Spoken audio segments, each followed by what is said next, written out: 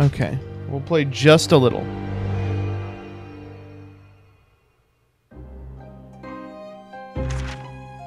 I begin to think, Wilson, said Sholmes, turning his head languidly in my direction, that there is more to this case than that which we have observed. Indeed, that there may be another part to this story that we are yet to discover. His eyes wandered, following the steam rising from his cup of herbal tea, leading him to the distant memory of that snowy evening. To the young lady collapsed on the pavement along Briar Road, and to the knife in her back. Lit in the soft glow of gas lamps, a most extraordinary scene had been set. And under the cover of a light fog, the curtain had risen silently on the insoluble mystery of our invisible killer.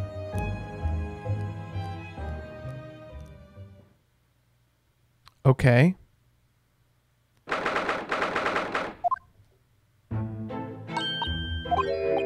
No, not at all.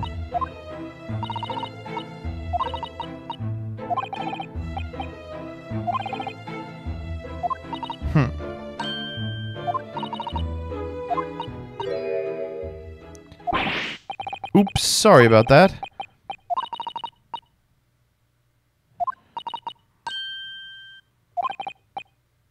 I really am. So three whole pounds. London is a scary place. Good morning to you in this early hour. Are we, well... Good morning to you, Lord Chief Justice. Yes, I believe you had a very comprehensive initiation into British courtroom practices. Yes, it was very eye-opening, thank you. And in accordance with your instructions, Mr. Naruhodo, performed his duty to the end.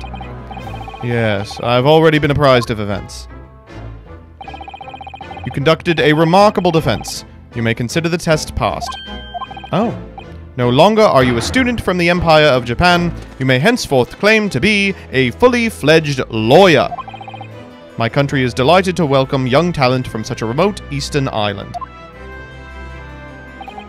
Um, thank you very much. Okay. Now, in view of your new appointment, I have a fresh case in mind for you. I'd like you to take it on at once. I trust that won't be a problem? Another case already.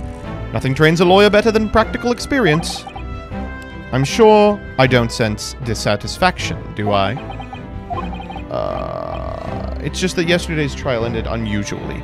Haven't quite come to terms with it. What's to come to terms with? The man was cleared. What more were you hoping for?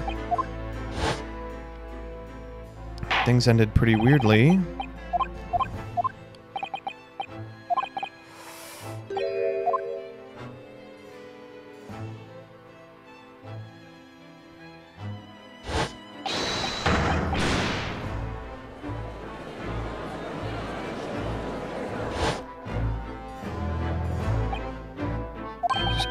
Wondering.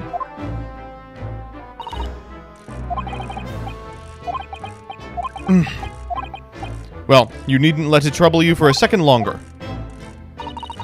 What do you mean, Lord Stronghart? Magnus McGilded passed away, immediately following the trial. Should have taken that thousand guineas.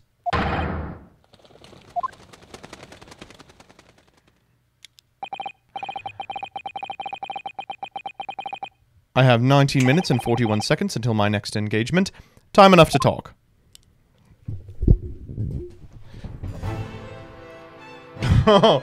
and uh, I guess we will talk just a little bit. Um, I don't understand what happened. How can he be dead? After the trial concluded yesterday, there was a great commotion at the Old Bailey. As you'll presumably recall, an omnibus had been wheeled into the courtroom. Yes, of course, that was the scene of the crime which Mr. McGilded had been accused of. Hmm, precisely. Well, while the bailiff's attention was diverted by some other matter, the omnibus went up in flames. That is being investigated as we speak. but already police have identified a corpse found inside the charred shell of the carriage as that of Mr. McGilded. The man must have slipped inside whilst the bailiff's attention was elsewhere.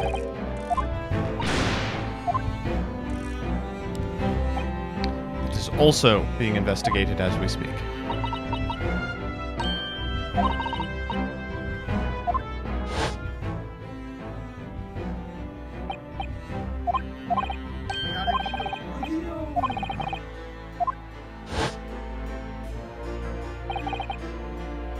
An inspection of the omnibus? Not to my knowledge. I don't believe Scotland Yard had any intention of re-examining the carriage. Oh? Never mind that now. The Yard is making a thorough investigation. This matter is no longer any concern of yours. Leave it to the police. Poor McGilded.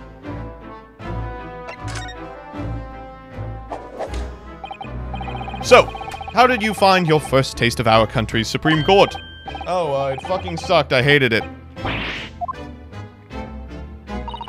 Mr. Naruhodo means that the whole experience was steeped in the solemnity of Great Britain's long history. It's really a world apart from our own judicial system in Japan, which is only a few short decades old. Thank you, Susato. And you seem to have a way of failing to find the right ones. How did you read my mind? The judicial system here is the most advanced in the world. Learn all you can. Is it? It was fortunate that your very first trial was a simple affair. A simple affair? As I believe I mentioned yesterday morning, it was a trial you couldn't lose. I don't mean to be contrary, but the case was anything but simple. The circumstances were so incriminating, I was stunned when I first heard them. I'm still finding it hard to believe we managed to get a favorable verdict. Is something funny? No, no, my, my apologies. However, the fact is that you did receive the not guilty verdict you set out to achieve. And that can only be attributed to exceptional talent. Wouldn't you agree? Well, I don't know about that. Well, never mind. You exceeded my expectations, I freely admit. That much at least is an undeniable truth. Which is precisely why I have prepared the new case for you that I mentioned before. What the fuck is going... This is sus, Jay. Alright, what are we working with here?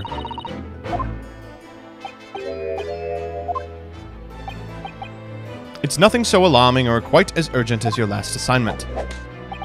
In fact, the case is completely different. That is to say, no one has died as yet. And the trial will not be today. There is plenty of time to research the case thoroughly. Source code, thank you for the 16 gifties! 23 hours, 43 minutes, and 19 seconds to be precise.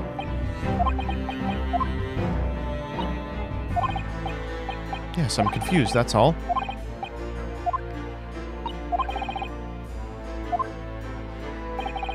Ah, yes, I nearly forgot. There is one similarity with yesterday's case. Once again, there is currently no one to advocate for the defense. If the situation remains unchanged, the trial will start tomorrow with the defendant unrepresented. If that happens, I need not remind you of the outcome.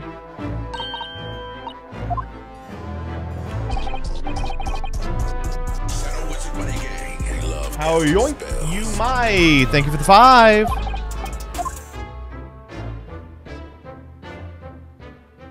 Well, your time is up. You will have to excuse me. I would advise you to begin making preparations for tomorrow's trial.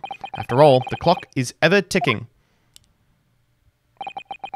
There is now but 23 hours, 26 minutes, and 39 seconds until the court sits. And one more thing, Mr. Naruhodo. There is something I should like to ask you. Yesterday, you remarked upon something that you intend to see through the will of your late compatriot, Mr. Asogi. I would be interested to hear exactly what you mean by that. Inside 34 seconds. Oh, well, uh, Kazuma always said that he wanted to learn how the greatest justice system in the world works so he could change ours in Japan. Now that he's gone, I'd like to work towards that myself. And there's another thing. Another thing, continue. On the way here, on the steamship, he said something to me. There's something very important I have to do. What would that be? He never had the chance to tell me. I suppose he would have done if he... Mm, well, thank you for an enlightening decision.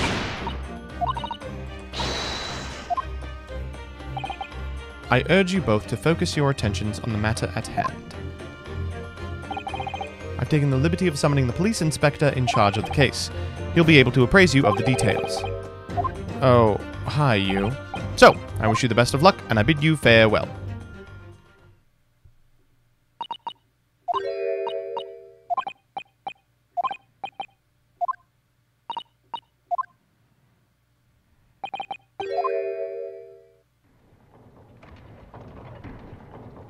All right. And that's where we're going to call it.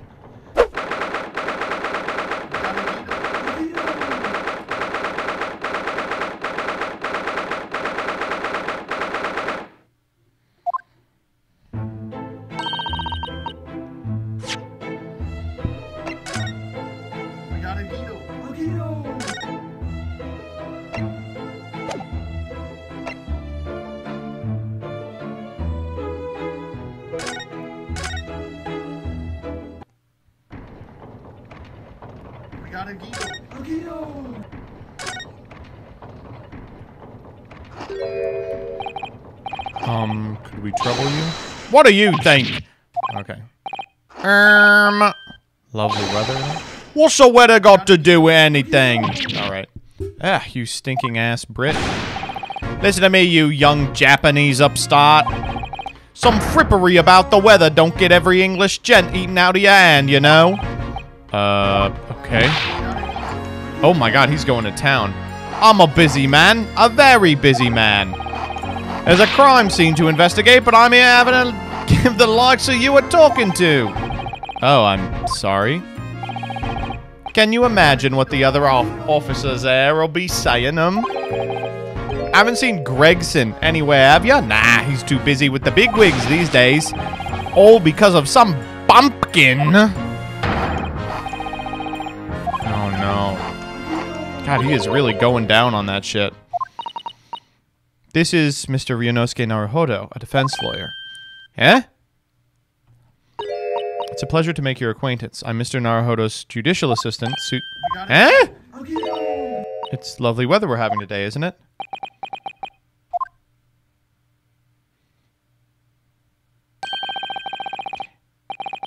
It is unseasonably fine, I grant ya. London winters don't see your sunshine.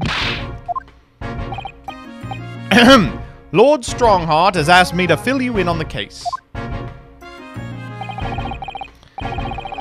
Name's Tobias Gregson. Inspector Gregson to you.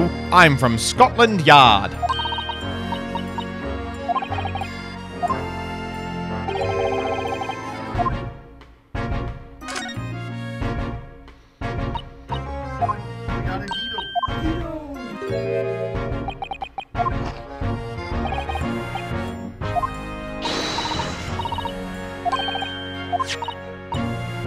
God. Oh, wonderful. You rival the great Mr. Sholmes? That's incredible! Oh, um, well, I don't know about that. Mr. Sholmes isn't a professional like myself, of course, but he does come up with the goods from time to time. Gregson is the pick of a bad lot of all the Scotland Yarders. Those are his own words. That he is not, and thanks to that magazine, my name's known all over London town now. That's great, isn't it? Hmm. I have to admit that to start when, with, I was a little, well, flattered by all the attention. Everyone wanted to shake my hand, and my reputation at the yard went through the roof. That's wonderful. No, it is not! There's nothing more sinister than the man on the street. People are always looking at me now. They're whispering rumors about me under their breath, I'm sure. Are you quite sure? He's changed since he started appearing in those stories. The fame's gone to his head, stuff like that. Gosh, do you really think people are saying such mean-spirited things about you? Uh, Blankman, thank you for the five dollars. Celeste, thank you for the three dollars. Chuck, you thank you for the thousand bits. Just trying to help.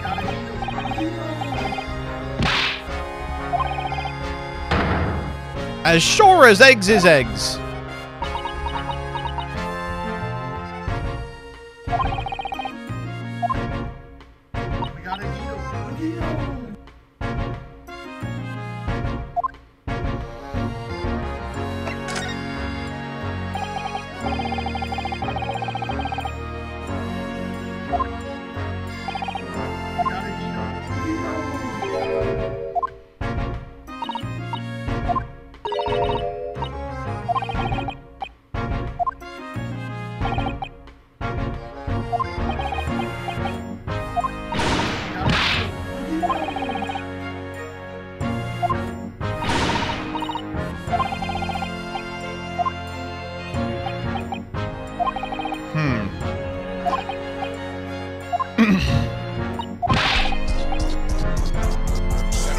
We've caught up to the grain laying gifties. There's nothing you can do. There's no way to help the bloke now. Why not?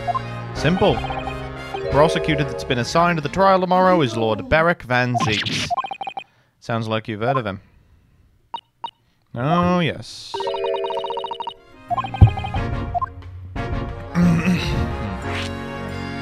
you know, I actually just beat him.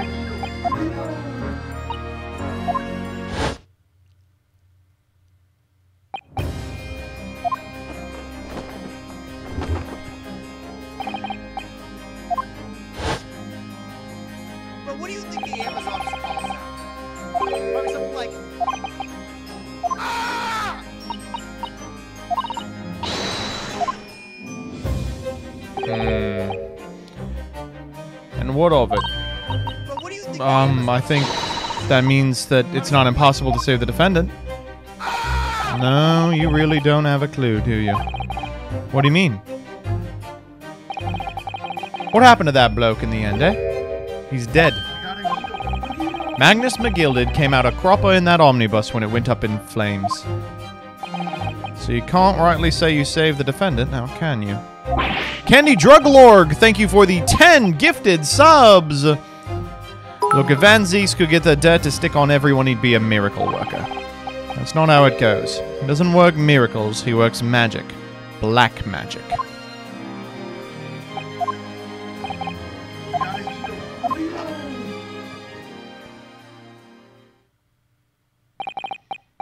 Right, well, I filled you in as requested, and I'm very nearly out of chips. I'll be heading back to the crime scene now. We're still carrying out a few investigations there. Briar Road. That's correct, and if you head over to the holding cell, you can talk to the criminal himself.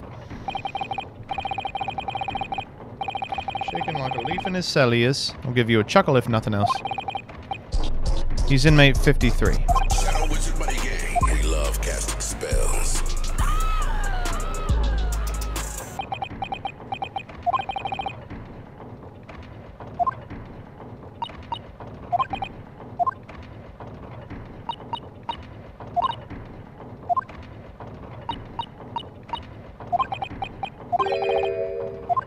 We got it. We got it. We got to run back.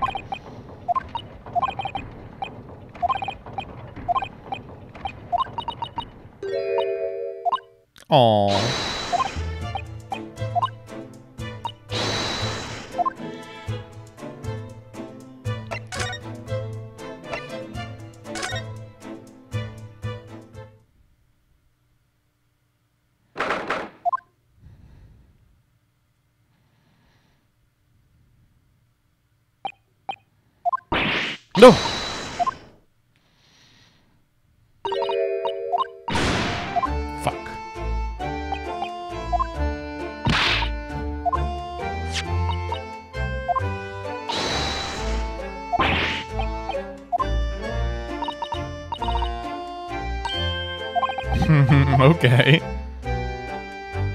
Susato is a Westaboo.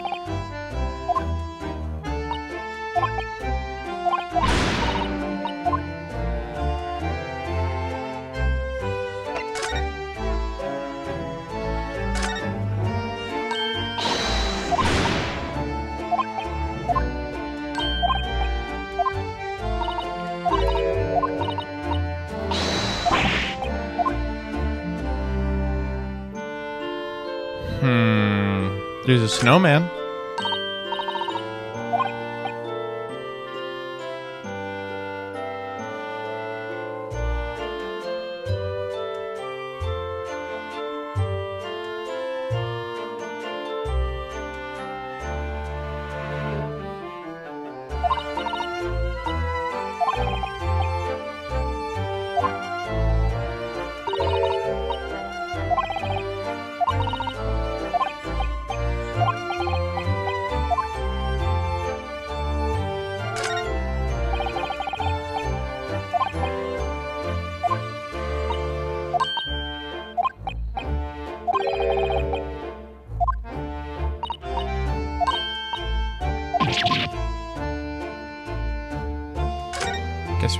Here. This patch of pavement is where the incident occurred. Hmm. Oi! What are you foreigners doing here? Uh-oh. Uh, we, uh, just investigating the scene. Conspiring with that mustache fella from Japan, are you? Conspiring? Come here to destroy evidence, have ya? Get out of here before I give you an island. Go on. Okay, goodbye. What a disappointing experience.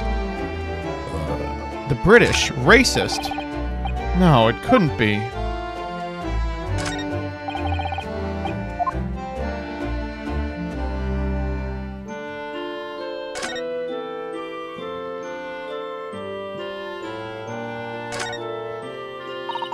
That's a rather typical old brick building. I'm sure it has a long and interesting history.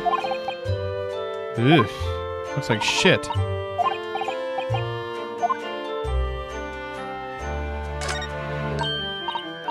British bicycle. Uh, that's interesting. Huh.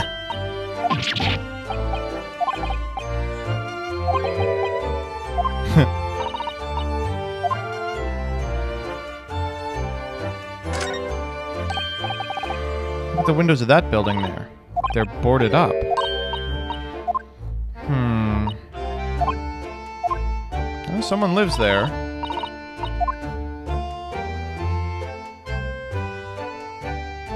Capital. Hazy out.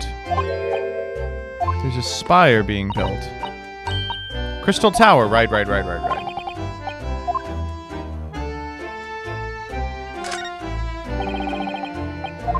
I'm passing a kidney stone. Fifth rate's Duelist. Zara, I hope you had a good stream.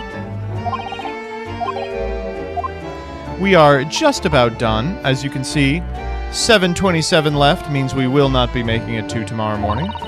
So come and join the end of the subathon. Hey. Hi. Alright, well, while these bobbies are here, I feel that we won't be able to get much done, so let's go meet our assigned defendant.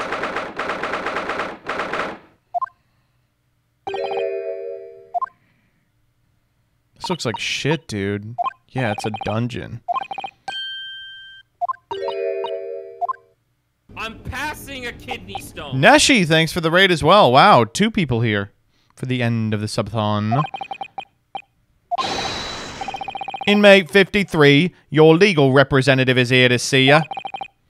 Stop hiding at the back of the cell and show your face at once. Am I... Am I a cat? As yet with no name? Calling me by a number. It's utterly, unbelievably, unjustly unreasonable. I refuse to answer. Um...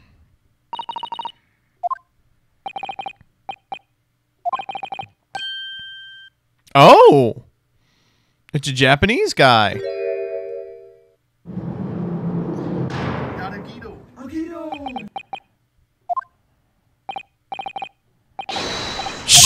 Quiet! They're all around, hiding. I know they are. They're watching, listening. Even now, I can sense it! Um. Uh, a ghost?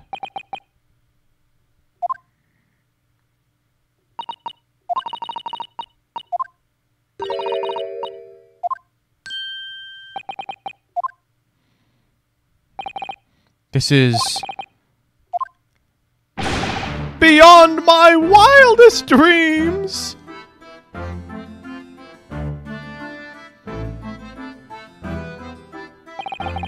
Forgive me for that outburst before. I'm so sorry. It's fine. We were just a little surprised. Imagine it! It's been 12 long months since I left my hometown, and here I am in a frightful fix in a foreign land.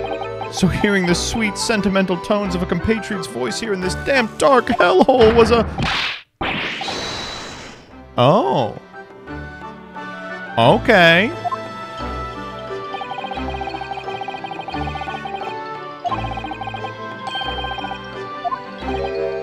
Ah. What compassion my fellow countrymen show to dispatch a first-class lawyer all the way from Japan to defend a mere foreign student. Okay.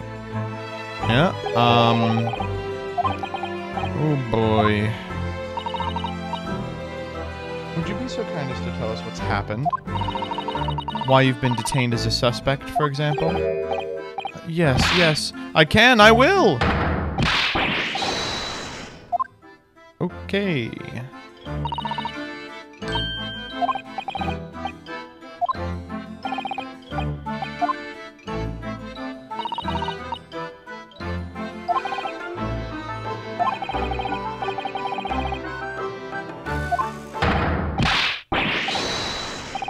Natsume.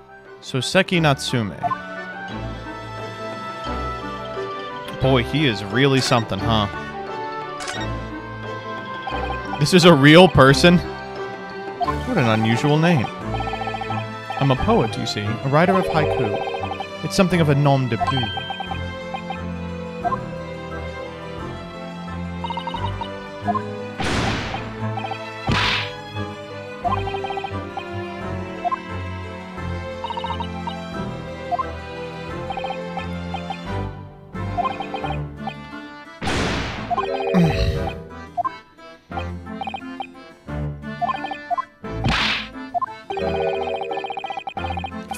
1984 until 2004, his portrait appeared on the front of the Japanese 1,000 yen note.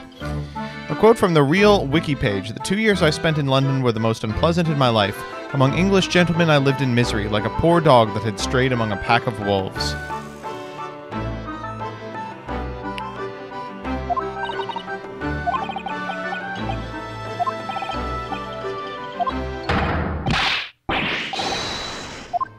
Um. This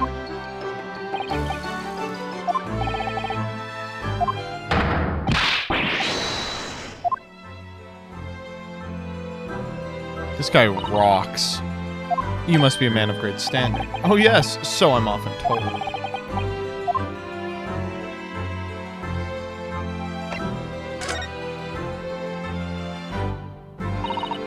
Could you perhaps tell us exactly why you've been arrested, Soseki-san? I didn't do it! I didn't commit that atrocious murder! Oh, no, no, it's alright. The woman didn't actually die, should, did she?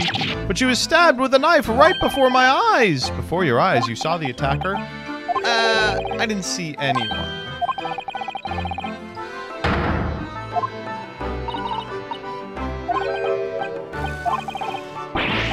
The Curse of London!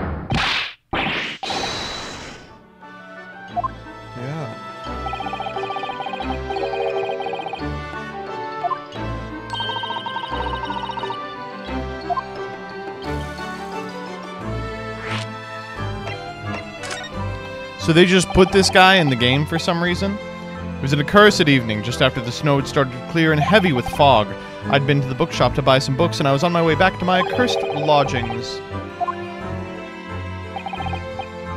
I was walking along that accursed pavement. Woman wearing a green overcoat. Just as I went to overtake her, she let out a little scream and collapsed onto the cold, hard slabs of stone at my feet. called out to the woman, but she didn't move. It was like a...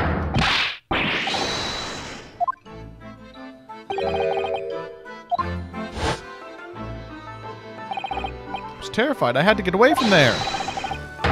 So I ran as fast as my legs would carry me back to my accursed lodgings.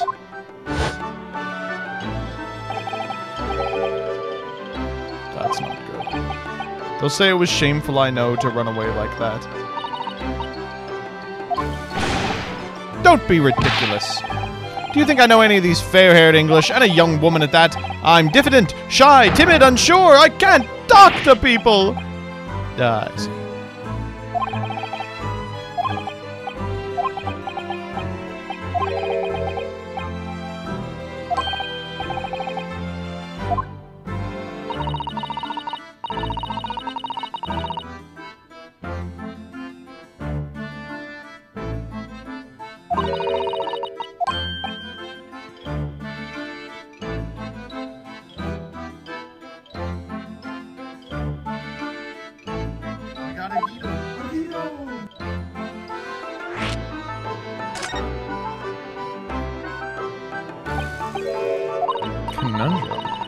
Inferno Bacon just here to give my sub and leave.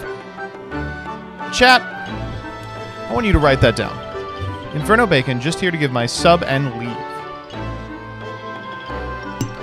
Optimal chatter experience. Optimal chatter experience. Hello, sir. Have some money. Goodbye.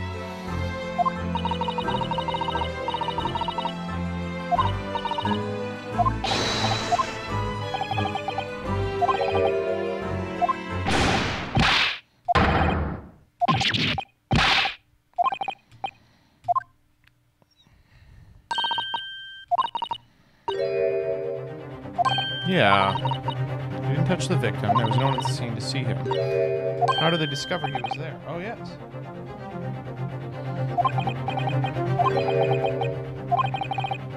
Oh. Fucking hell. There's no way that this guy has been accused by the one and only Dick Fuck Holmes.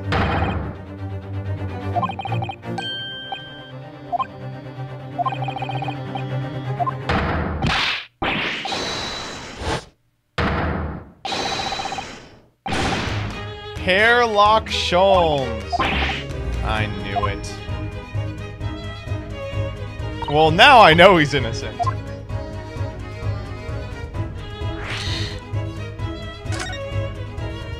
I like that they were told they couldn't call him Sherlock Holmes. They called him Hairlock Sholmes. And uh, they were like, let's just make this a bit.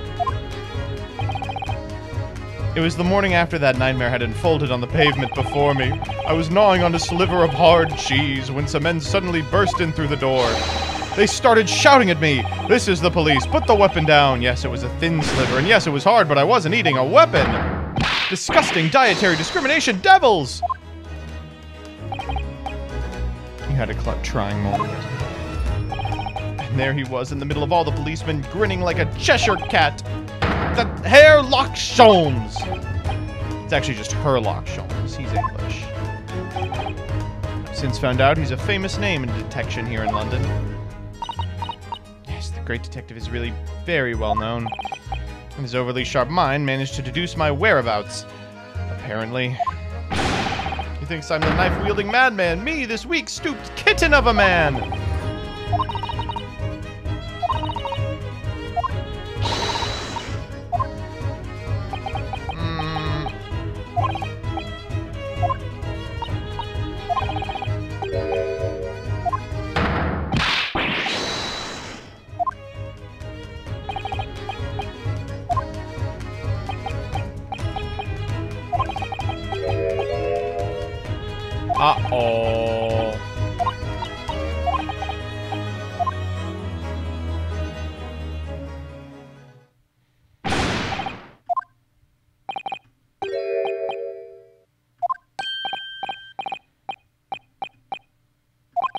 Country is poisoning my mind.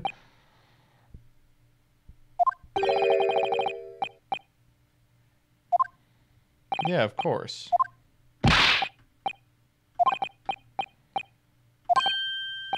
A student? I've defended a case in the Old Bailey, only the one though. But at this moment in time, I really don't know what I'm supposed to believe in. I'm confused about what justice in this country even means. Not even the foreign student who was supposed to be here. I'm a sort of locum lawyer, I suppose. But, but, but that armband! Oh. A keepsake! I know exactly what they're saying about me. Lawyers. All the British defense lawyers. They won't defend me. For the same reason as you noted before, when it happened, there was only the victim and myself around, and I ran away from the scene of the crime. I'm not a fool. I know it looks as though I must be the culprit. It must be very hard for you, Soseki-san. And anyway, I'm a student from overseas. I'm just a foreign nobody to them, someone not to be trusted. I heard them openly laughing about me before, in my earshot, without any compunction at all. Of course the foreigner did it. They even had the gall to say, that man doesn't understand half of what's being said anyway. They're wrong! I've studied more English than half the policemen out there on the streets! But no one wants to listen to a man with a strange accent. They all hate me. So at the very least, I'd like to entrust my fate to someone who can listen to me in my native tongue. Oh.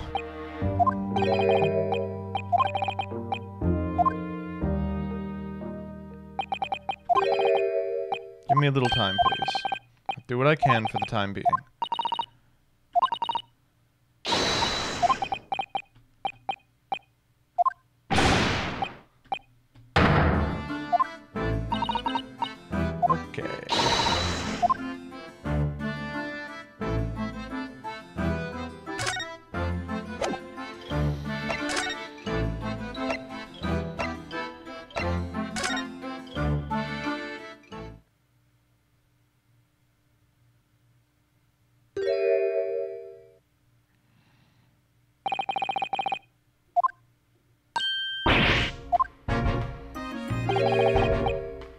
This isn't on the tourist trail, as I'm fairly, I'm fairly well sure you're well aware.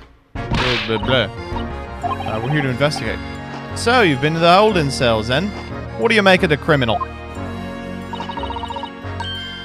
He's a suspect. We'll see about that. You Japanese like to stick together, I suppose. Well, do what you will. Doesn't bother me. Bloke's in court tomorrow, whatever happens. And the verdict's a foregone conclusion.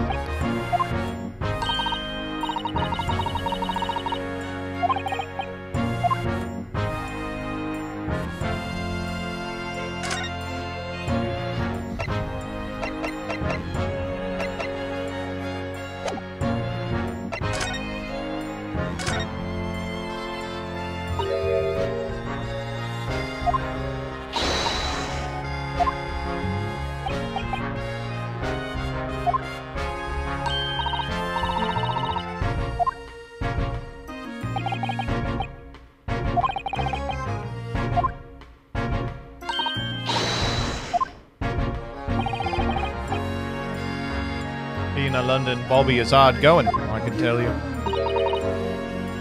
Divak Crow, think of this, um, oh, really? First thing in the morning, you know what he does. He Goes around and rouses all the laborers on his beat so they can get off to work. Raps on their windows with a long pole. Did myself, going back a bit. Bobby works for the people of the town. It's just another one of his duties. After that, he starts tirelessly patrolling the streets all day long. He has to cover 20 miles a day. That's the regulation distance.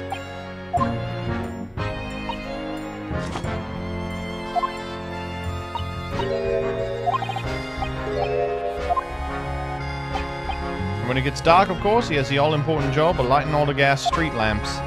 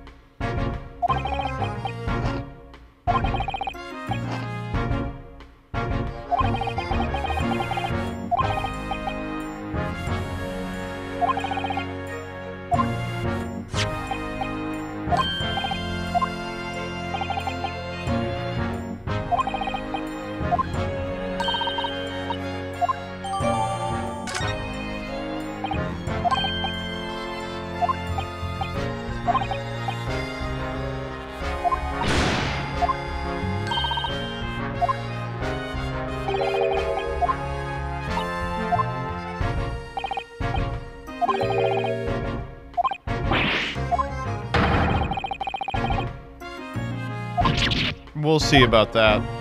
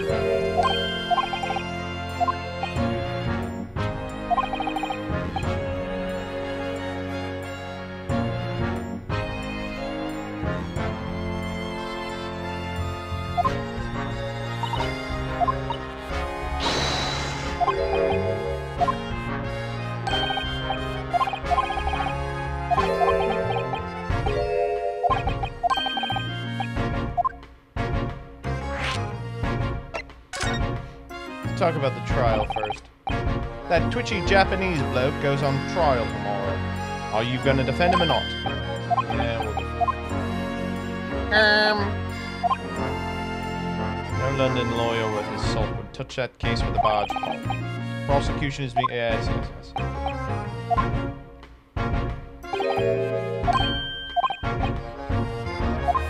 Yeah, I don't know why he came back either.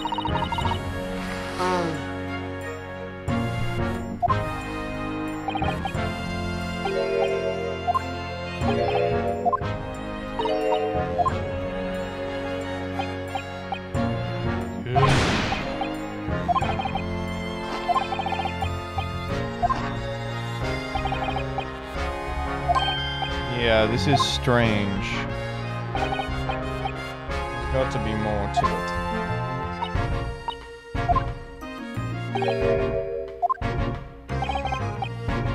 Sheesh. Let's talk to Mr. Sholmes. Who did you hear that name from? Oh, uh, Mr. Natsume. He said Mr. Sholmes was with the police when they entered his lodgings. Fiddle faddle. The man's an amateur, and I'm getting sick and tired of him showing his mug everywhere. I don't know where he gets his information from, but he turns up at the scene of the crime, wanders around spouting incomprehensible rubbish, and before you know it, he claims to have solved the case. Yes, he's astounding, isn't he? Gibble gabble. Ever seen this before?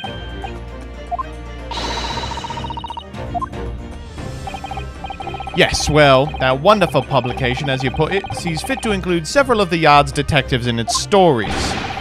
And this so called great detective makes a mockery of all of us. If you ask anyone at the Yard, it's a misadventure to be included in any Sherlock Sholmes tale at all.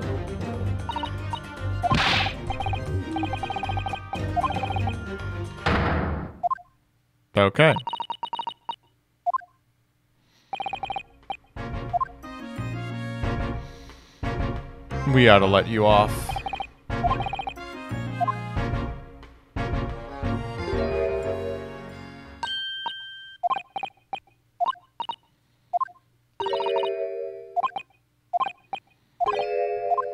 Oh, God.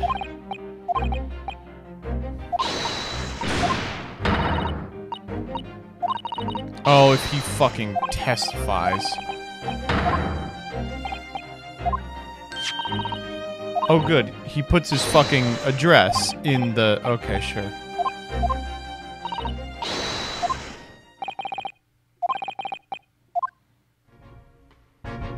God, he makes me want fish and chips so bad. I know. I've been thinking about it the whole time. Oh, good. There's an animation.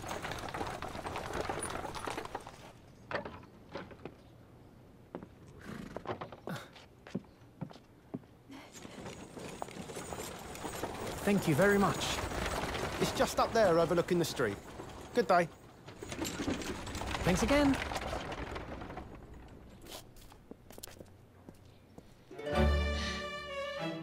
This is it. The residence of Mr. Herlock Sholmes.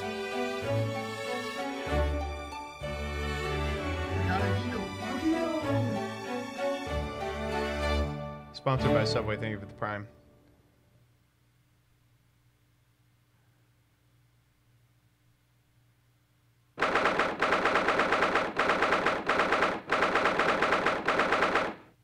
The stupidest place I've ever seen in my entire life.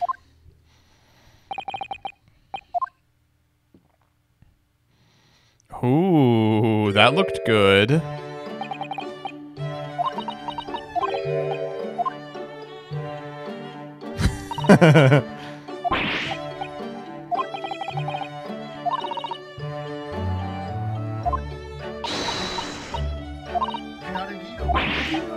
Kavili, thank you for the prime.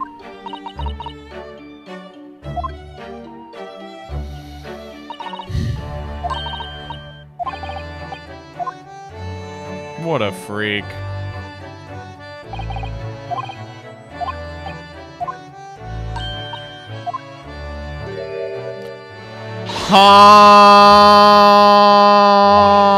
Okay.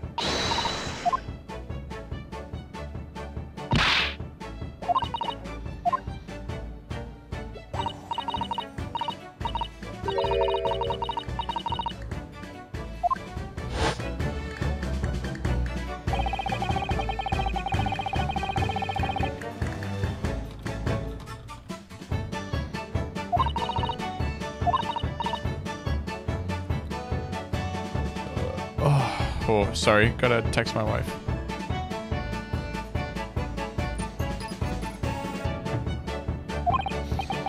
Oh, yes, it was challenging.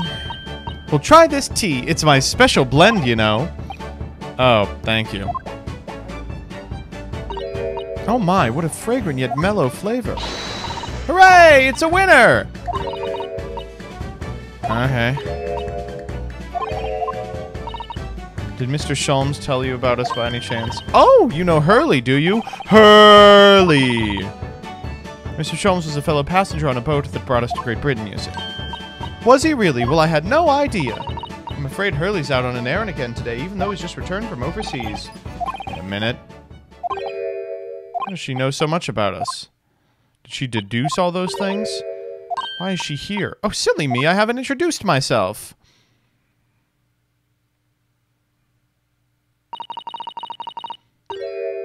Iris Wilson. Okay. This can't be. Your name is Wilson? Yes, that's right. And what are your names? Oh, uh, I'm Ryunosuke Naruhodo.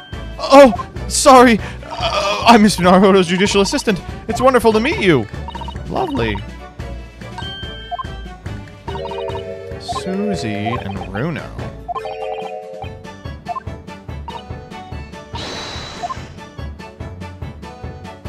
Alright, let's talk to her, I guess.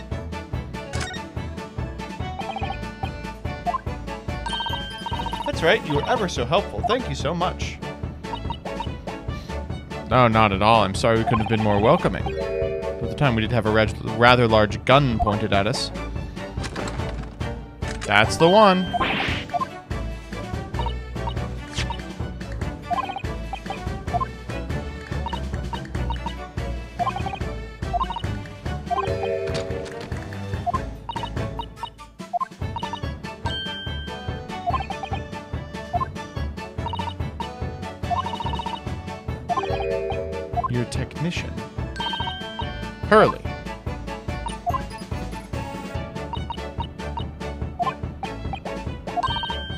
Daughter?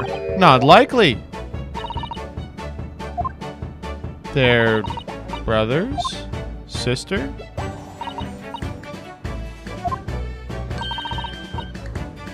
Oh. They were roommates. I'm 10 years old. Uh.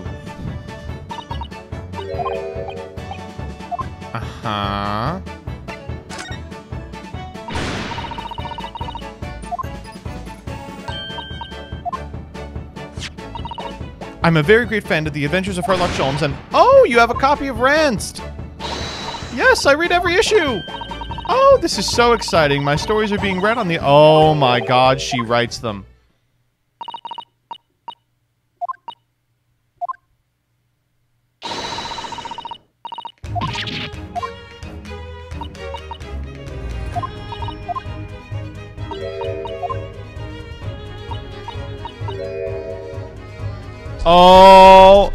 Speckled band! Hensky, thank you for the five.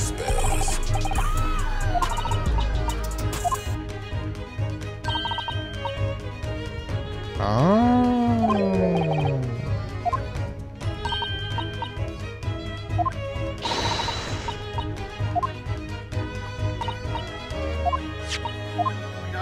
They're fake. The stories I've ever read are written by a doctor of medicine, Dr. John Wilson. That's me. uh, my name really is Wilson. What about the doctor of medicine? Uh, that's also true. I am a doctor of medicine. At 10? At 10 years old? Oh, that's incredible. But, but, but, but Dr. Wilson is an English gentleman. Ah, yes. I did alter the settings slightly for the stories to be more compelling. Well, sounds a little strange, doesn't it? A great detective with a 10 year old girl in tow. I suppose it does. I'm sorry.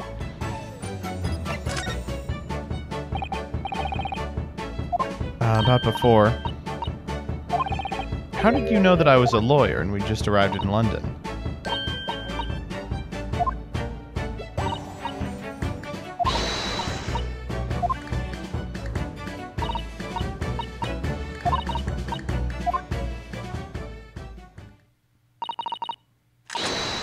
Oh my god.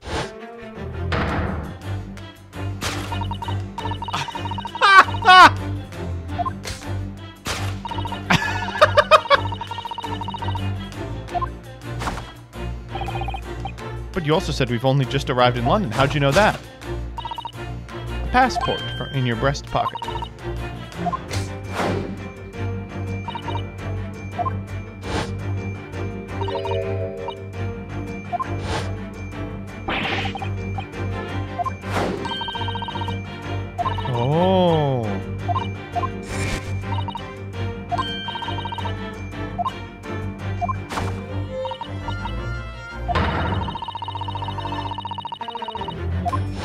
Wow, she's like actually really good at this.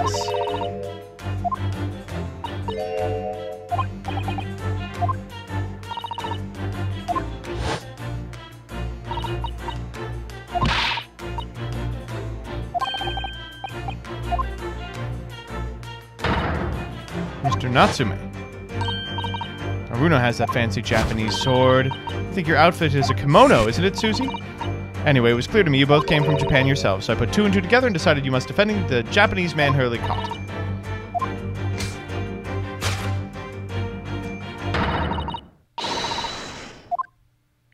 Yeah, uh, that's a hundred percent correct.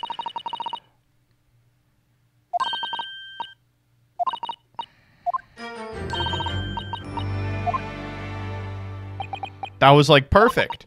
We don't have to correct it. They were spot on. That was amazing. I didn't know you could do that. Oh my god.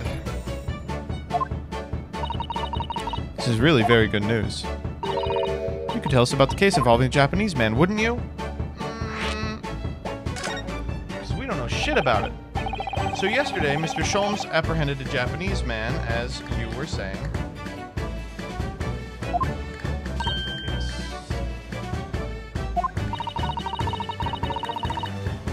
Hurley had just arrived back in London after his sea voyage, but the police were waiting for him at the uh, railway station to take him to the crime scene. The great detective is a popular man, it seems. A woman was stabbed on a quiet street somewhere in town. There were witnesses who had seen a short, shifty-looking, stooped man running away from the scene. Yeah, that's him.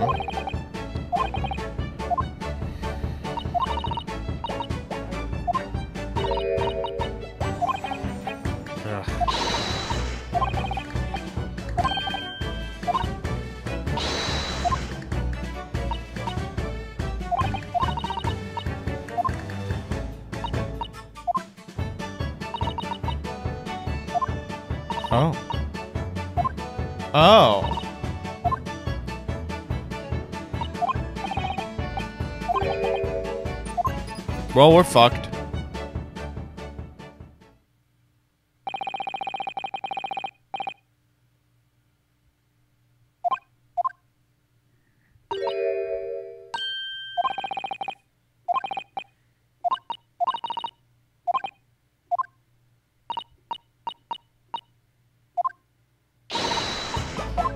Oh god, we have to talk to fucking Herlock as well.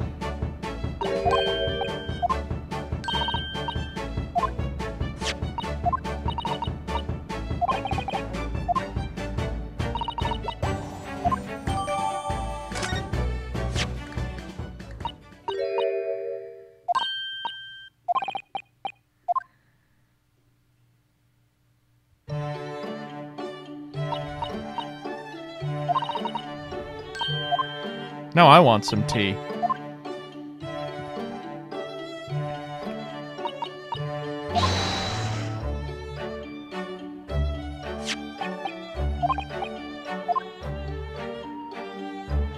Oh, is this a break? It is. What the fuck?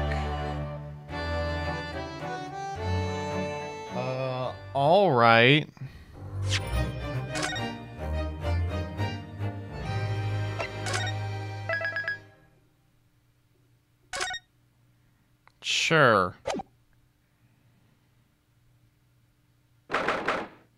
I'm gonna make some tea. I really do fucking want some tea now. God damn it. I'm gonna make some tea. I'm gonna get a little cake. I'm gonna get some tea and some cakes. I'm gonna make some tea and cakes, and then I'll be back, and then we will do the rest of this. Yeah, no, I gotta tell you. Oh. This um this this game is doing a fucking bang up job of making the investigation not the most painful shit in the universe. Oh, All right. Looks as though the police are still here, carrying on with their investigation.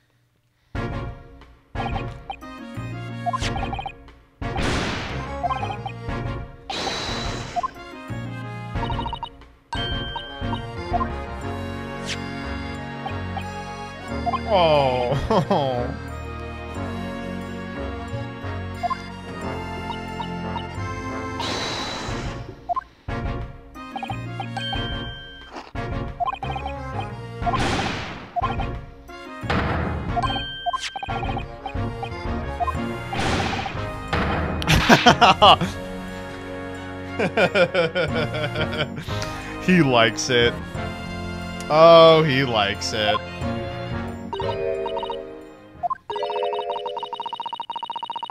Source code. Thank you for the 10. I don't know if I missed that. I think I didn't. Oh, no. Oh, that's where he lives? Oh.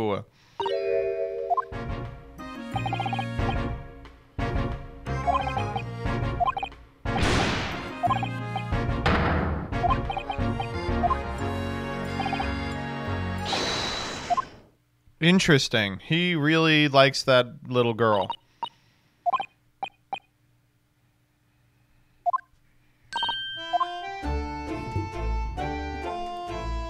Well, let's check it out.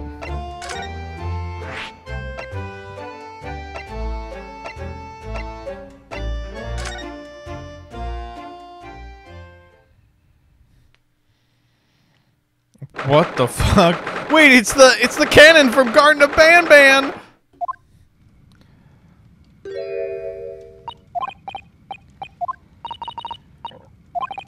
Uh.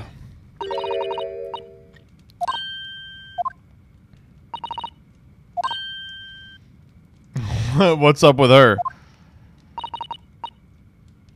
Garrideb? Who the fuck is Mr. Garrideb? That was a real life English maid. I know. I never understood the concept of maids. Am I too poor for this? I just don't get it. How how what what they just they just spend all day cleaning? I don't get it.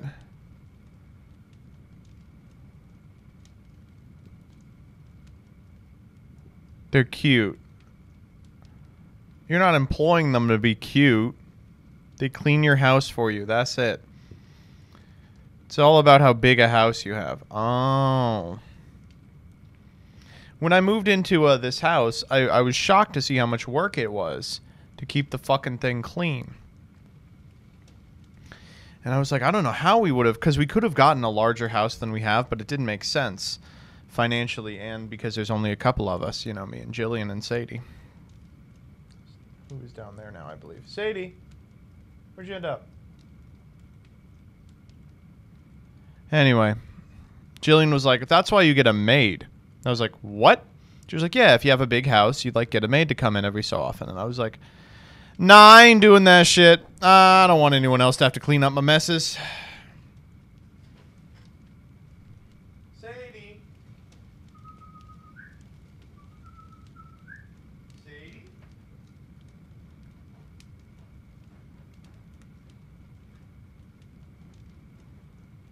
Okay, you can be down there if you want.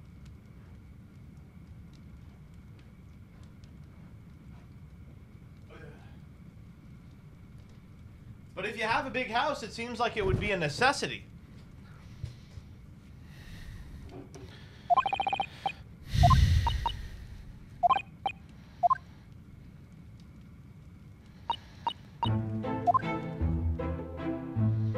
Haven't you ever seen for? Oh my god.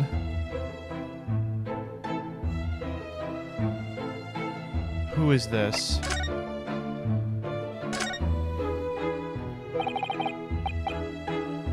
John Garrideb. This man is the moon.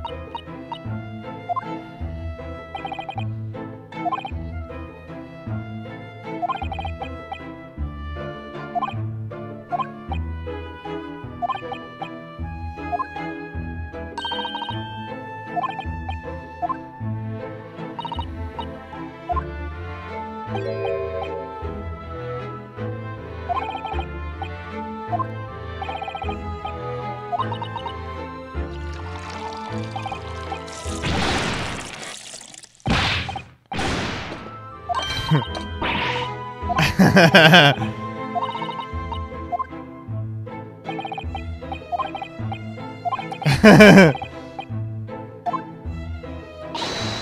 yes.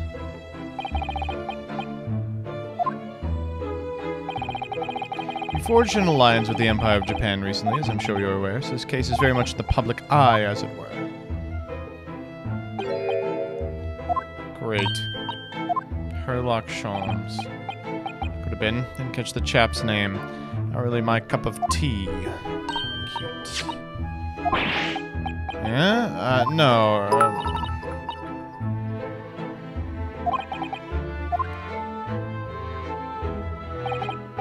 it's a bowling nuisance.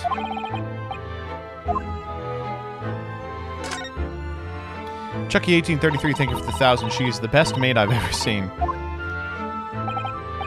Ah, yes, the Japanese chap. Only been lodging here for a week. Oh, just a week? So we moved in very recently then. I have two lodgers most of the time, one on the ground floor and one just below us. First floor we can. Ah!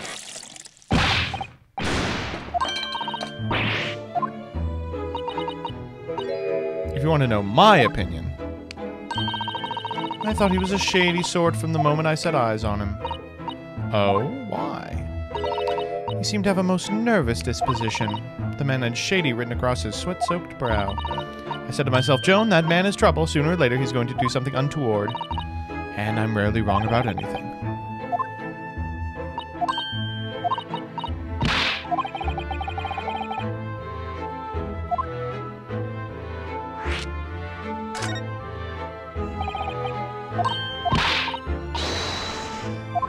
Okay, that's not helpful.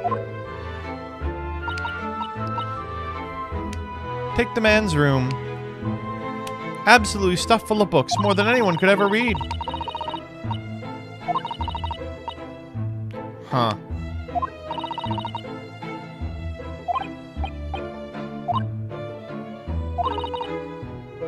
Wow.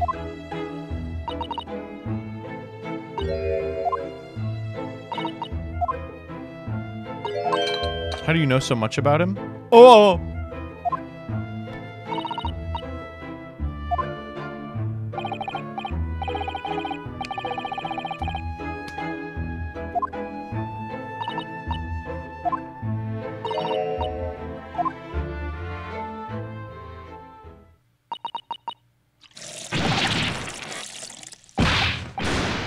Grief, Joan.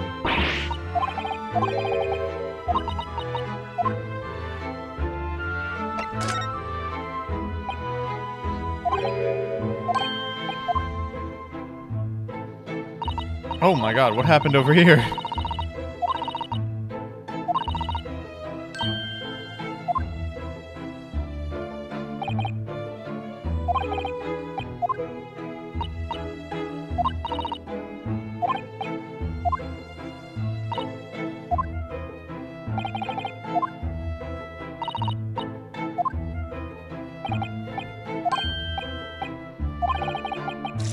Oh, come on!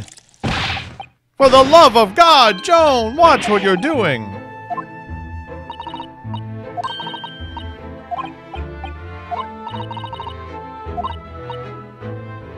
Hmm.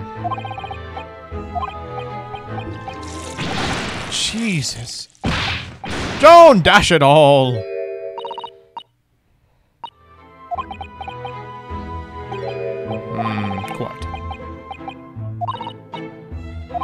Interesting.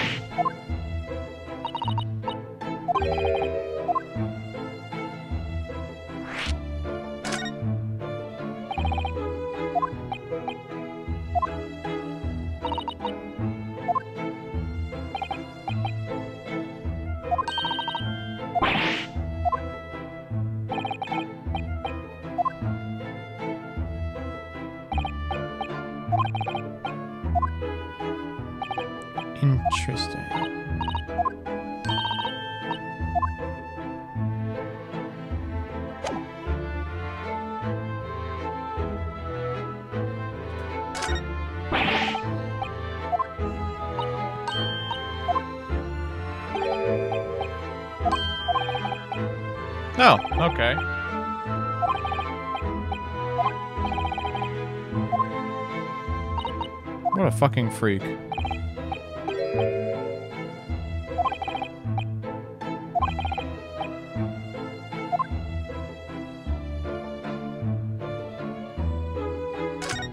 It's to shoot Jumbo Josh if he appears in the window, exactly.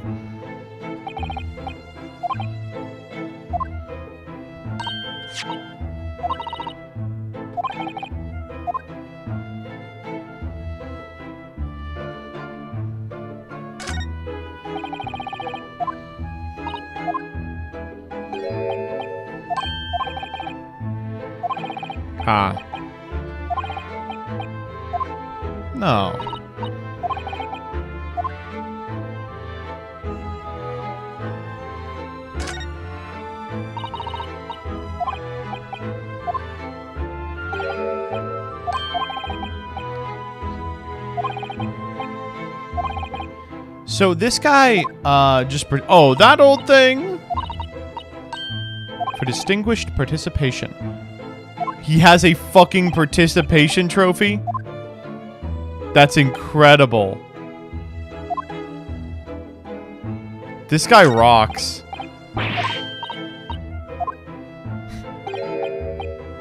Those old things? Couple little rounds accidentally fired in the barracks during training.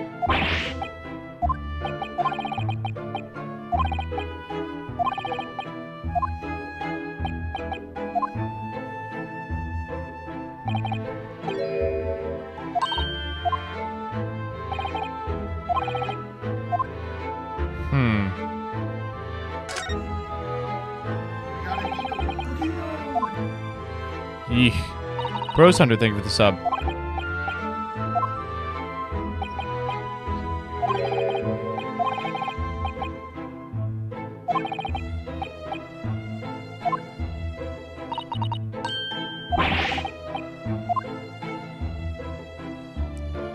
Wow, he has just got a lot of shit in this house.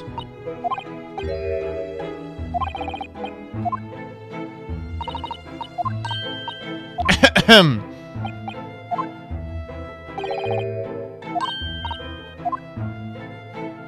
Something's up with this maid.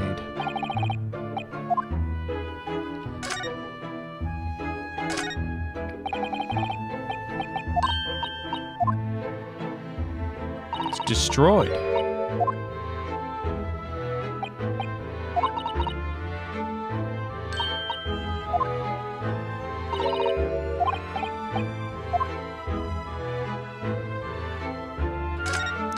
And this lazy Susan. Also destroyed.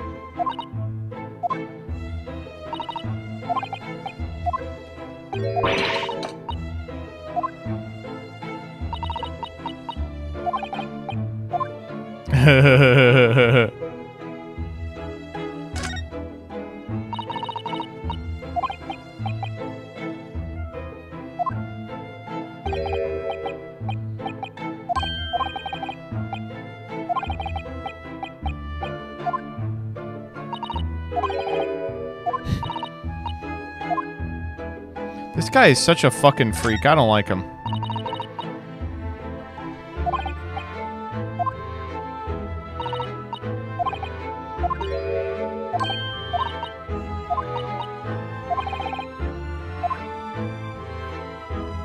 Well, unfortunately, that's it. Alright, well, we can go.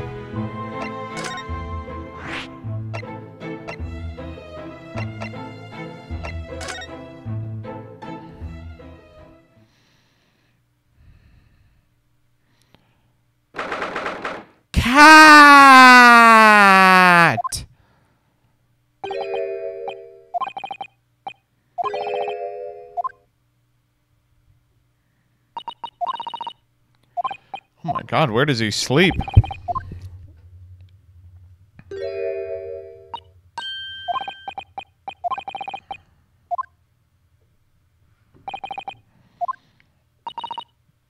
Kind of a grim place, isn't it?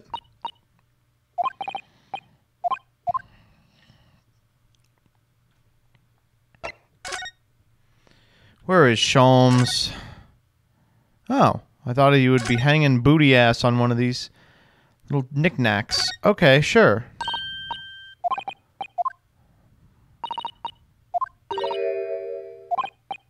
Okay, well, Daruma doll is different.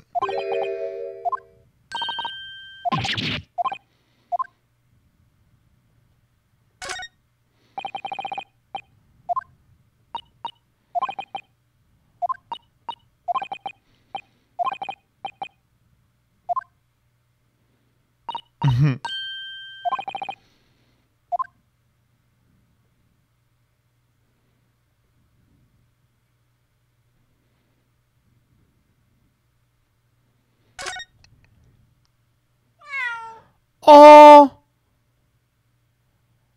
Oh, it's a big stretch, huh?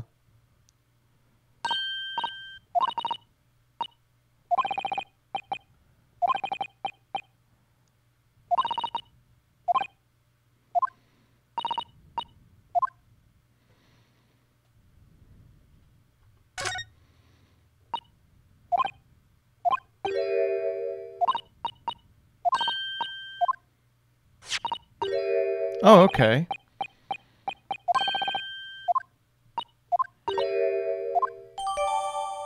Take that. Thank you.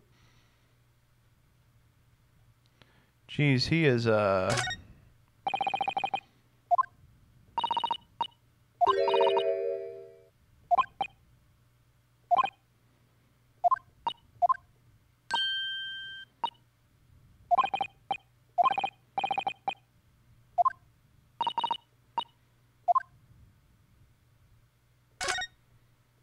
Oh, son of a bitch.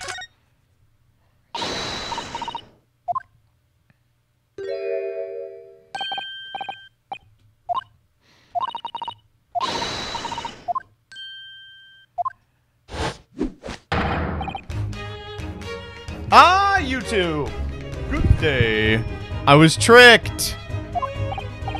Now let me see. Where was it that we met? We were on the SS Burya. And let me see. What happened on that voyage? Uh, Kazuma Asogi died tragically.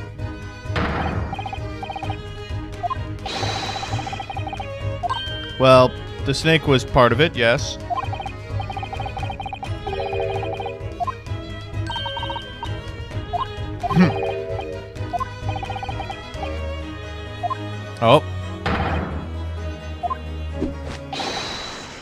Close.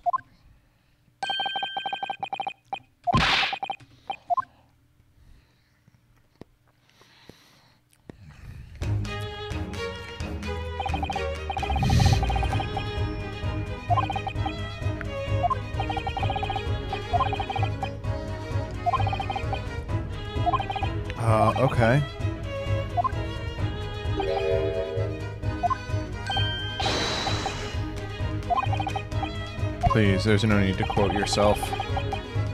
I don't always remember my pearls of wisdom, but fortunately my associate pens them beautifully. Iris. Mr. Sholmes, we have some extremely important questions to ask you about the trivial case you just mentioned. Goodness, what an earnest expression. My dear madam, I should be only too pleased, and this murky room is an apt place to discuss the murky case. Finally, a person is going to fucking talk to us about the case. Oh my god, this guy has revitalized me. We know this to be the lodgings of a Japanese foreign student by the name of Soseki Natsume. The stabbing of a young woman out here on Briar Road. Natsume. Uh, was it really justifiable?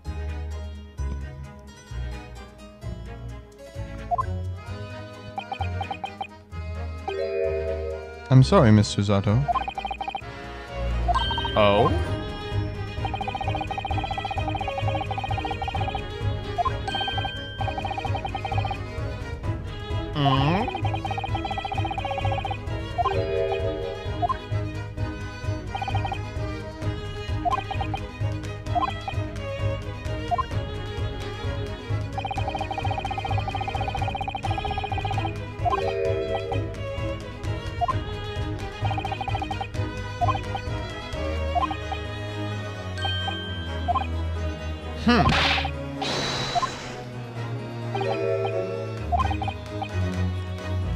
Interesting.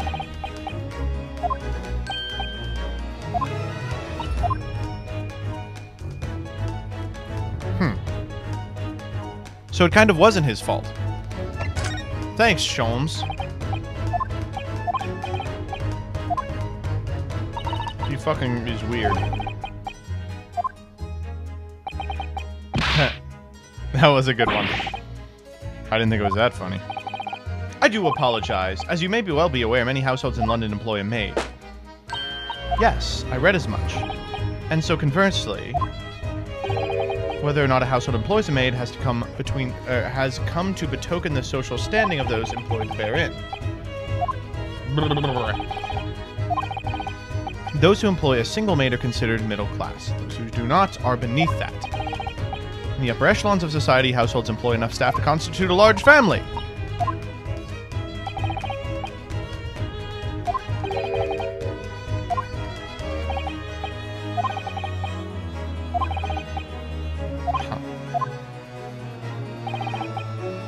As he is, the fellow is hiding something.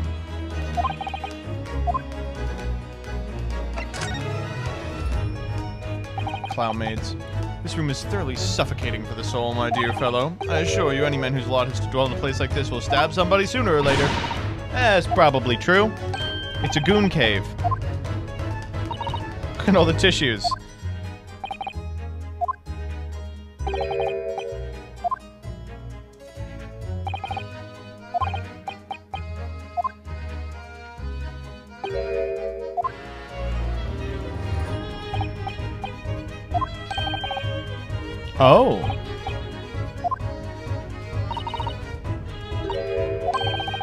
Precisely that. Oh my goodness.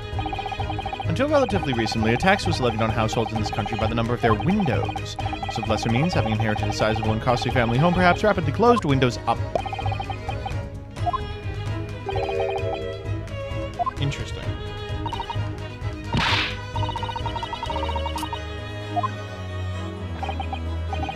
What an awful world we live in.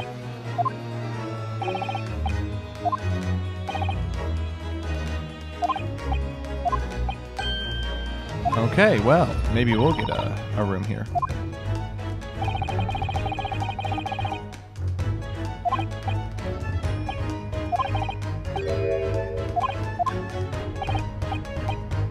No, no, please. Tell me. Oh?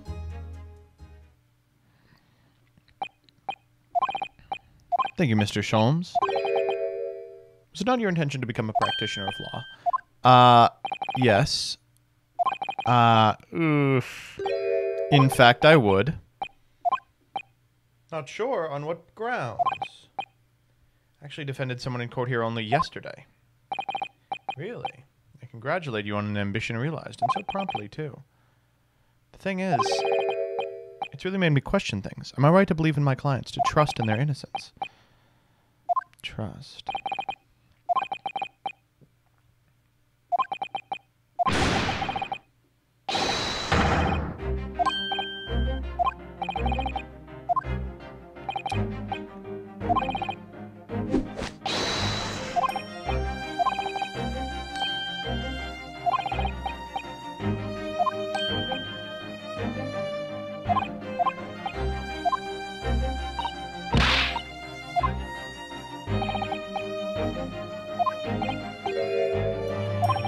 Yes, we know this.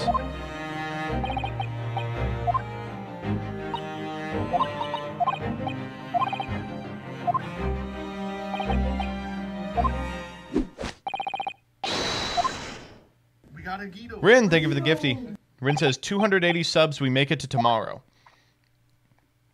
That is correct.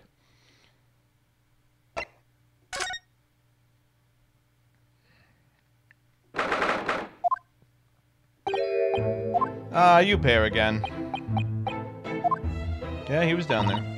279. Thanks, Rin.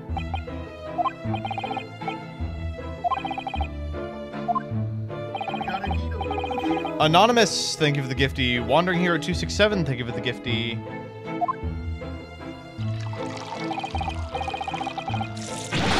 Oh my god. Blankman, thank you for the gifty.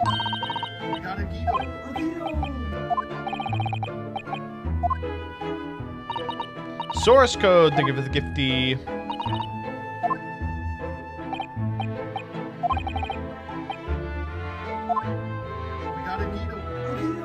What an asshole.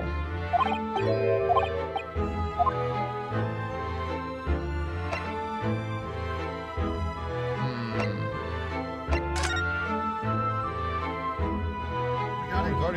Of shit.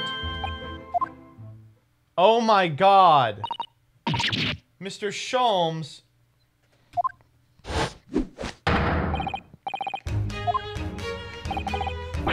Good gracious, when did you sneak in here?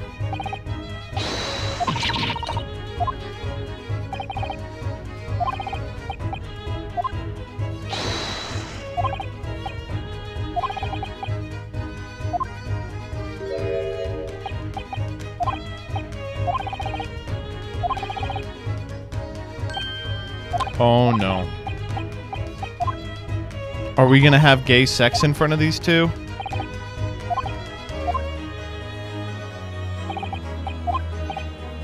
Oh, oh my god. The, chat, you know what time it is. Say Gex.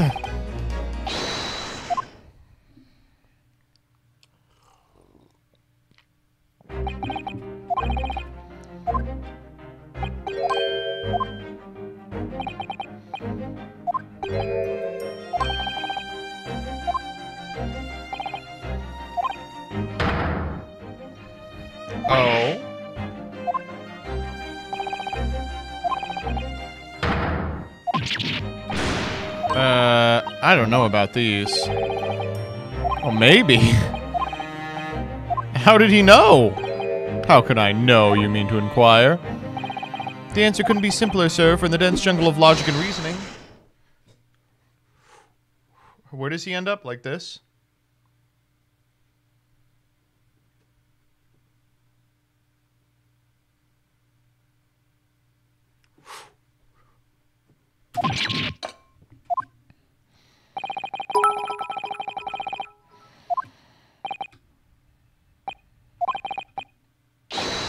Yes.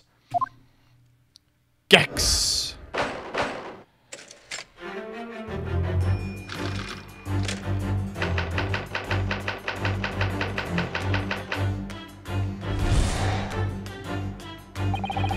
It certainly shouldn't take a great detective to see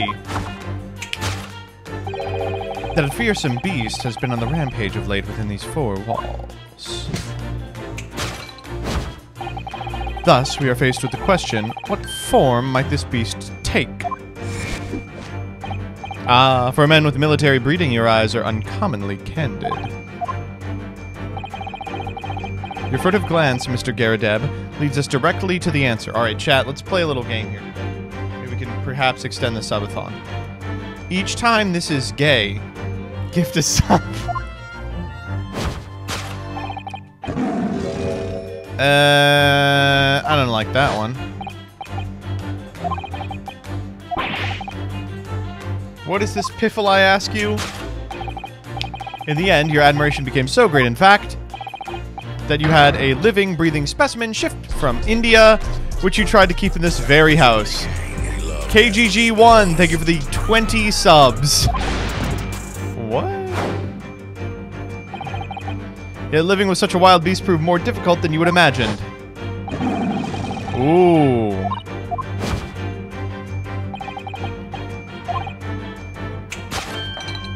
Oh?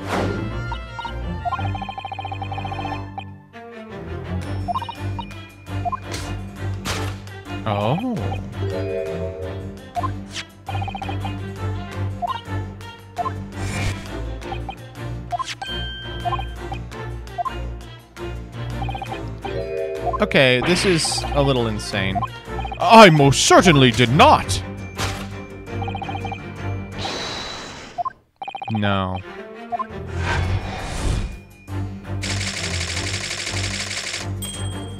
We're at 6 a.m. We're getting to Tuesday. 6 a.m. is at 9.30 a.m. We ain't there yet. Calm, chat. Now, Mr. Gardy.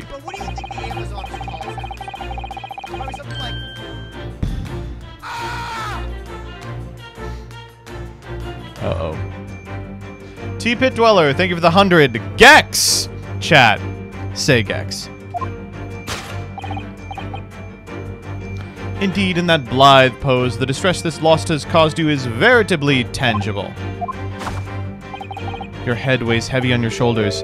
The pain you feel with the supporting arm. Do donos add to the timer? They do. 250 per minute. The Strain of losing something so dear to you is visible in your visage. Nonsense, man. I simply... What is the true cause of this pain? Okay. And we need only follow the direction of your gaze to find the answer. Yes, this pile of bills has given rise to the pain you suffer. Every envelope contains another demand of payment. Ah. For carloads of meat, potatoes, wheat, and tea. Oh, we are actually just under uh, 500 subs to unlock the remainder of our emote slots forever. That's epic. Indeed, feeding your beloved has had a devastating impact on the financial circumstances of your household. And so you had no choice but to let it go.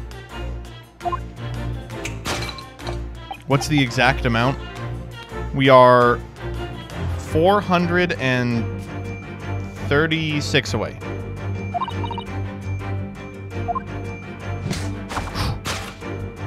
Oh, okay.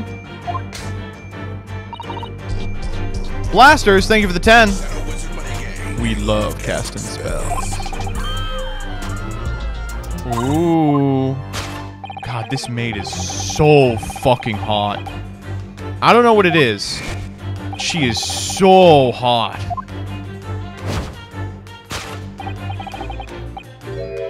Why is everyone saying huh? You all know I'm right.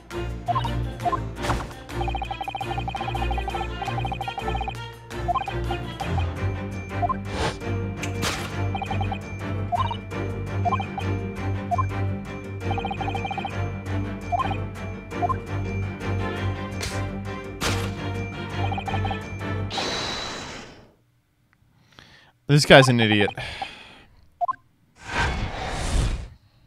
Chad, if you think he's right, gift two subs.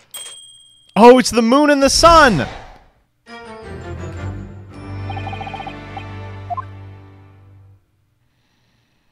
Okay. Brett the Gamer, thank you for the 20. Shadow Wizard Money Gang. We love casting spells. Ow! What's the matter with you, Joan? You're pouring hot scalding tea all over me. Oh, I'm sorry, Mr. Garrideb. I'm afraid I didn't notice. My deductions can be startlingly sharp. It stands to reason that your cup runneth over. Uh, they're wrong, though. Saurus Code, thank you for the 20 gifties! Beep, beep, beep. Uh, Mr. Sholmes, you're wrong. Your deductions. Do you really think a lion could have fit inside a room of this size? Kavaki Machias, thank you for the two gifties, because I'm correct. Terrifying truth lies all too often beyond the realms of common sense. Wouldn't it be right to consider what lies within the realms of common sense?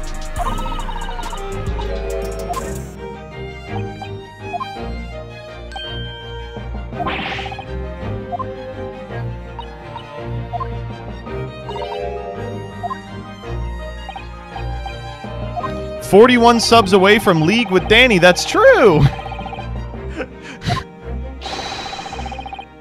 no, it's not.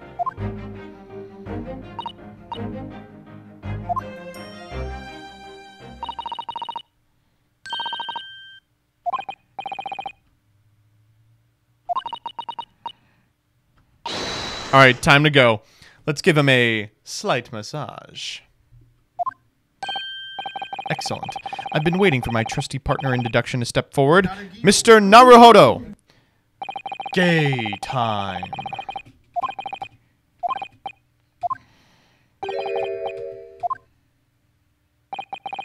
Foreplay over. It's time for Gex.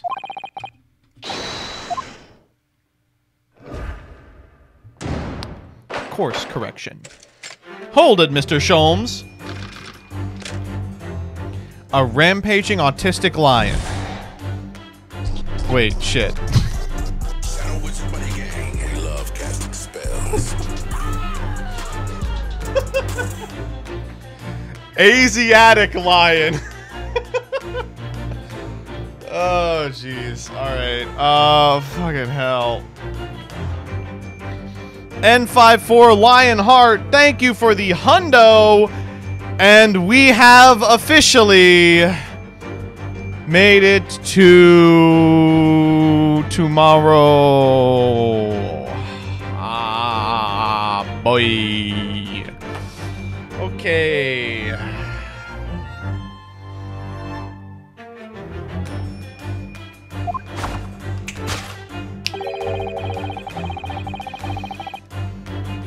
It's like 20 seconds tomorrow. That's tomorrow. Danny's gonna love playing League. I know it. Thus, we are faced with the question. Holy shit! We have hit a level 14 hype train. Do these just do these just go forever? Junie, uh, Junsi, I apologize. It's we are. It's it's been a night. Okay. For a man with a military breeding, your eyes are uncommonly candid. It's a lion. Hold up.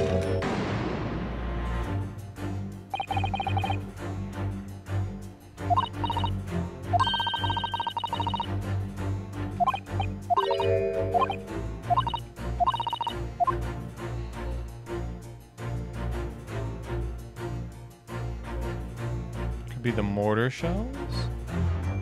Oh, did a, did a fucking mortar round go off? Oh. Hello. Snow Prism, thank you for the five. Oh. Oh. Ho, ho.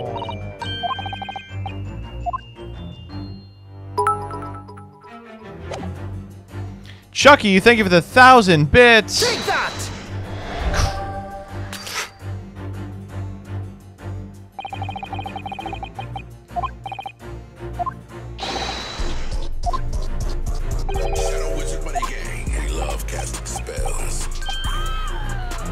Rin, thank you for the 10. Wait, did we get fucked up in the gay sex part? Wow. Not even gay sex is safe these days.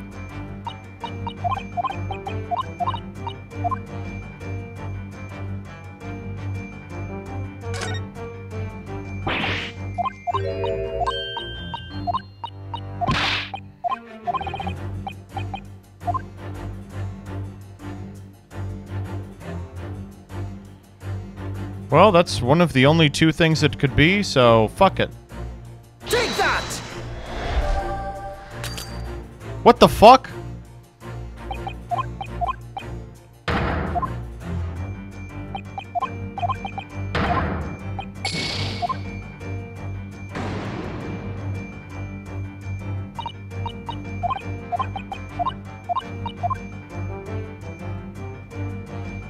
I cannot look down, no.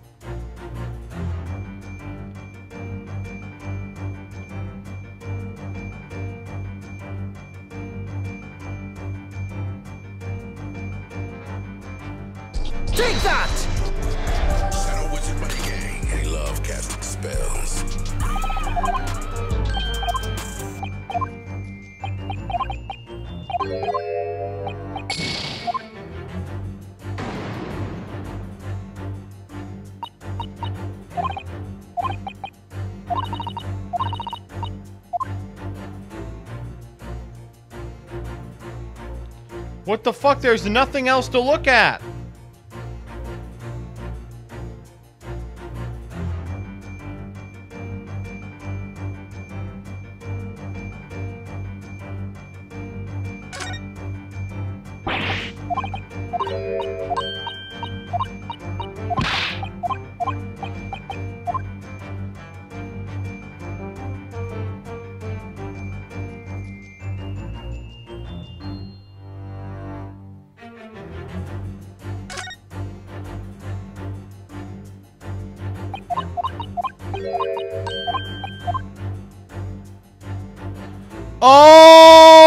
My god!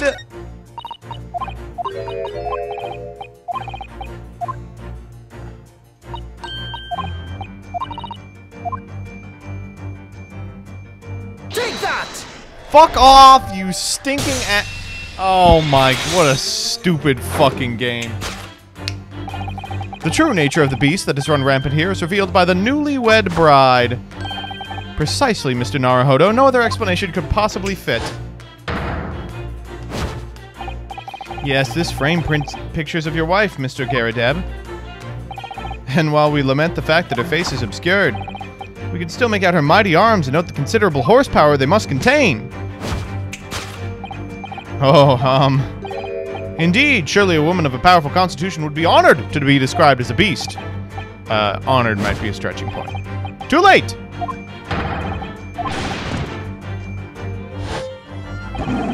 The chilling traces of a wild rampage are still very much in evidence. He actually has a, a slap on his face, you can see. If you look around, the beast in question fails to present itself. Where could this angry creature have disappeared to? Oh! Me?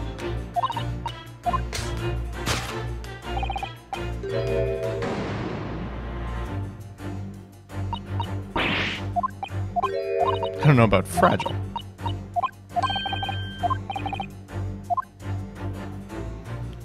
I actually know where it is. It's her fucking hand.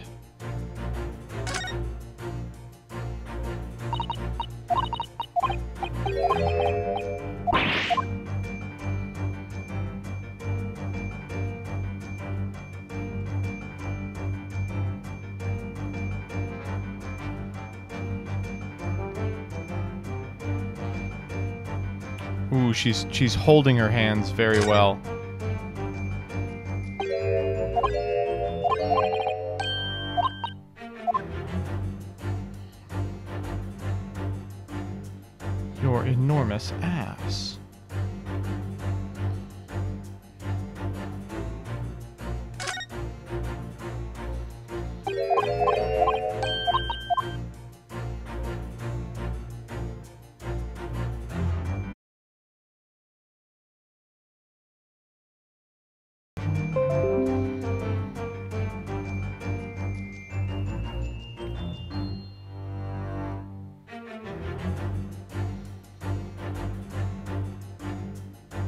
All right, good. We're back.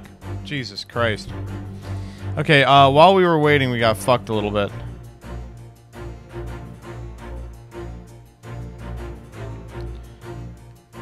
Oh, there it is.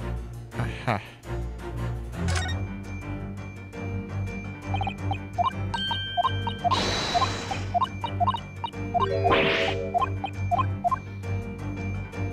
Take that!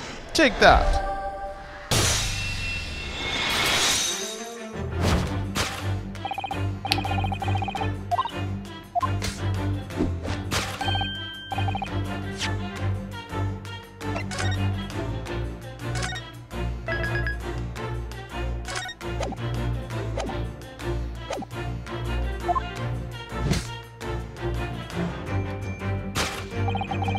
For it is identical to the one shown on the hand of Mr. Garrideb's bride in this photographic print. In other words, you are no ordinary household maid. No. You are Mr. Garrideb's lucky bride. You are Mrs. Garrideb herself. Oh my word! Well, jolly fine detecting, sir. As you rightly surmised, this is the wife, yes, my Joan. Rather let herself go. hmm.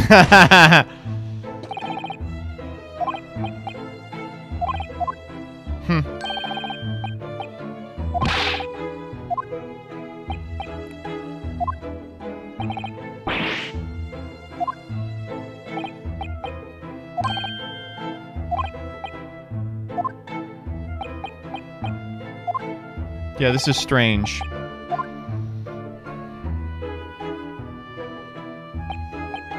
Only in company, obviously. But listen here, this must remain a secret. Tip-top secret, please!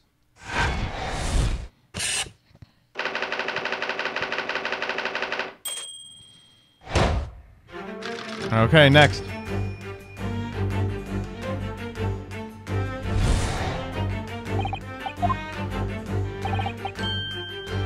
That's true.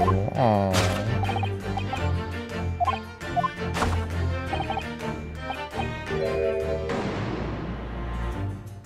Oh, I think I have this one right here.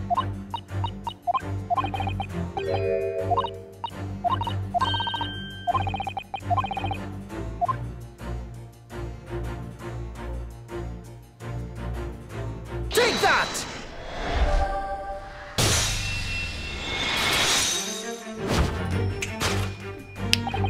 Your head weighs heavy on your shoulders, the pain you feel being revealed by that slapped cheek.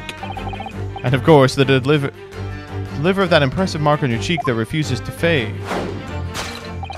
Was you, Madame Joan Garrideb? Well, yes.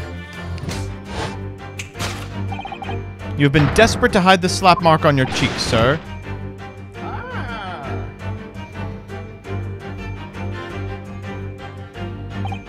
How in the blazes did you work that out, man?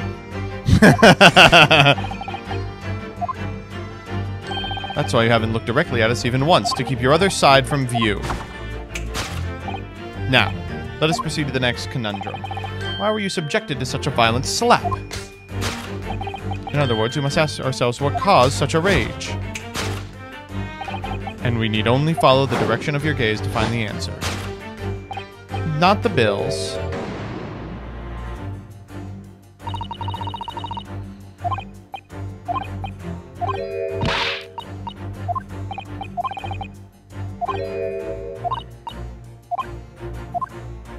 Let's check what the book says. Oh.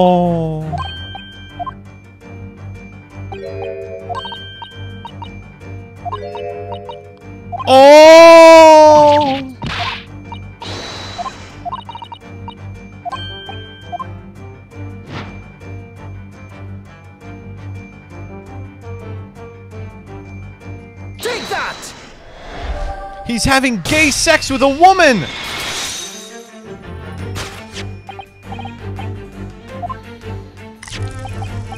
Oh, James, I love you. Yours, Mary, passionate indeed. Perhaps the sender of this note, a certain Miss Mary, is the fly in the ointment here. Ah! But I don't know the bally woman! You don't know her? That note wasn't written to me. It was just in the book. I don't know how it got there. Just in there, you say. That's right, that's what I'm- Ah! This guy. A likely story. Now listen here, Joan, old thing. I explained at the time. I bought the book at the second-hand place, and the note must have already been in there.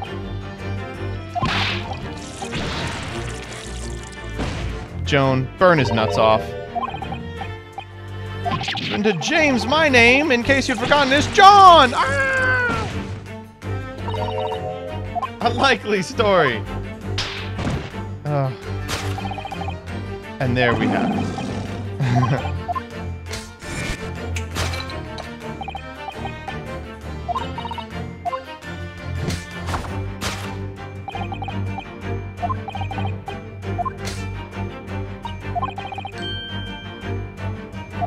Ah, the candle.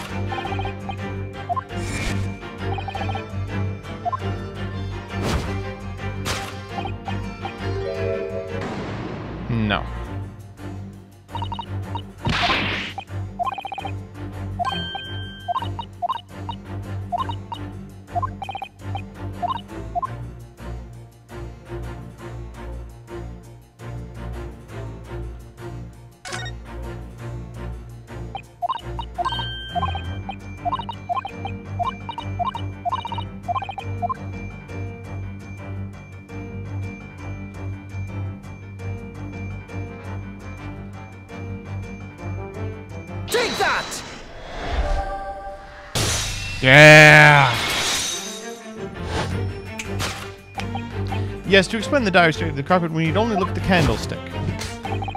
Most illuminating, my dear fellow, and of course the only possible way out of this logical labyrinth. Labyrinth! Yu-Gi-Oh! The remnants of a ferocious attack in which this carpet was devoured are clearly visible. Indeed, the scorch marks at the edge clearly give the truth away.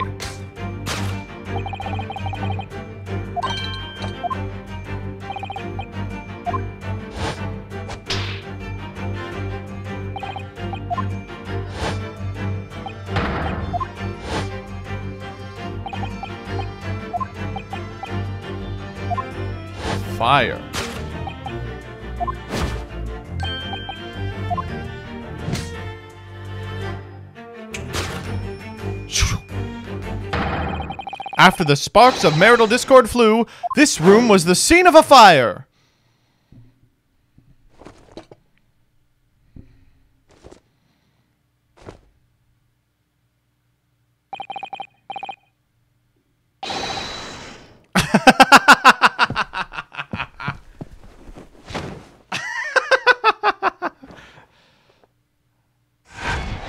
Ugh.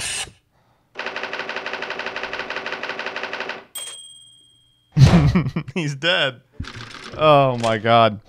Wow. This game really shows the power of gay sex over straight sex. God, I love the jiggle. She is just. God, she's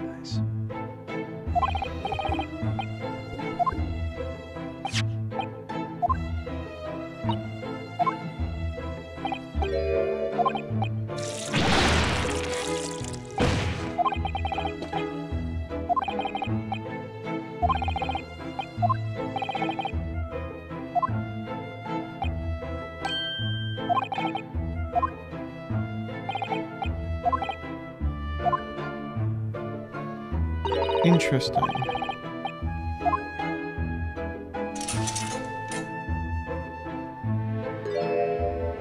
As expected, a small fire.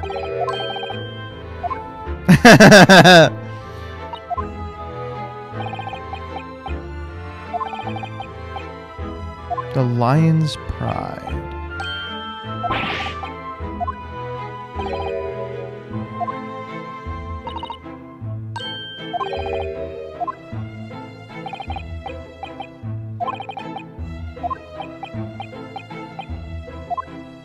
Interesting.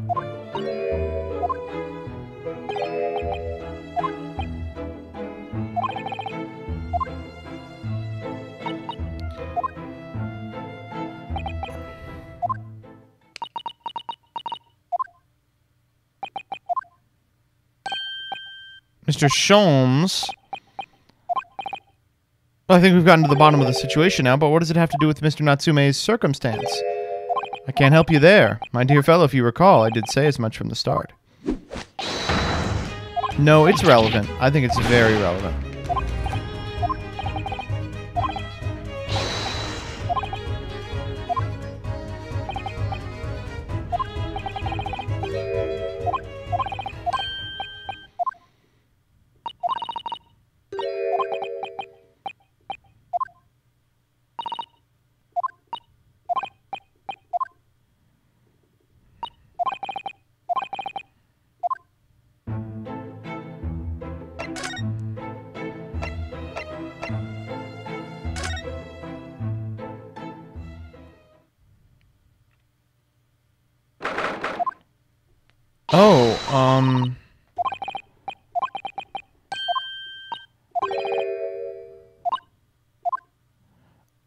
Wanted to... Oh. Who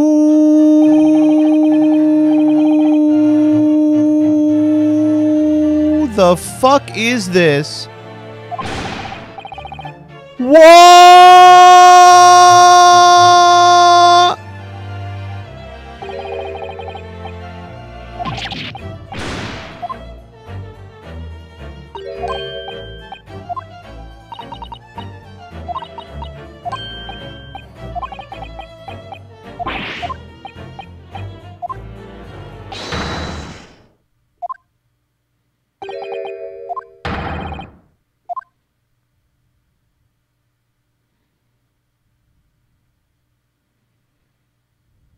Yeah?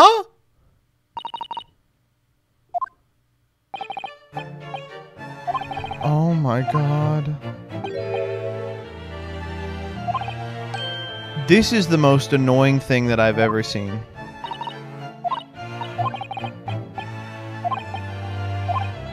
This is the other person who lives there.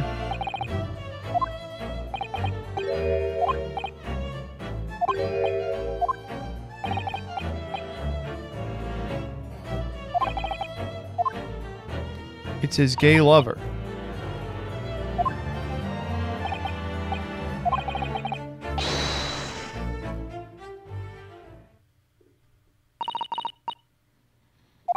Bro, what do you think the Amazoness call sounds like?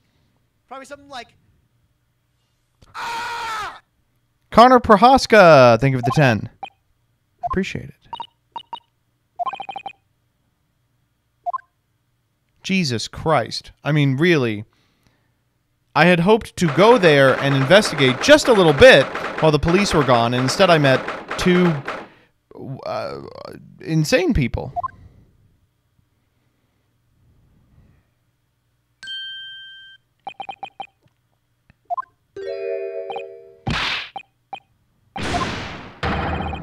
I can't believe you came back. I'm so touched. We have met zero non freaks today.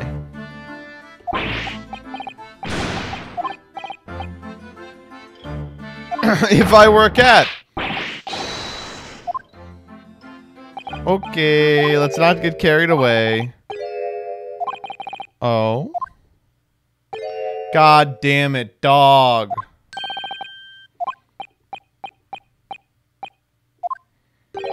The miserable rotten spy, Herlock Sholmes.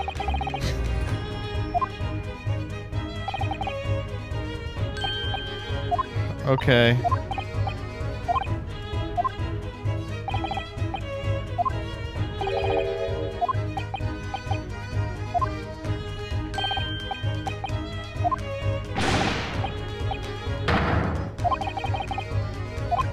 I read all your books while you were gone.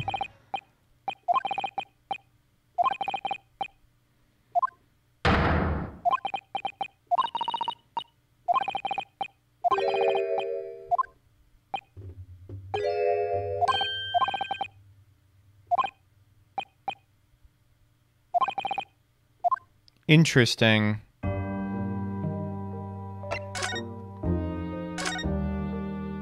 Okay, well, we know this one. The Reaper of the Bailey.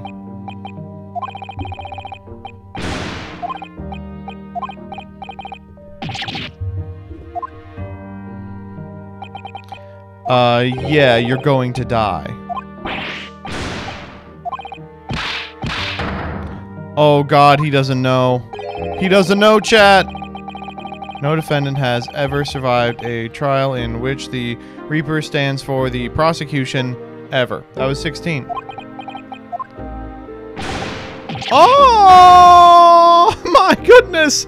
Can it really be true? That was 16 words exactly!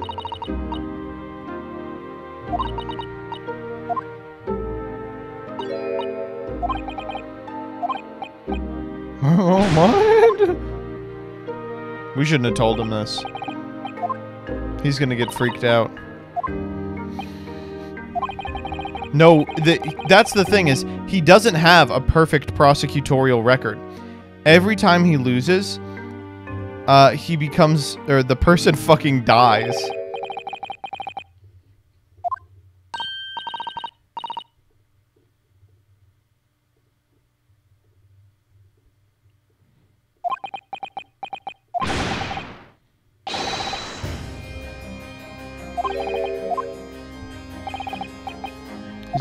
Prosecutor.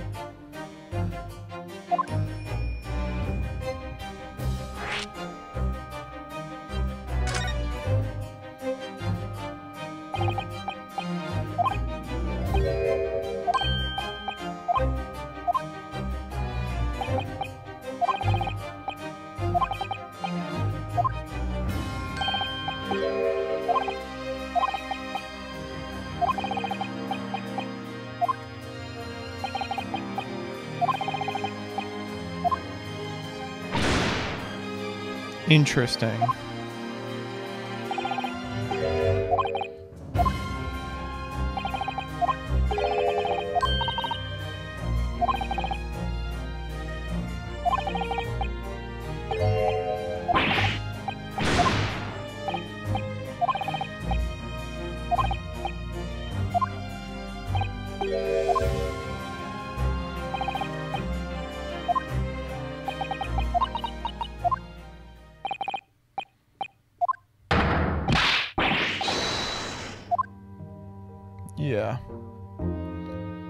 Yeah, you are. Yeah, you are. Yeah, you are. You're you're fucked.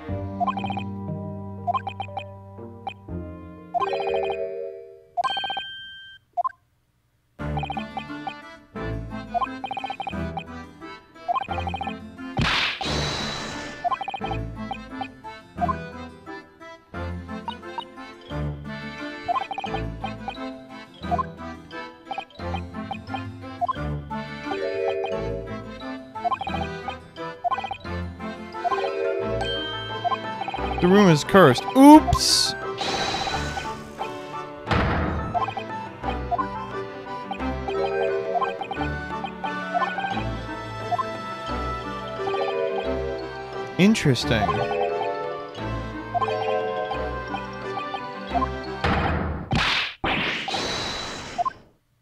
Huh.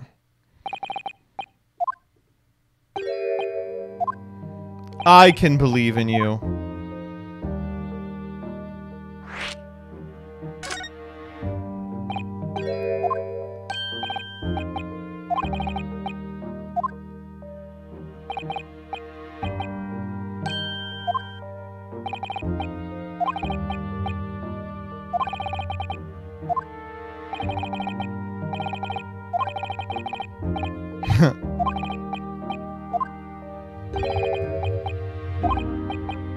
Yes, sure. Little racist, but yes. Oh.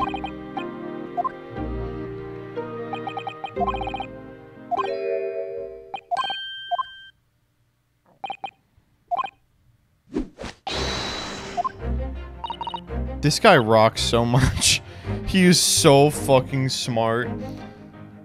The only things I believe in are those I believe in. God, he's he's so smart. If he's so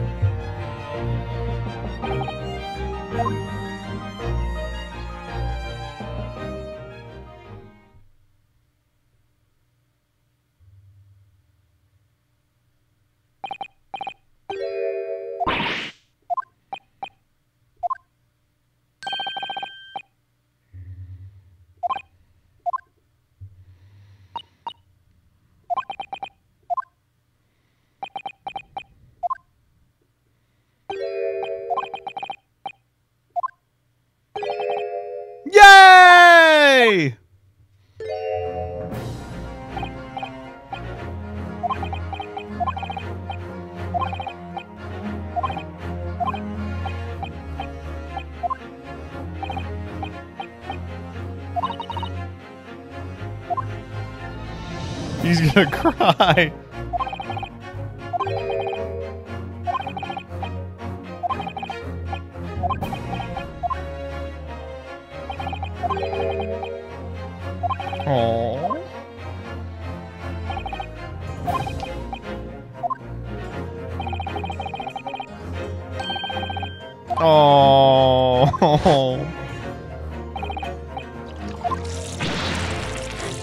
These two were there too for some unthinkable reason.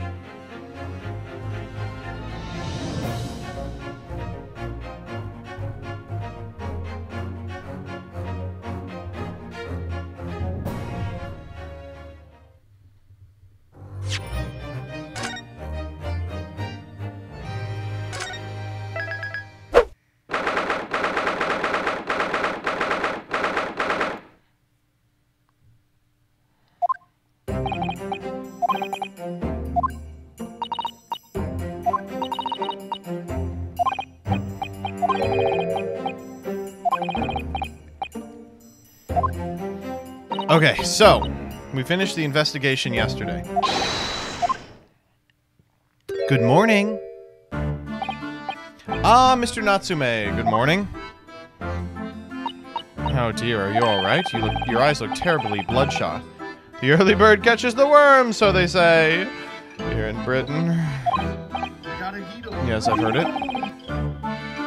But I don't really want to catch a worm.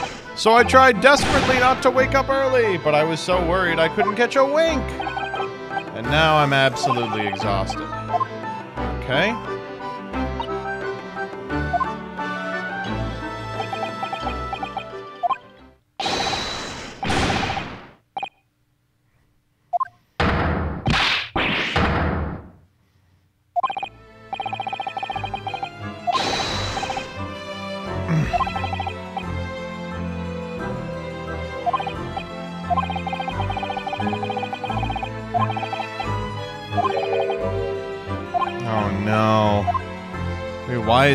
So notorious? Oh, what did he do? It's because of the Reaper, isn't it? Oh, really? People are here? Lord Van Zieks is on the front page of everyone. I knew it.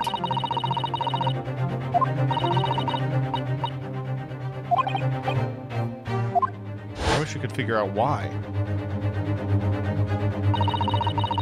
Chat, has Asogi and Ryunosuke sucked each other off yet? Um. Nice Master Duel category. Um, mods, um, you, you're in the wrong category. Excuse me, excuse me, streamer.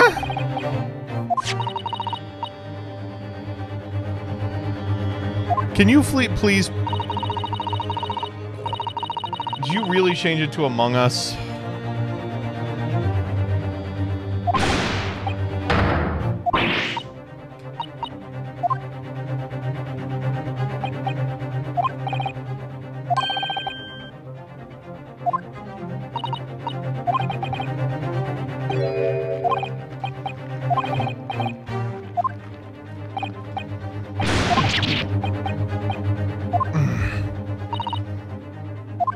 People, you're famous because you beat him.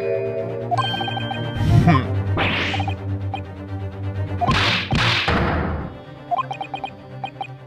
Let's not forget that it was you, Mr. Natsume, who asked me to represent you. I promise you this. I will fight your corner until the bitter end, and I will believe in you, Mr. Natsume. Oh, benevolent locum student, Mr. Naruhodo Esquire! You're not alone here with us, Mr. Natsume. Whatever happens, we will always be on your side. Oh, benevolent non-locum assistant, Miss Mikotoba Esquires! I am in your debt forever! I shall never forget this great kindness as long as I live! Alright, let's go.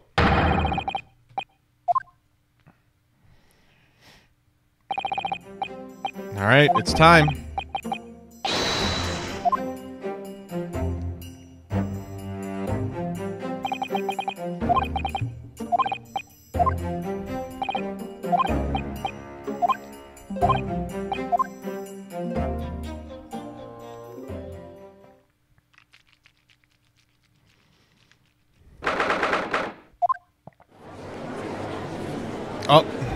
New people. Oh, son of a bitch. The prosecution is fully prepared, my lord. The defense is ready, my lord. The Nipponese are a truly fascinating breed. Oh, God. Sorry, what? Lord Stronghart has told me all about you. You are a student who arrived in London but two days ago. A mere amateur. Do you have a point? Being a compatriot, you felt compelled to try to help the accused, I suppose. Typical Nipponese arrogance. You have never met a Japanese person in your life.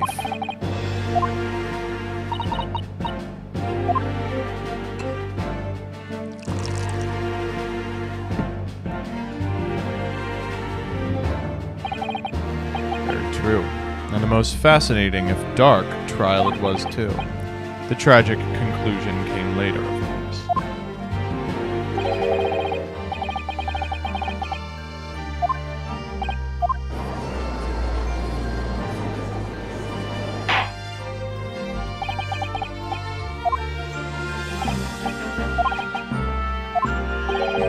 Uh,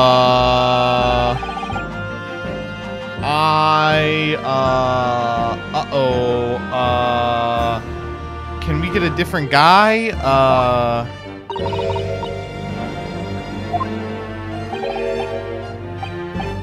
uh, uh, hold up, can we get a different? Uh, hello, uh, excuse me. Uh, can we? Do we not get to to vet this jury? Well, they don't know that guy.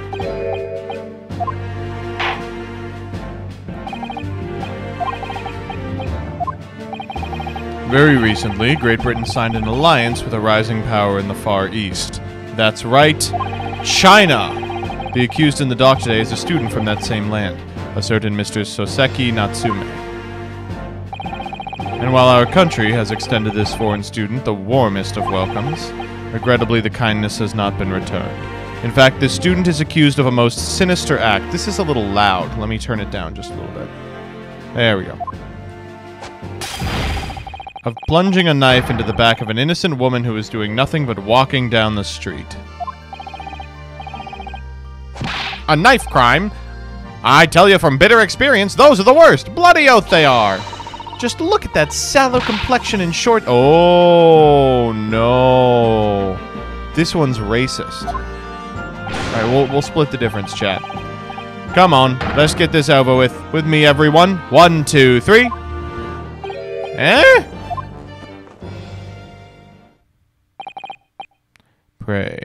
Forgive the discourtesy of smashing. How many hallowed chalices does this guy have?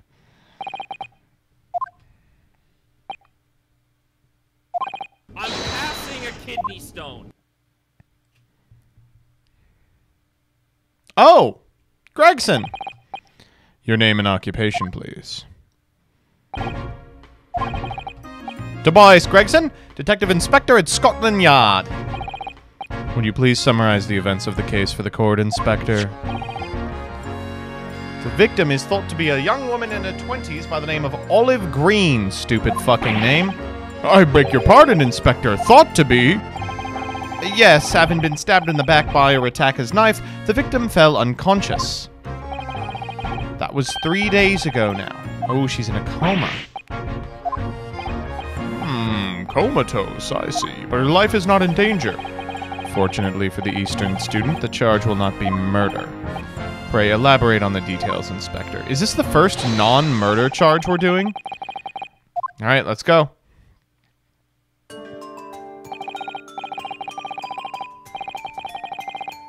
I think there was one that was supposed to be non murder and then became murder in a previous one.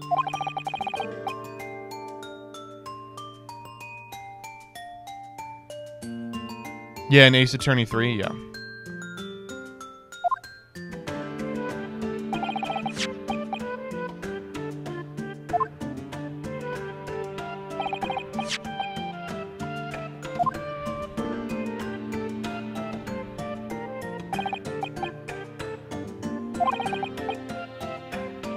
Ah, yes, the Mask DeMasque one, the one we got the man on Double Jeopardy for, was robbery. That was such a good case. It had everything a breedable twink, a dommy mommy. Luke Atmey was the greatest character ever conceived. A banger.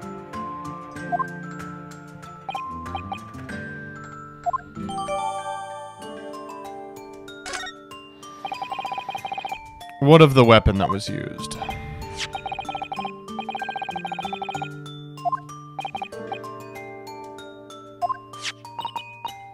Hmm.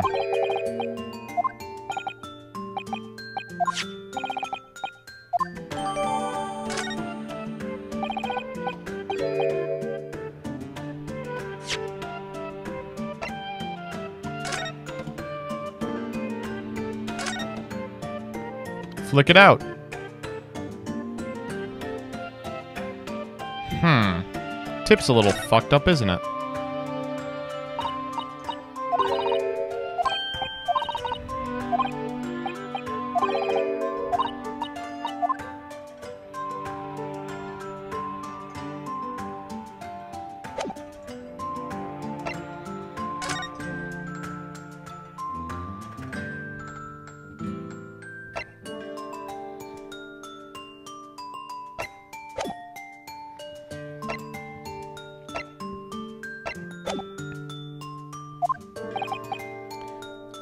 Tell by looking at the woman's possessions, it seems like she's poisoned herself. I do imagine she would have had anything much worth pinching, my lord. I see. Well, in that case, are we looking at some deep-seated resentment towards the victim? I'm afraid I couldn't say. Apart from visiting second-hand bookshops, the defendant, Mr. Natsume, don't appear to get out much. At this moment in time, we haven't been able to establish any sort of connection between him and the victim. Yes! Okay. So we have no motive. Objection! Objection! I love it. Pray forgive the discourtesy of flinging an uncorked bottle into the public gallery. But your words have soured its hallowed bouquet. For it is you, my learned friend, who is being heavy handed here. What? Scotland Yard does not arrest people without good cause. That should be beyond question. Inspector Gregson, the prosecution calls for your formal testimony. Explain to the court precisely why the constabulary came to arrest the young Nipponese student. Yes, sir.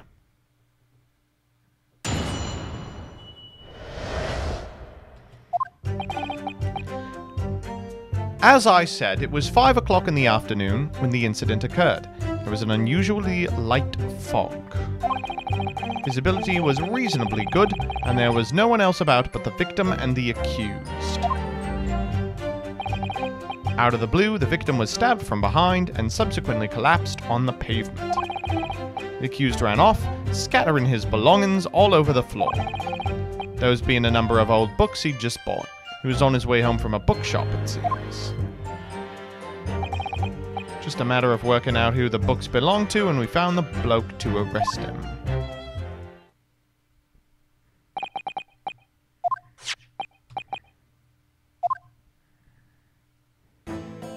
Hmm.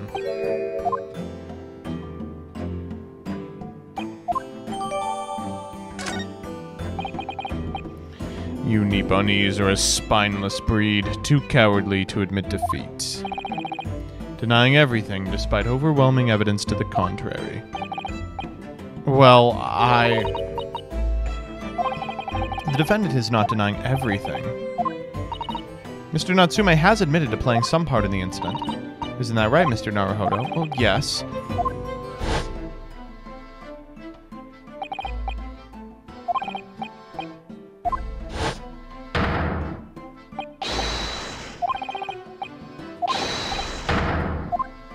This explains the books. Hmm, a green overcoat. Well, that's exactly what the woman in that print is wearing.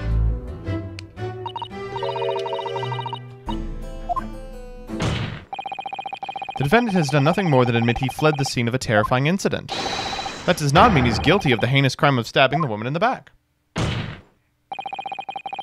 There was nobody else there at the time, just the two of them, the victim and the accused. In other words, there is nobody else who could possibly have stabbed the woman. A fact that the accused concedes. Hmm.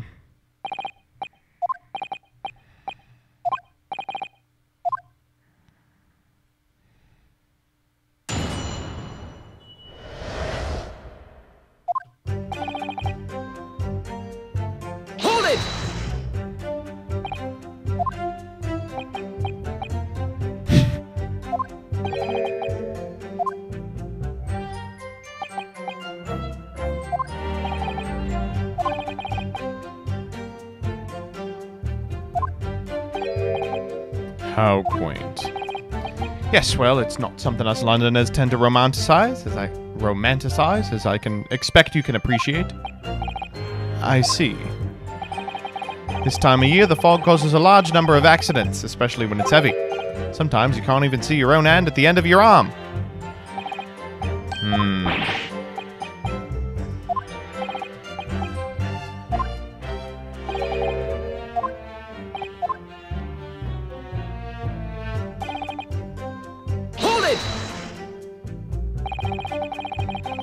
How are you able to state that with any certainty? Quite simply, my learned friend, because that is what the witness to the crime have told us. Bring him in.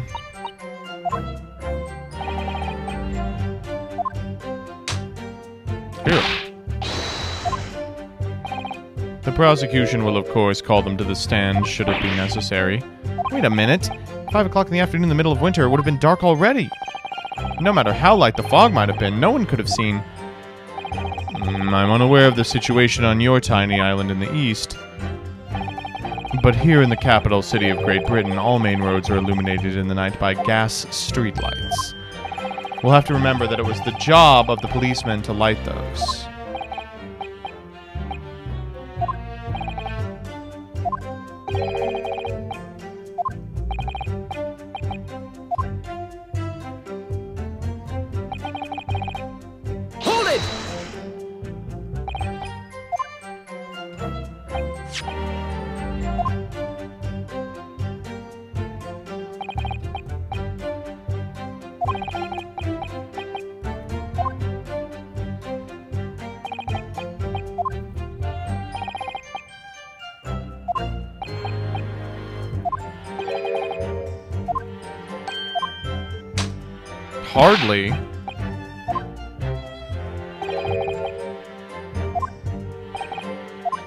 He is being racist.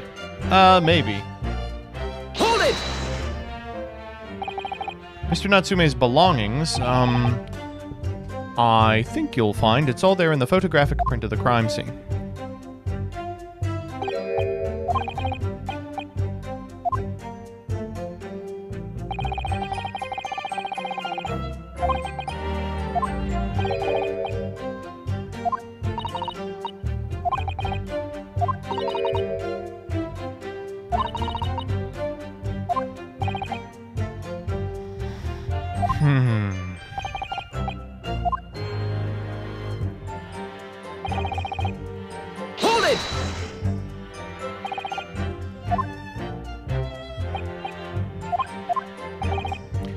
Commend the accused on the lofty subject matter of his scholarly attention.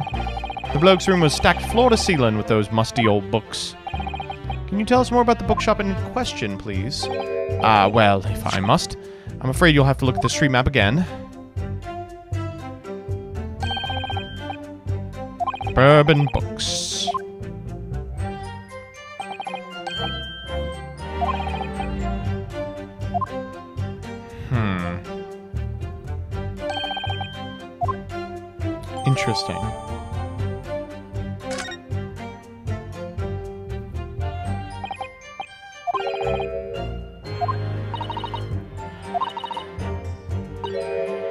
Oh.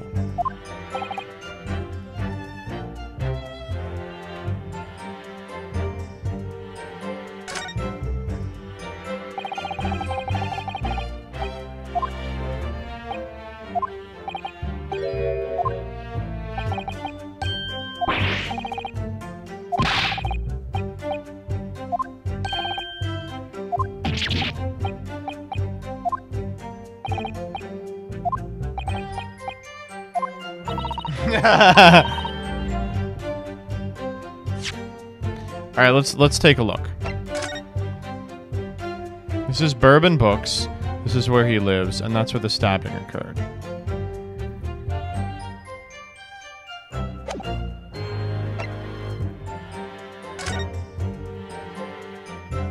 Oh, we actually have an immediate problem.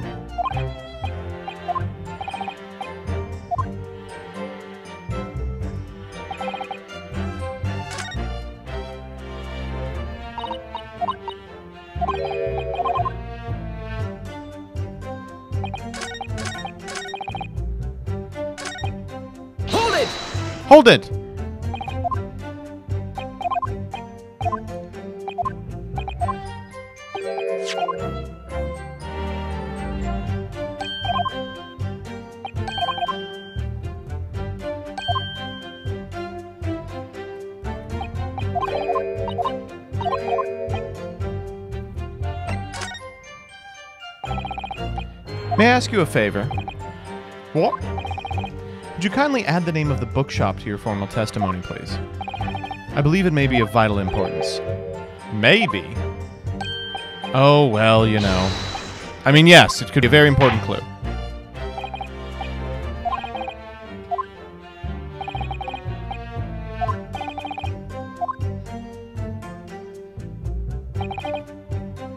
Was he now?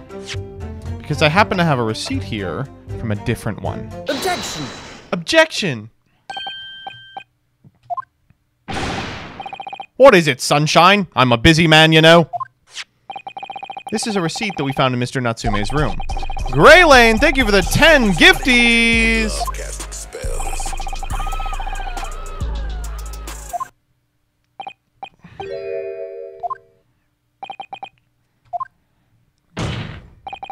This receipt is issued from a bookshop called Your Books. Yes, my lord.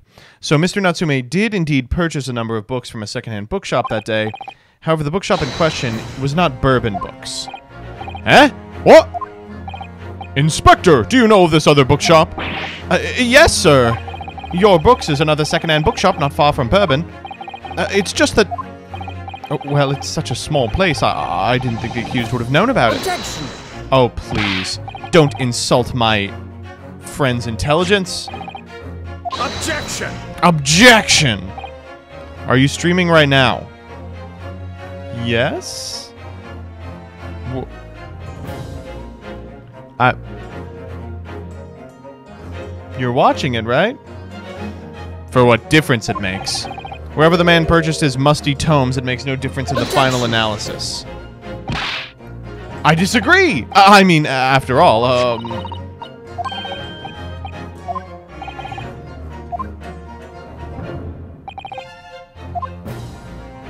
Well, we don't know where your books is.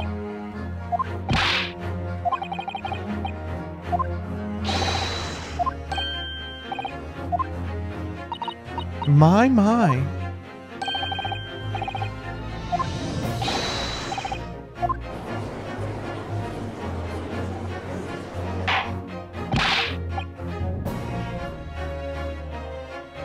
That's it! All we need to do is stop time slow and he'll stream forever. Oh, God.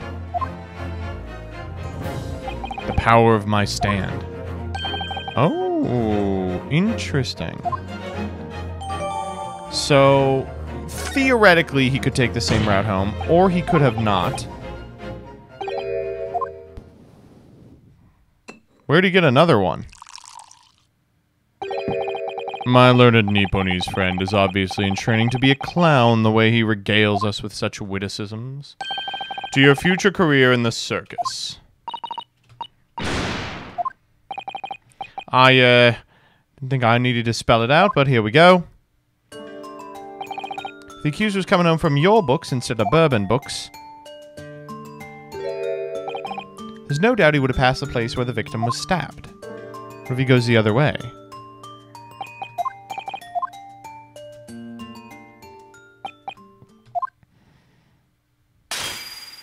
Please stop destroying your hallowed chalice.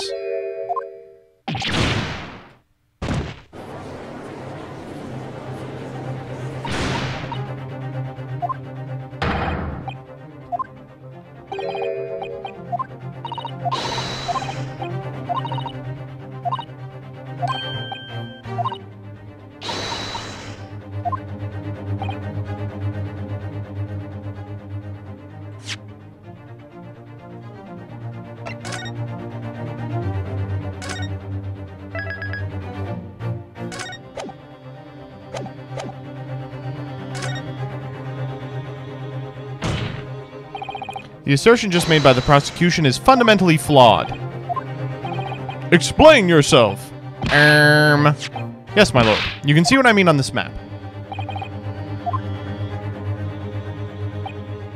Could have followed the route suggested by the prosecution. However, that isn't the only conceivable route to take between the two places. Thank you. If the defendant used these streets, look what happens. He arrives back at his lodgings without passing the location the victim was attacked. But he's conceded he's met the victim.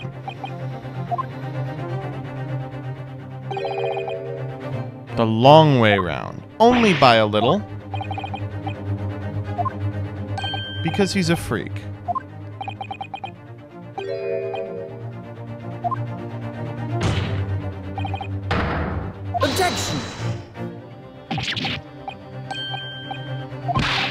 Must ask the man himself. Ask Mr. Natsume which route he took home. I have already informed the court of the accused's response to such questioning. He claims he has no recollection. Son of a bitch. That's right. As I said, the bloke seems to spend his time outside wandering aimlessly from A to B. Well, then why do you think he would take the short route home?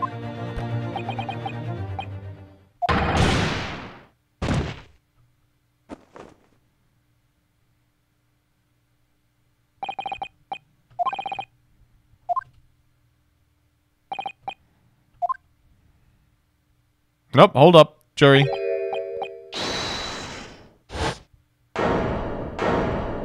Uh-oh.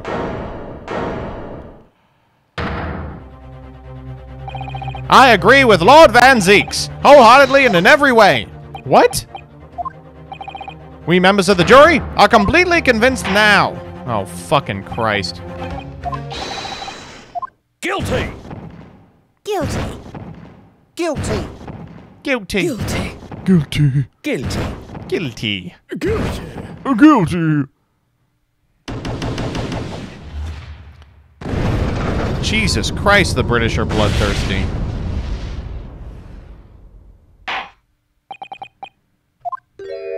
All right. Run it back.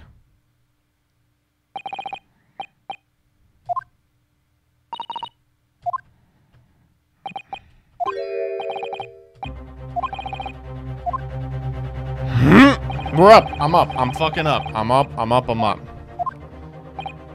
Hmm. Those are the eyes of Corey, not yet willing to give up and die. We're, I'm gonna do the fucking thing. Call it antiquated if you will, but it's the defense's prerogative to carry out a summation examination if he chooses. Very well, counsel. Of course we're ready. I'm all too familiar with that Nipponese whippersnapper and his onkus refusal to throw in his alley. Then why is he a juror?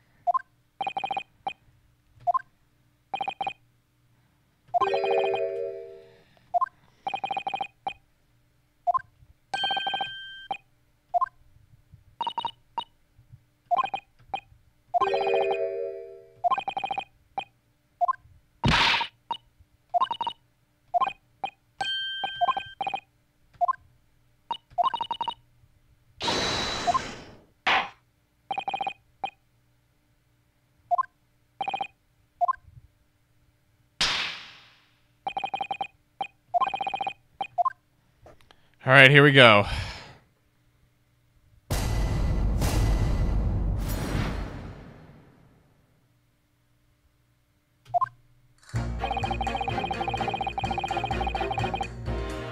No. Hold it!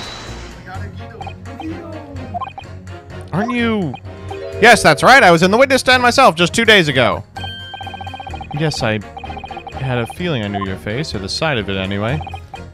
You're a banker, aren't you? That's right. Sorry? Well, you know, water under the bridge.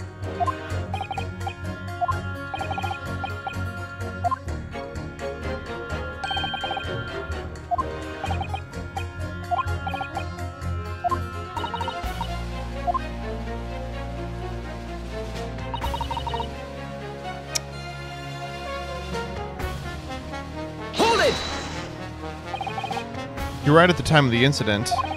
The defendant admits to have seen someone wearing a green overcoat walking ahead of him.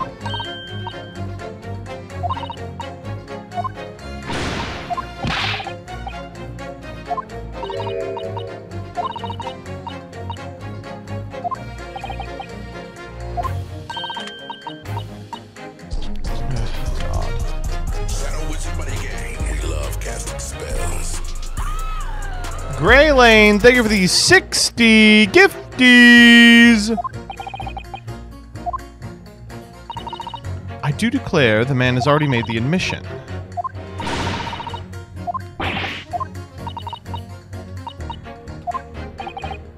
Hmm. These are tough. This is Mr. First.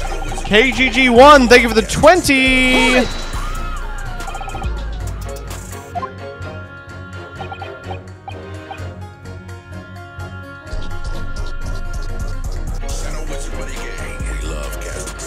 Witchlands13, thank you for the 50! Holy shit.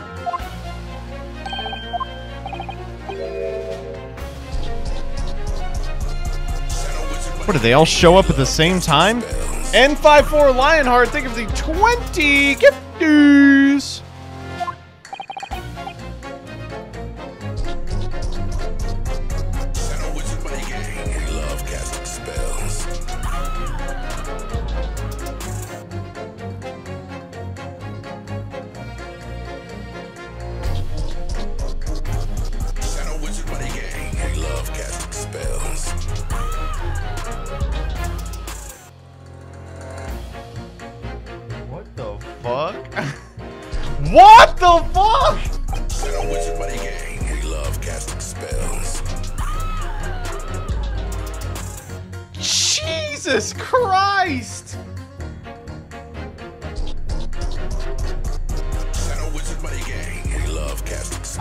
legitimately, what the fuck is happening?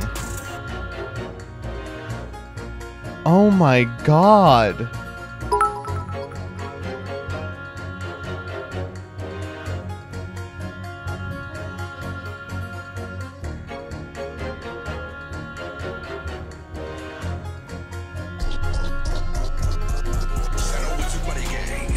If we remain at this hour mark for another hour, we're we're fucking making it till tomorrow.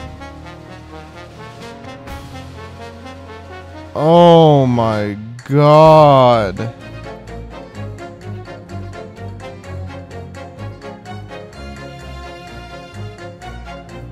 Wow. All right, well, uh let me uh let me uh thank you all.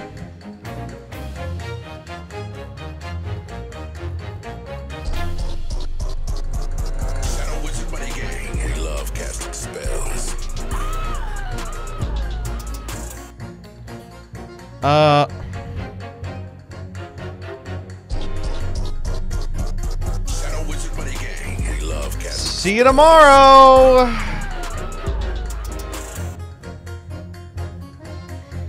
Okay, Gray Lane, thank you for the 50. Uh, Ikkyu1, thank you for the 50. Uh, holy shit. I'm, I'm trying to scroll up. N54 Lionheart, thank you for the fucking 100. That was an hour ago. Okay, I'm scrolling up. Here we go. This is, it's been four minutes. Gray Lane, thank you for the 60. KGG1, thank you for the 20. Phoenix Lance 13, thank you for the 50. N54 Lionheart, thank you for the 20. Gray Lane, thank you for the second group of 50. Ikkyu1, thank you for the 50. Saurus Code, thank you for the 20. N54 Lionheart, thank you for the 50. Gray Lane, thank you for the additional 50 after the first 50. N54 Lionheart, thank you for the 50. Fucking hell, dog. Knight C322, thank you for the 5. EQ1, thank you for the 50. And EQ1, thank you for the additional 50 just now. Just this last second, just in the last 10 seconds. Uh, wow. Holy shit.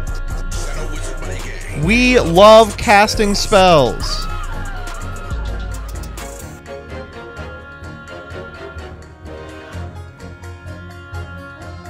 What the fuck? We were so close, chat. We were so fucking close.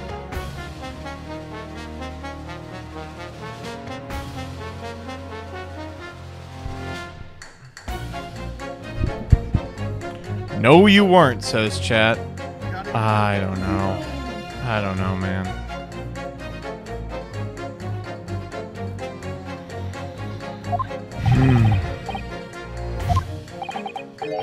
Seven more days. You're never leaving. I. We're not doing seven more days.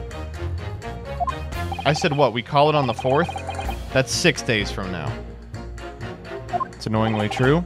Winter nights are dark and cold, so the way I see it, you'd want to get home as quickly as possible. So really, the only thing that makes sense is that he went home along Briar Road. I'm supposed to be convincing you here. I have given it a lot of thought, you know. I just didn't make my mind on a whim that he did it. I mean, if there was some logical reason he went to Calabash Road, it'd be different. I'd be happy to reconsider my position in the, that case. We can't present here.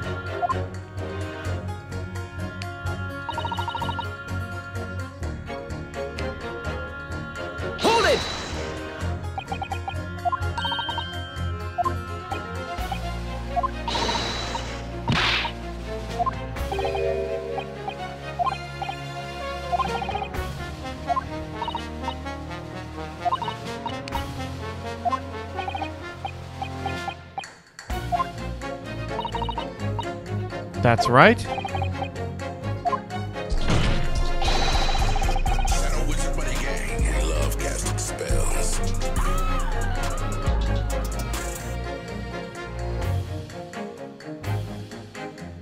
We're gonna find out that Gray Lane is like an oil billionaire, like an actual quadrillionaire.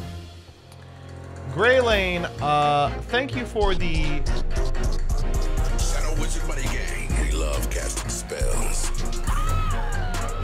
Gray Lane, thank you for the hundred gifties. N54 Lionheart, thank you for the hundred gifties. Shadow Wizard Buddy Gang. Love casting spells. Gray Lane, thank you for the 50 gifties. Are they fighting for the fucking top spot?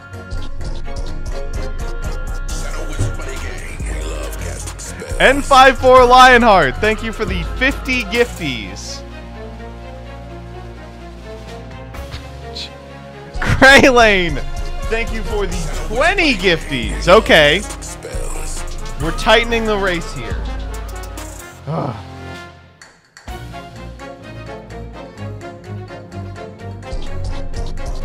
N54 Lionheart, thank you for these six gifties. Putting them one over Gray Lane. oh my god. Gray Lane, thank you for the two gifties! Putting you in first! Oh my god. Shadow Wizard Buddy Gang. Love casting spells. N54 Lionheart, thank you for the fucking 50. Gray Lane, thank you for the fucking 50. Shadow Wizard Buddy Gang. We Love casting spells. And more Lionheart. Thank you for the 50 gifties. We love casting spells. Gray Lane, thank you for 50 gifties. what the fuck? N54 Lionheart, thank you for the 50 gifties. this, I'm I've never seen anything like this. I'm legitimately shocked. Gray Lane, thank you for the 100 gifties. In the past 10 minutes, we have gained 20 hour and 5-4 Lionheart. Thank you for the 100 gifties.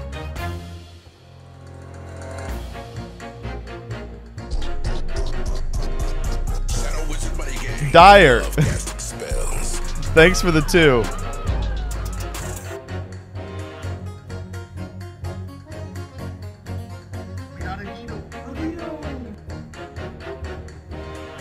Gray Lane, thanks for the amount. It's 10, I believe. 13. Okay. Okay. I have to actually move where the number is.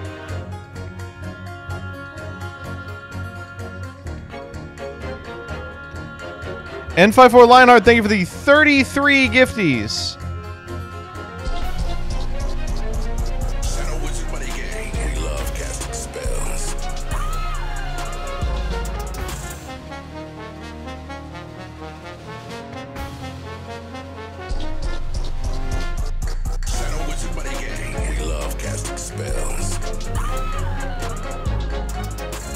Phoenix Lance, thank you for the three. I appreciate it.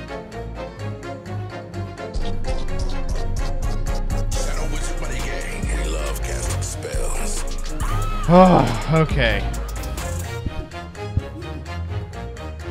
All right.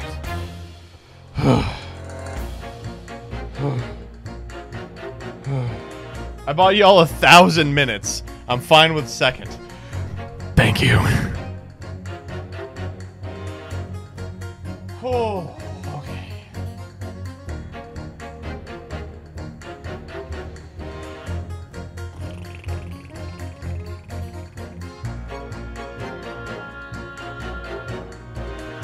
Well.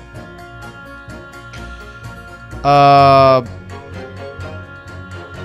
Coder has the record of 16501 if you want to break it, chat. I have no interest in breaking the Coder record.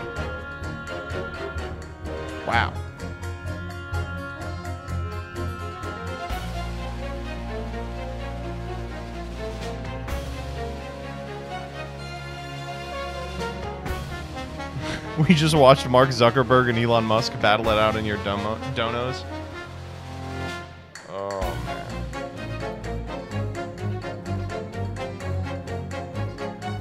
man. We are gonna have to do homework on stream. How many do you need to unlock all subs? Uh, we are uh, 1,600 subs over, chat.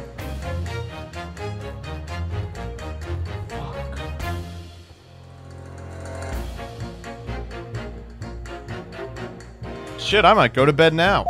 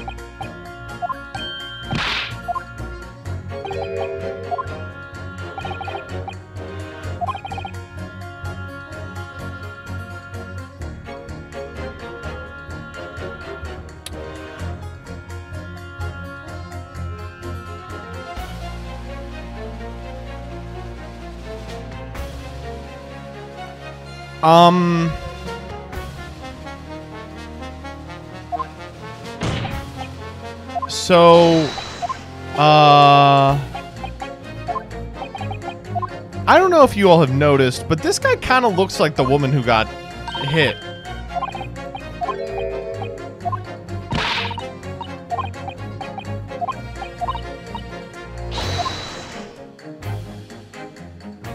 Like, almost exactly.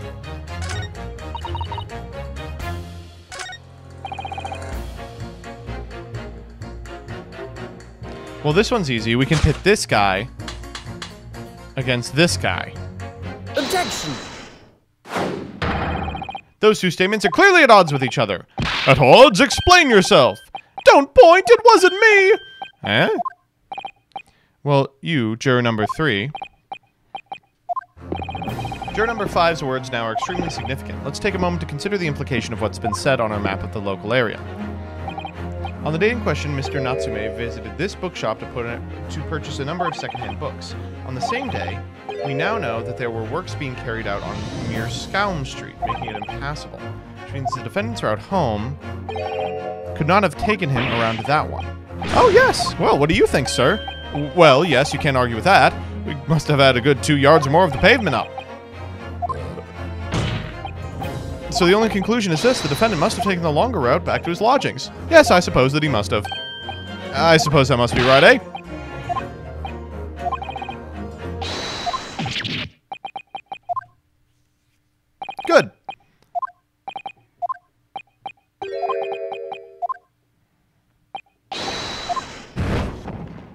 One down.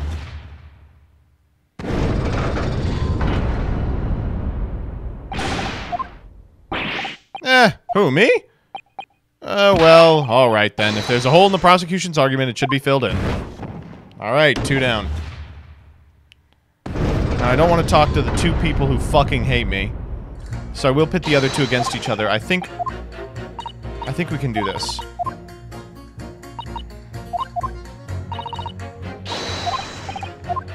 So it, it's a little it's a little unintuitive.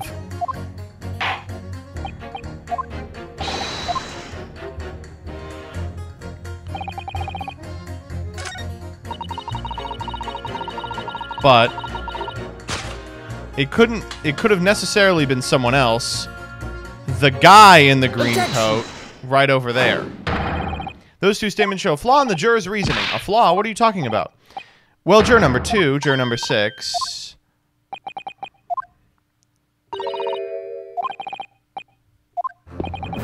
There's at least one fact of which we can be sure here. The bookshop receipt found on the defendant's room clearly indicates that on the day of the attack, he had been to your books and purchased a number of secondhand titles. He then returned home on foot. But the man says he has no recollection of the return journey. That's correct. What he does remember is seeing someone appear in front of him along the way, someone in a green overcoat who collapsed on the pavement before his eyes.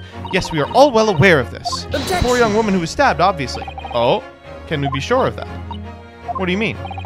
I'm sure you heard juror number six's account of what happened to him that day. That same afternoon, there was someone apart from the victim who was wearing a green overcoat and fell over on the icy streets of the neighborhood.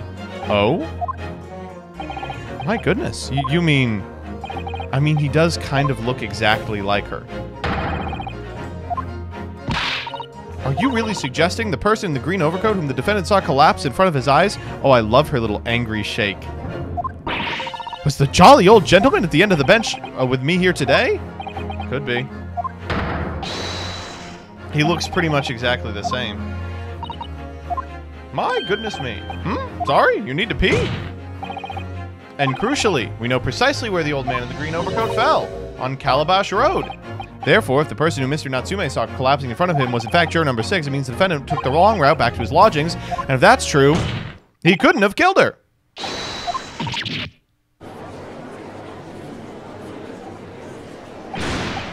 You idiot old man! If you hadn't been so daft as to be roaming about there, we would have boxed this off hours ago. And really, what were you thinking wearing such a befuddling coat? What did you say to me? Is it a crime for the elderly to walk the streets these days? A crime to slip on the ice, keep up with the latest styles, and wear a beautiful green overcoat, is it? Hold it! Oh, she's cute. My lord, I do, I do hope it wouldn't cause any inconvenience, but you'd like to change your leaning, I presume? I do declare that I would. Thank you. And I would too. What? is it a crime to change your mind, is it? Well, no, no, no, sorry. It's a shame she's racist. It's Britain. They're all racist. Okay. Trial continues.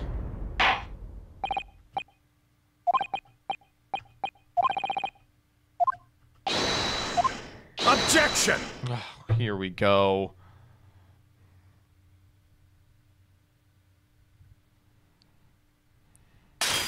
Can you stop breaking the fucking... Could it seem churlish of me to drink from my hallowed chalice moments after raising an objection? Only to crush it in disgust? Pray forgive the discourtesy. Uh, Lord Van Zieks. It seems I must retract my earlier remark. What do you mean? I mistakenly credited these jurors with intelligence by describing them as insightful. Yet we have just witnessed them falling for a cheap trick performed by an Eastern entertainer. Okay, asswipe. Objection! I haven't tricked anyone. Indeed. Stalwart juror number five was undoubtedly repairing the road, as he claims. I believe you said it was a good two yards of the pavement which you had excavated, sir. That's right, took the whole day. They paid me a measly tuppence for it. Now, my learned Nipponese friend, tell me. Do you have any notion of the distance that two yards represents? Six feet?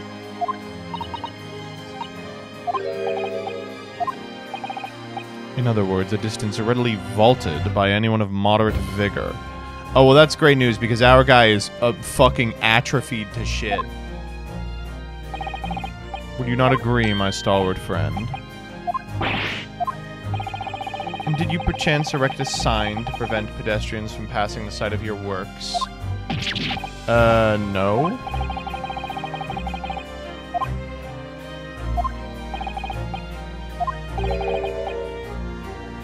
I guess theoretically he could, but uh, he's not gonna.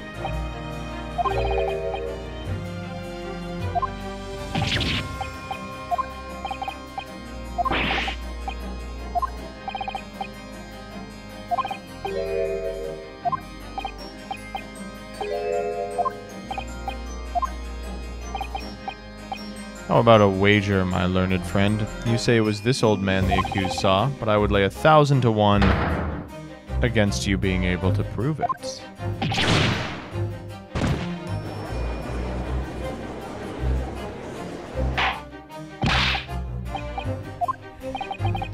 My lord, if you had such a trenchant argument up your sleeve, why in the world did you not prefer it during the summation examination? I wanted to give this young foreign student the sightseeing experience he no doubt came for. I wanted him to see for himself how the opinion of the jury is so readily swayed. But my hospitality has its limits, and they have been reached, I feel. Oh. So, my learned friend, today's sightseeing tour of London is now over. My lord! The prosecution requests permission to call the next witnesses to the stand. All right.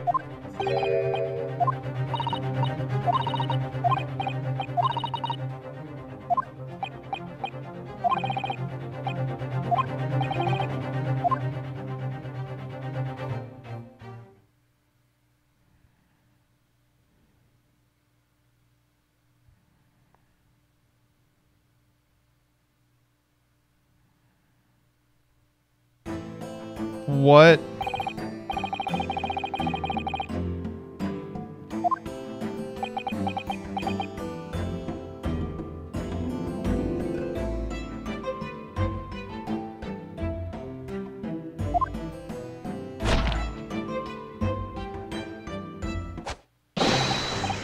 Constable Rolling Beat, sir!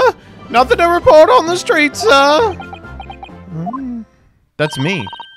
And I'm Mrs. Beat. Patricia's my name. And I'm proud to say that I'm this young town hero's wife. Hmm.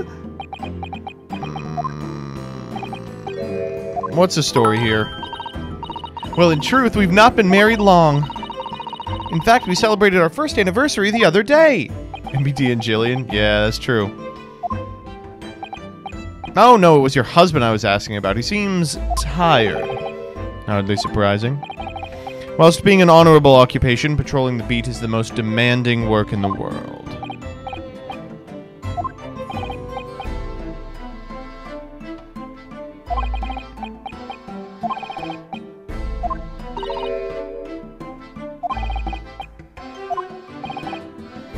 But it goes without saying that a policeman's primary duty is the apprehension of criminals.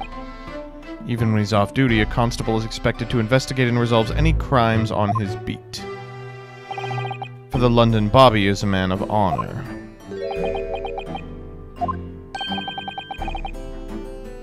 And a man of slumber.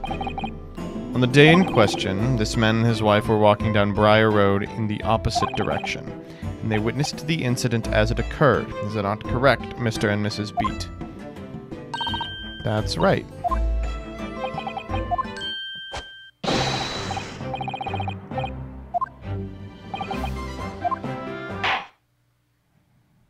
He's just Eepy.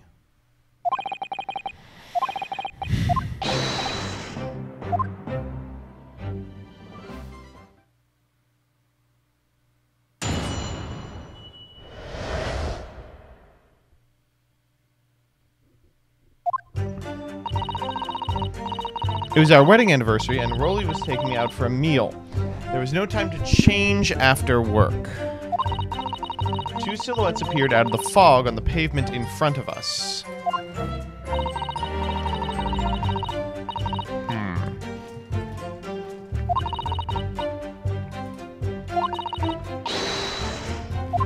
Uh-oh. What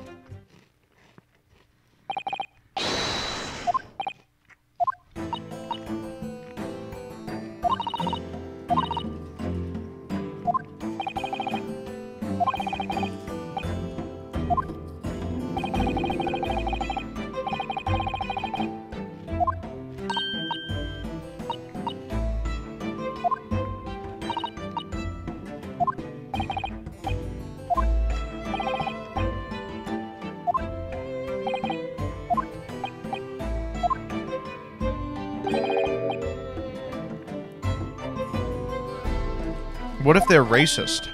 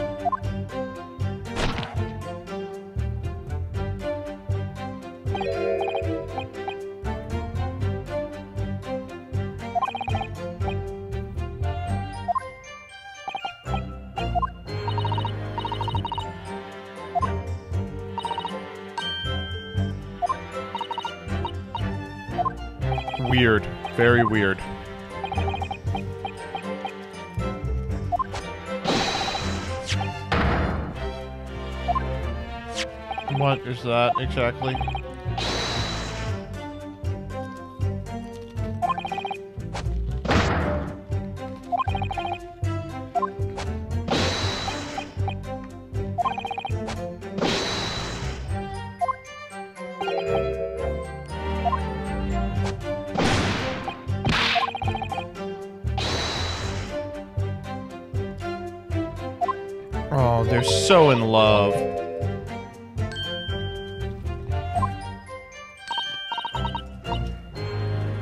Shut up! God damn it. Good things shouldn't happen to other people. They should happen to me!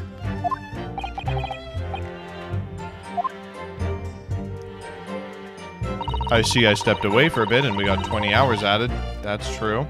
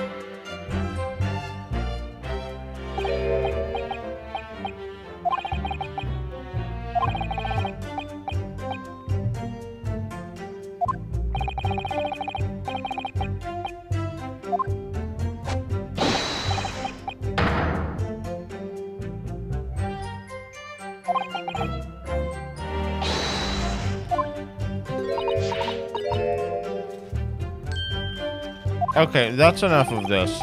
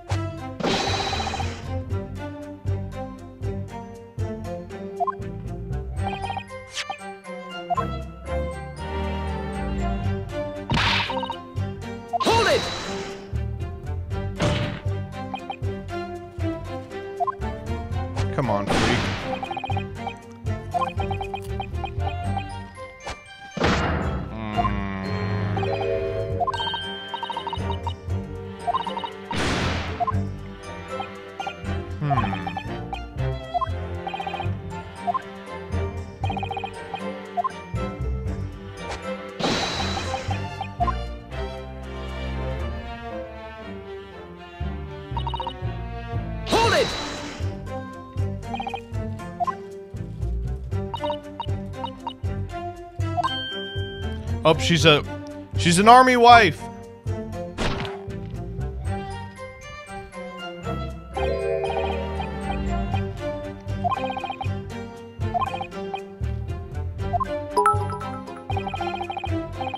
Chucky eighteen thirty three, thank you for the thousand.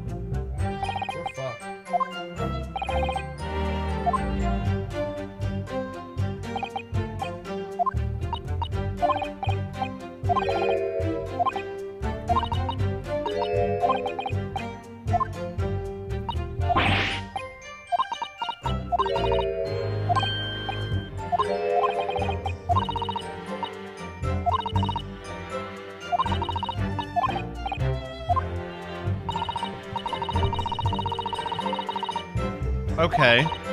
So we are going to have to find the contradiction within this that isn't about the accused.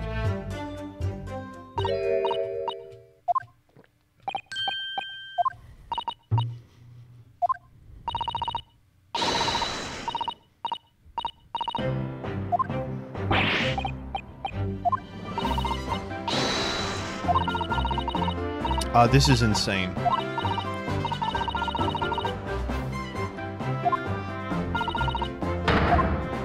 Okay, do.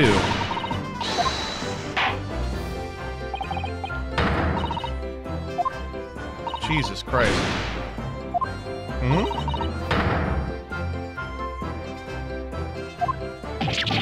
I really didn't mean to cause offense. Uh, please put your husband's fist down.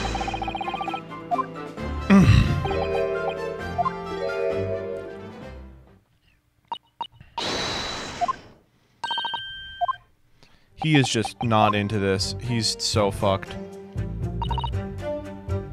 Okay, do it, bitch. You won't.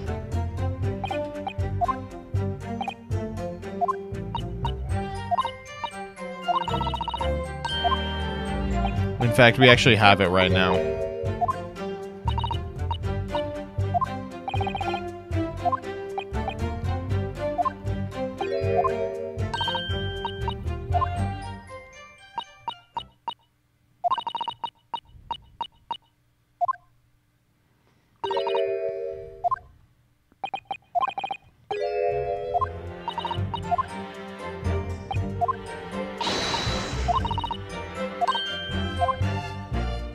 Okay, well, uh, we just got her here, right? Oh! He has a gun. It's not a very big gun. Ugh, terrifying. I got it, I got it.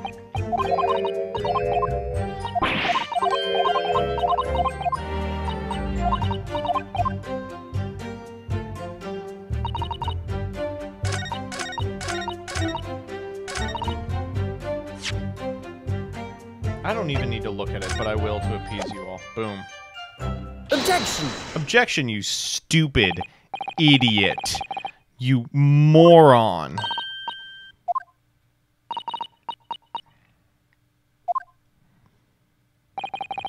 I'm sorry, Miss Beat. But there's a fundamental flaw in that statement of yours. Oh no! What, what, what flaw? There were three books.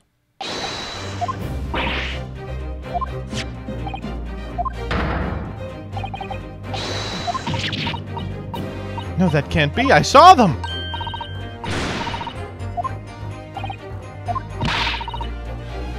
The big old lump of a dead body is blocking the view of the fourth book. Okay, then you could not have seen it either. Oh, wait.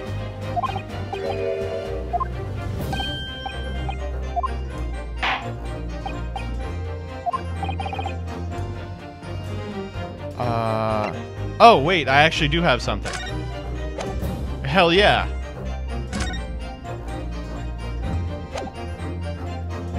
We don't have the thingamy. Take that! Oh, thank God.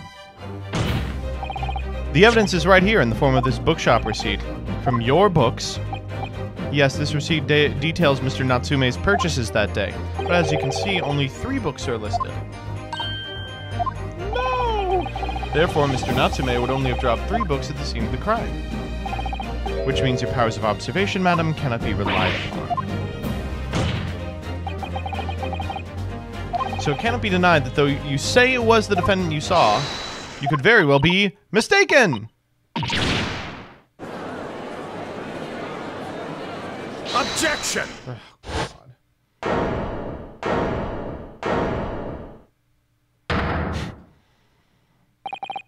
It's plainly evident that it is your powers of deduction that cannot be relied upon, my learned Nipponese friend.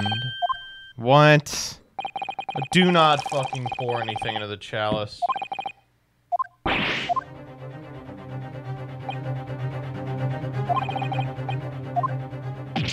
Might be uh might be a little bit fair. That might be exactly what we're doing. In what way? The policeman's wife and her entirely accurate testimony in every respect. The matter is not up for debate. Four books were found, but we know that are the accused only lost three. Quite right. Only three can be seen in that print. Oh my fucking god. No, come on. Uh, wait, what is going on with that book? Whoa! What the fuck?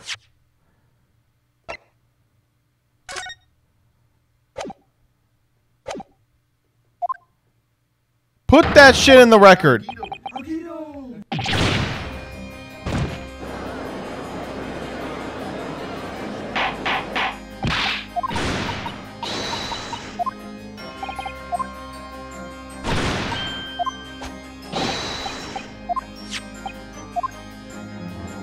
We're missing the lion's pride. Le coq.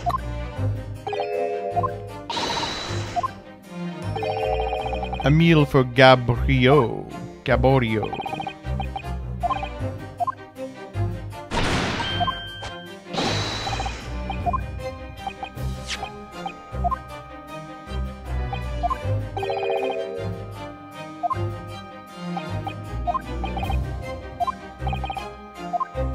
It's a book owned by the woman.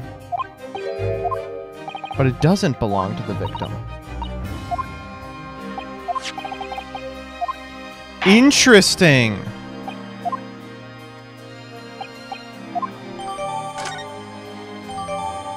So there's a lot going on here. If you recall, when we were able to speak with the Moon Man yesterday, we found that this is his favorite book, The Lion's Pride. But it was burned as it is here in his house. But if that's the case, how did it get outside?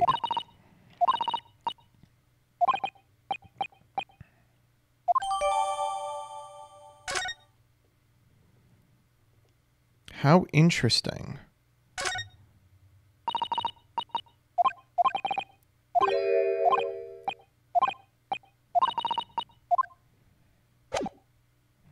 Let's check this uh, thing right here. All right, well, it's exactly as it says on the tin.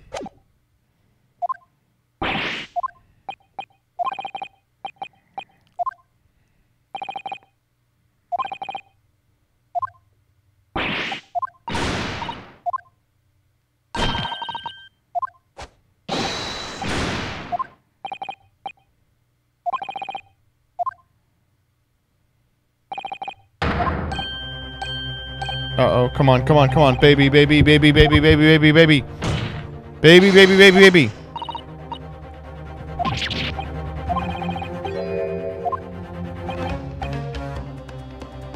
Raise an. Objection!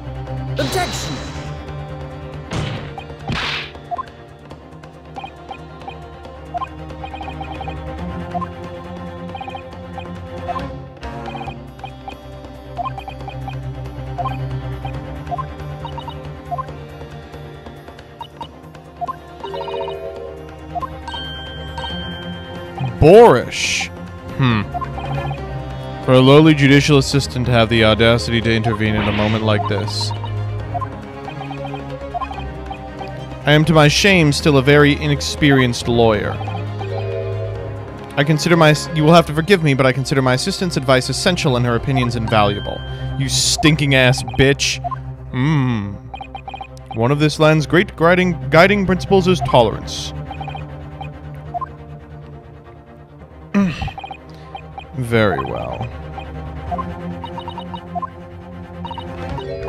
The court has been presented with new evidence, but only after the last cross-examination finished. Uh, yes.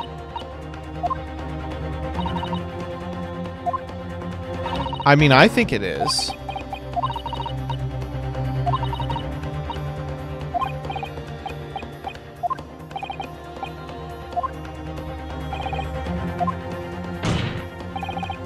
Defense wishes to present evidence, my lord.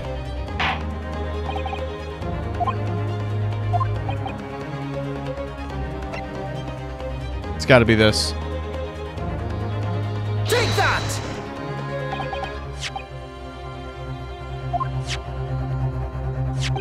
The fourth book found in the victim's hand. We have already discussed the fourth book at length.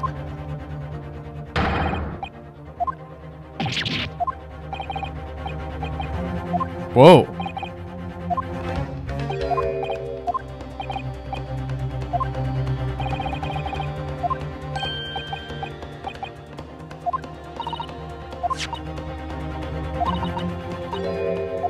Okay, alright, okay, alright.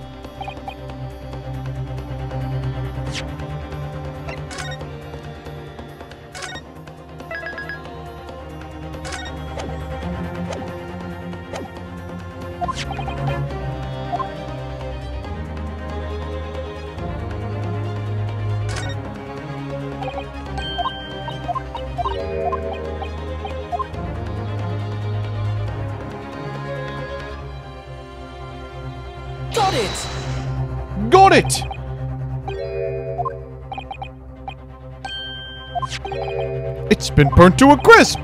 So we have to ask ourselves, why was the victim clutching what is clearly an unreadable book? It's an unnatural thing to have been doing. Objection! Unnatural, you say, and what of it? Oh, were I to concede that point, if it bears no relation to the case, there is nothing to discuss.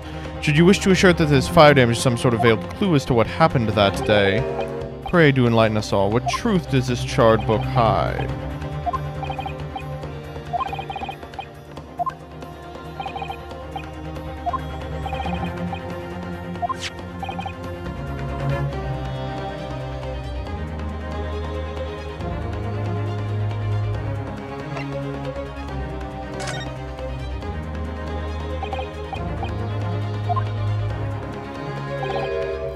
Book's owner. I beg your pardon. We already know who the book belongs to. The victim was gripping it. It was obviously hers. No, that's not true. As to the question of who the book really belongs to, the defense has very credible answers. Very well. I'll play along with this futile attempt to delay your inevitable demise, but do remember the members of the jury may well burn you if your little gamble goes awry.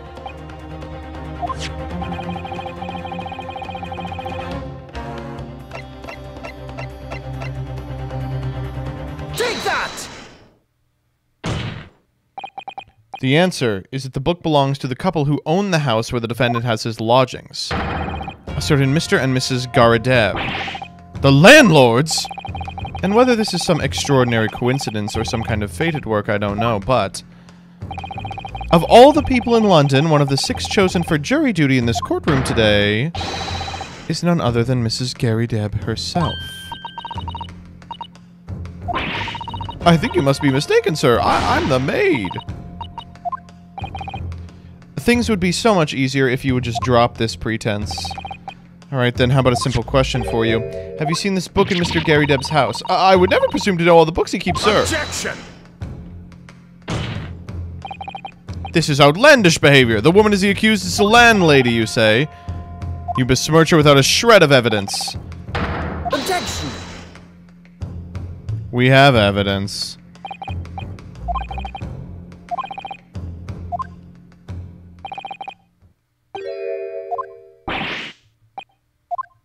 A domestic.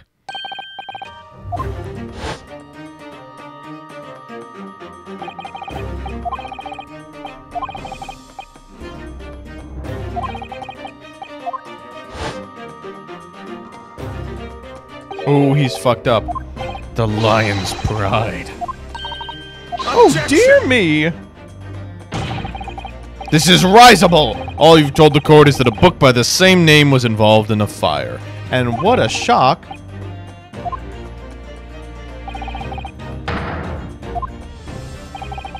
Perhaps it would make more sense if I told you the cause of the fire was marital discord. Without going into details, Mrs. Garrideb was considerably enraged. She continued to attack Mr. Garrideb even amid the flames. Oh, how awful!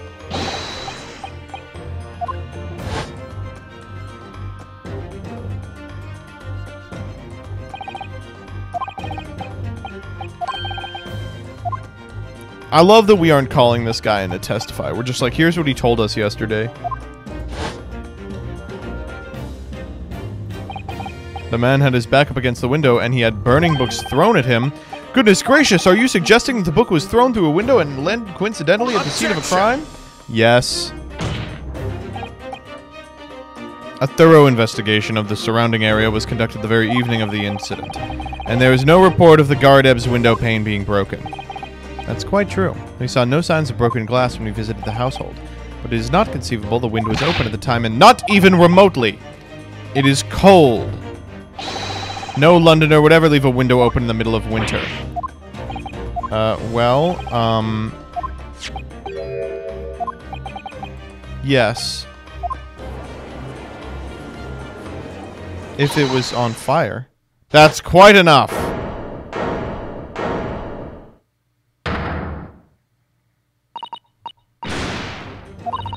foreign trickster.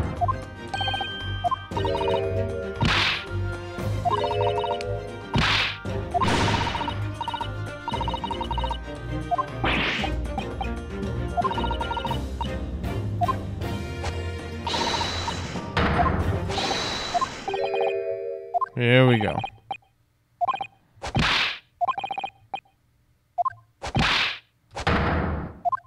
This guy sucks. No, come on.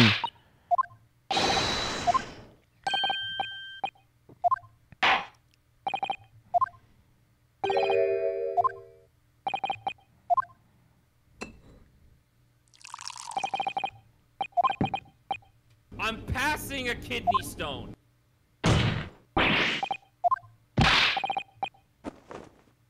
Oh my god.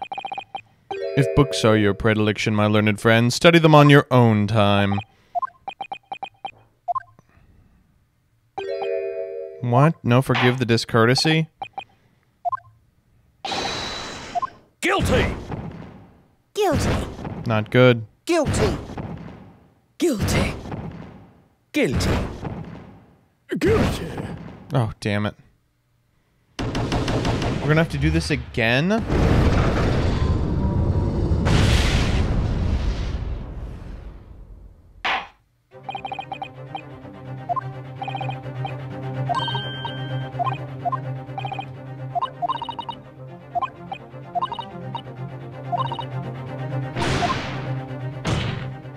You know what we're gonna do. Hmm.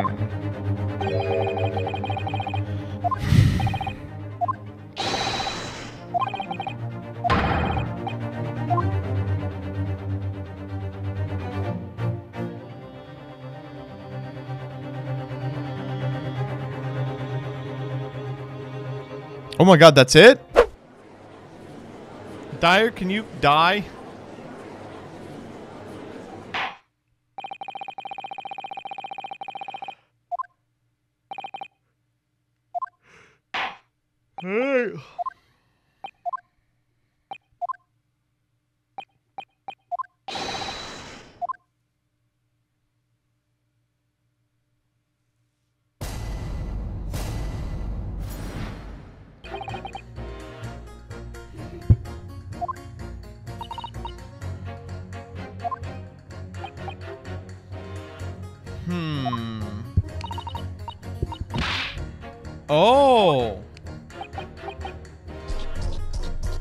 Chucky1833, thank you for the five.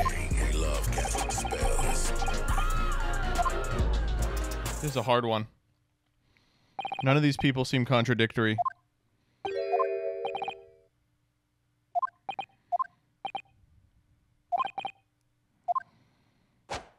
Stop fucking breaking the hallowed chalice.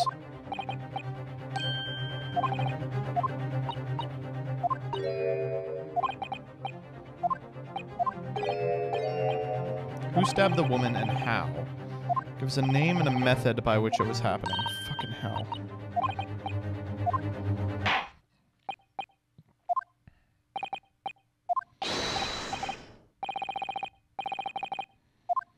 Bod, um, do we have a modcast put together for tonight?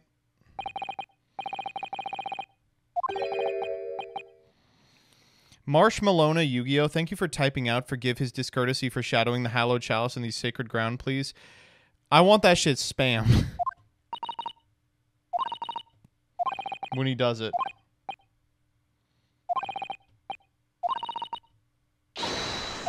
Okay.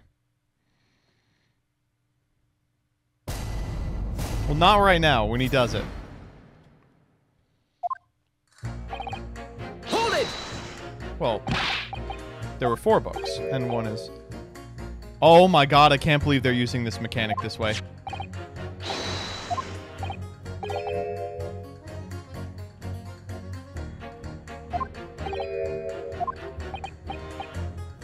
This landlord fellow was at home.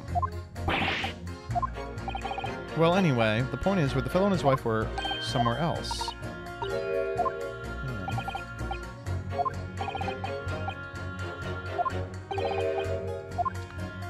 All right, let's go next. Joseph, I have a really great TikTok to share with you. This better not be a TikTok from Nim Nim. Who started racism? Yo, Facts, I always want to know Oh, I've seen racism, this. Man. Oh, no, I haven't. This is a new one. Who started racism? Yo, Facts, I always want to know who started racism, man.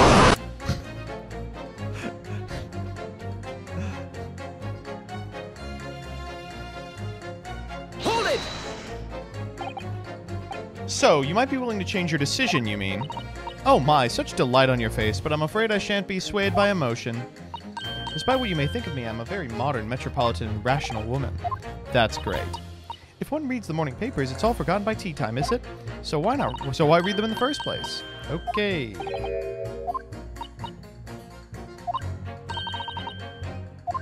Shut the fuck up. Racist.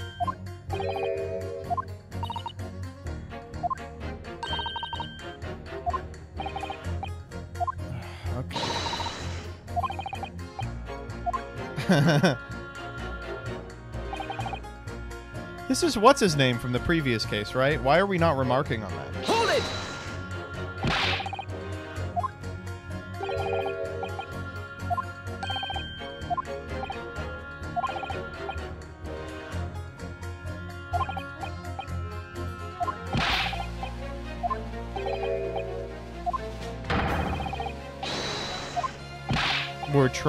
Here. We are just trying.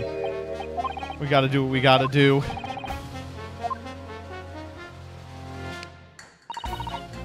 Hold it! But the little book was on fire at the time, was it not? With flames of love, I'll have you know. Uh huh. Well, he brought it upon himself. It's playing with fire to betray a fiery love, isn't it? Well, don't you agree? Um, uh, yes?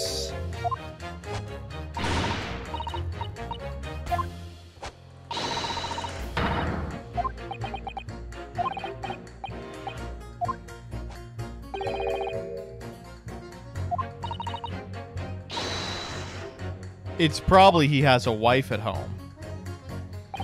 Women Hold it!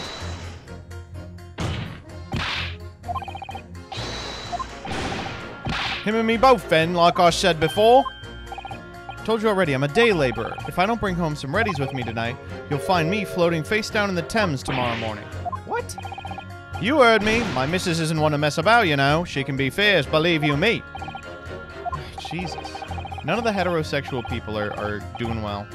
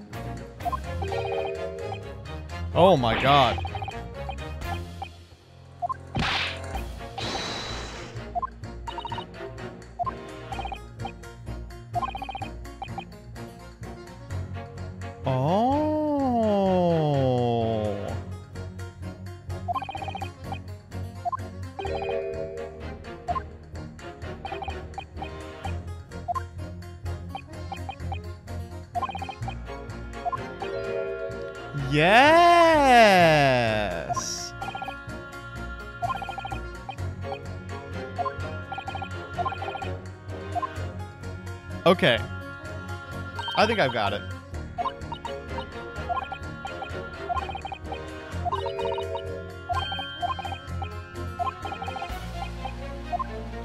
So I'm I have a pit that I think is fine.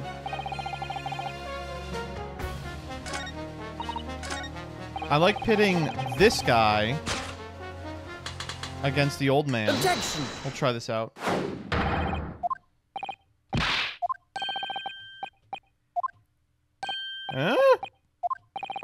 Juror number three. Do you see? Oh, me? See what, sir?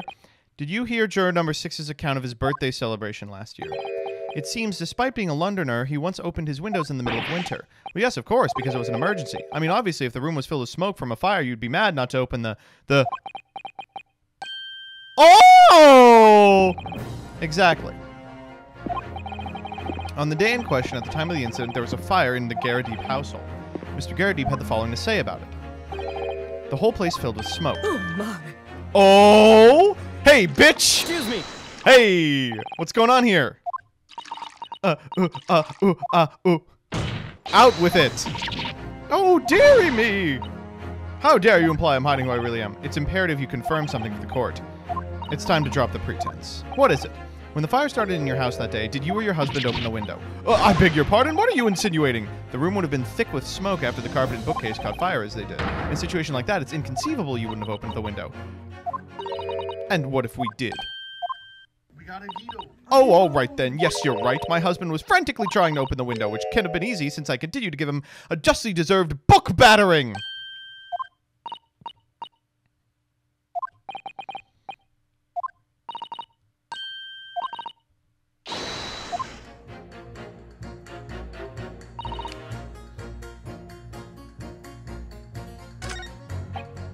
Let's pit these two again. Hmm.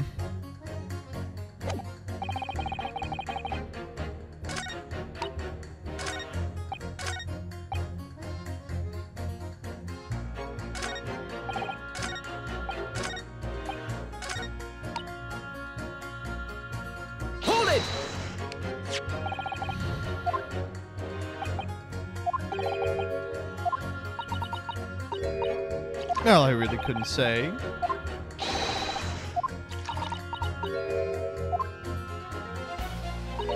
I did. It was the first thing I could lay my hands on, so I hurled it straight at him. Now you come to mention it, yes. He was rather enjoying reading it, you're right. Because I couldn't, you insolent little man. I didn't remember. Oh, boy. Oh! Hello. Excuse me. Hey, five. What's going on here, buddy? What is it, your number five? Uh, you know something? I I've remembered what it was. The memory I blocked out. Ah. It was listening to what this granny was saying, brought it all flooding back. Who are you calling a granny? Please tell me that's not because he's so used to being hit all the time.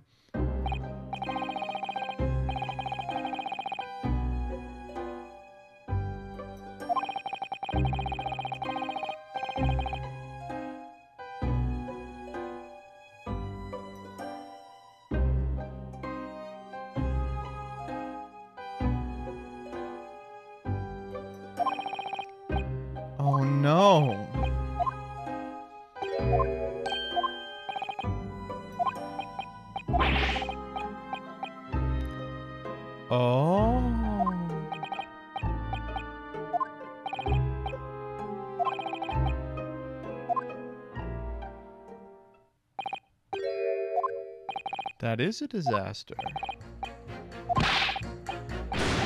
Really?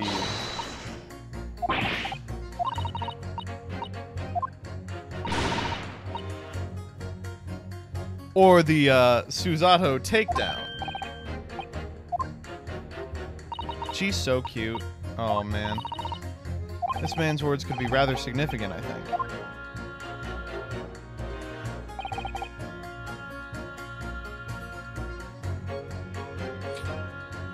Mean, that's a that's a really great statement, right? Your wife threw a kitchen knife at you? Hide a tiny edge on it. Oh. A bathtub.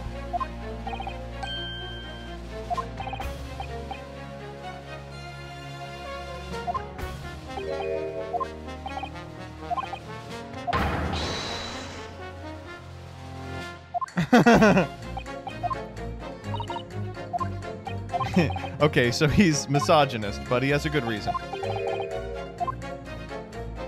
Okay, well, um, let's start pitting.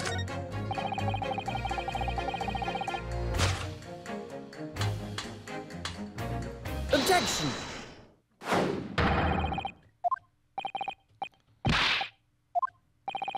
Juror number two, do you think perhaps that this could be one such novel alternative?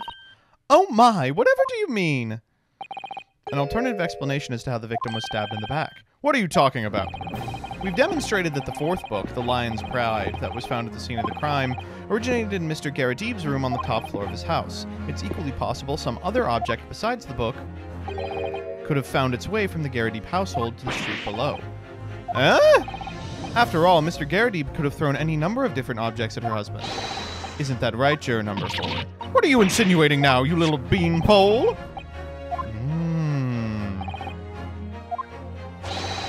Now you listen here, you. Whoa! Hmm. I have an evidence.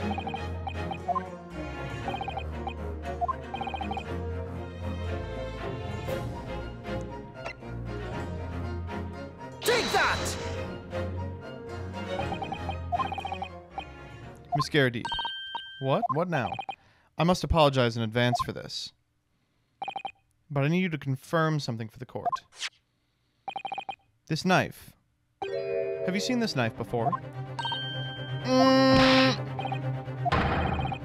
That's the weapon! I just want to know. My lord, remember what that when the victim was attacked, Mr. and Mrs. Garrideb were in the throes of an argument. Mrs. Garrideb was hurling anything she could at her husband who'd been backed up against the window. Window that had been opened to clear smoke and through which a book sailed to land at the crime scene. You can't believe that! The book was found in the victim's grasp! Are you saying it flew across the window and across the street and lay neatly in your hand? Ah, no, no, no.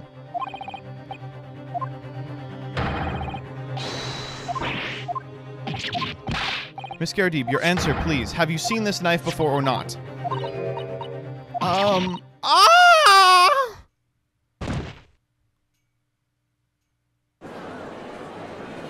Well, that's a yes.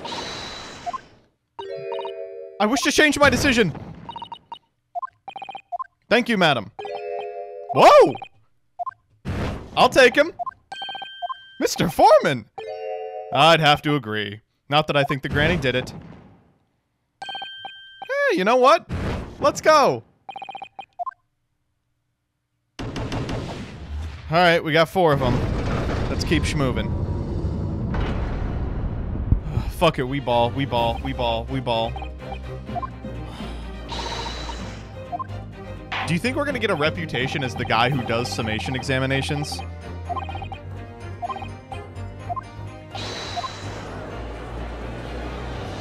We're so fucking back. We're so fucking back. This this mechanic is just it's over. It's so over. I need to kill myself and then we're so fucking back. We're so fucking back.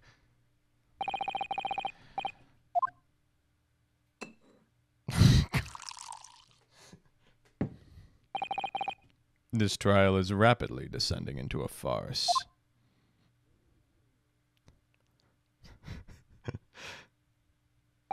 Like a corked wine, the first few sips are bitter enough. but what follows is so repugnant. It's good for nothing save the gutter.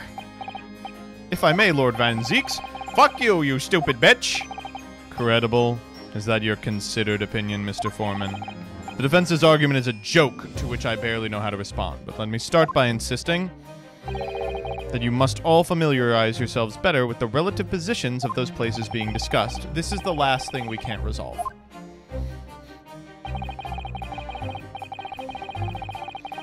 It should already be more than apparent that between the crime scene and the Garrideb household runs a rather wide street Briar Road. Which means that the distance from the Garrideb's house to the scene is 15 yards.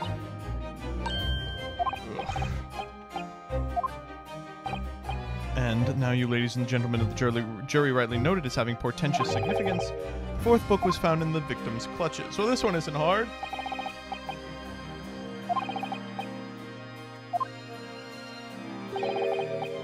No, not at all.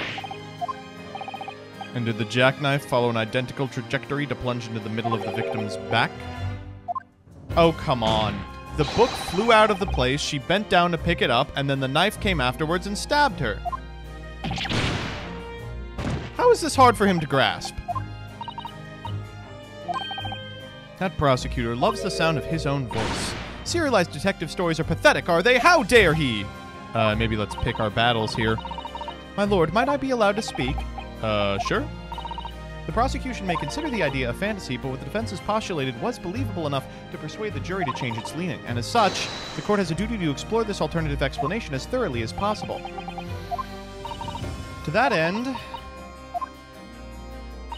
juror number four must be called to testify and submit to cross-examination. Oh, holy fucking shit.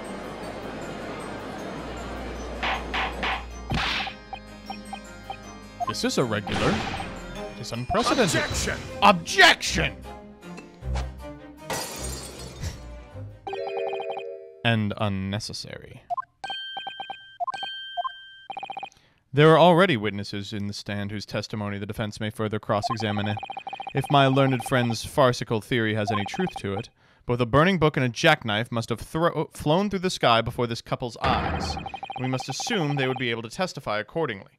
Uh, no?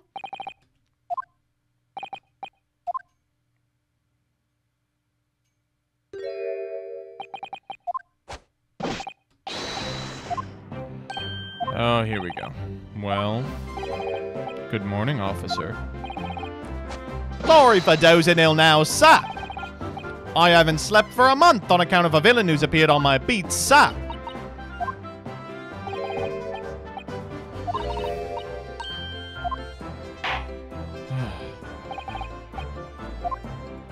This is me and Jillian.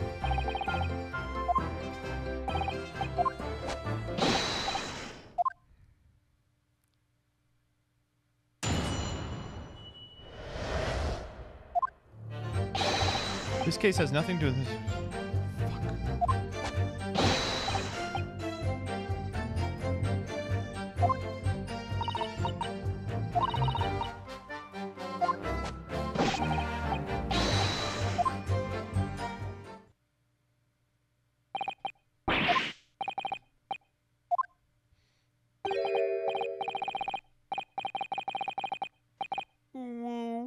Okay, this guy isn't really me, but um No, sir. I'm sorry, but what exactly is a top-hinged casement window? And you, you cannot excuse your ignorance with such trite remarks, my learned friend. Oh, I don't know what that is either. What is in that book?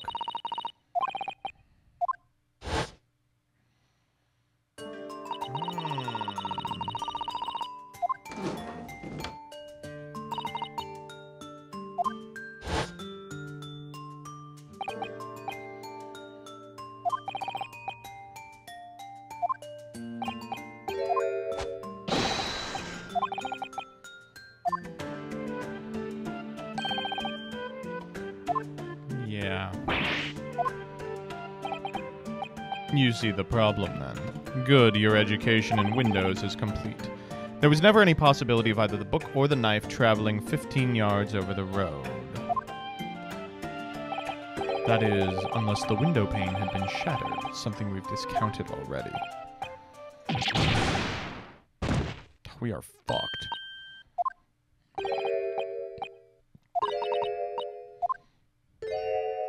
Get up.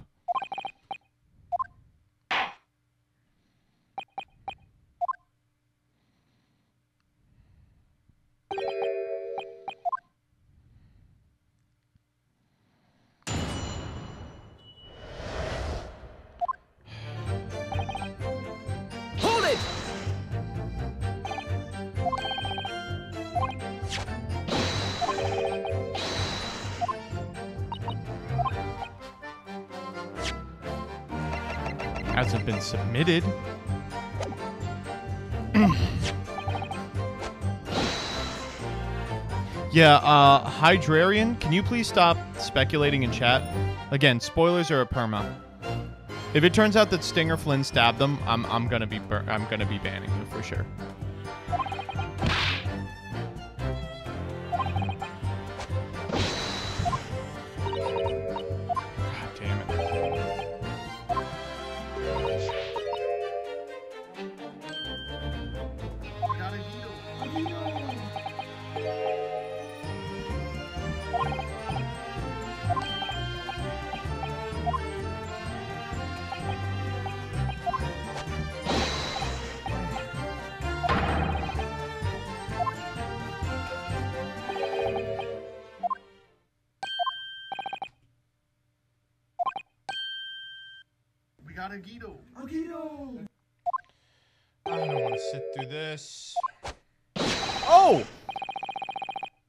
Anonymous user, thank you for the 10 gifties. Beep, beep, beep, beep, beep, beep, beep. Dodge in chat if you didn't get one.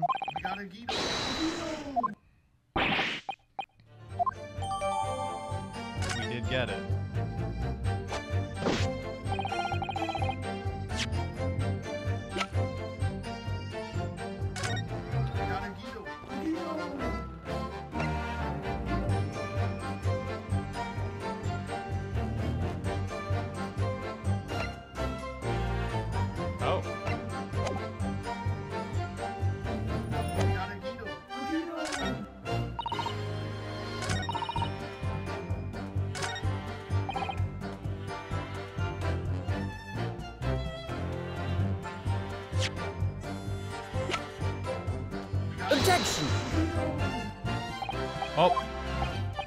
Music did not stop.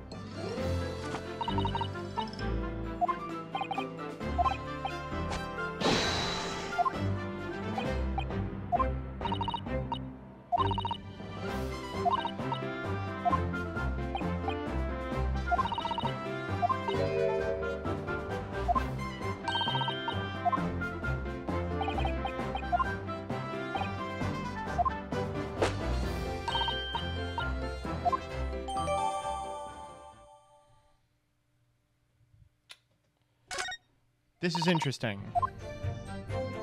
It's very interesting. Hold it! Hold it.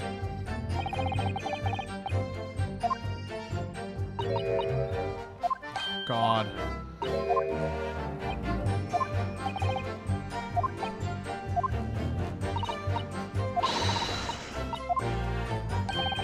Oh. In short. Yes, sir.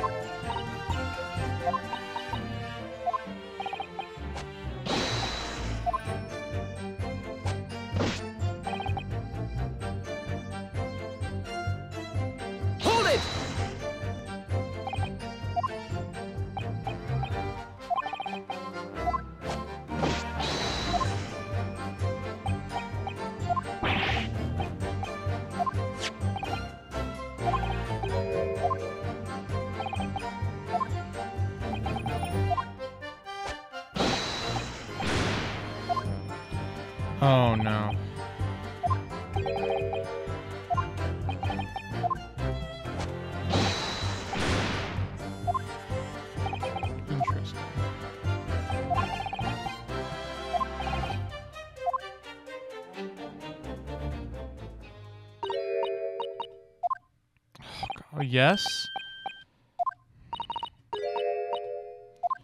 Uh, a little bit, yeah.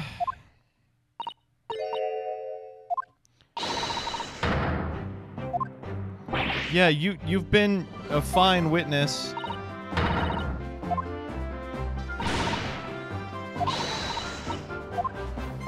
Uh, yes. Oh, good. All right. One more. One more. I heard that. That Japanese man thinks the policeman's wife was. Oh my god. Go ahead. Go, go, go, go, go, go. Hold it! Nobody is questioning what you've told us. Yes, I mean, he's admitted to that. That's a little racist.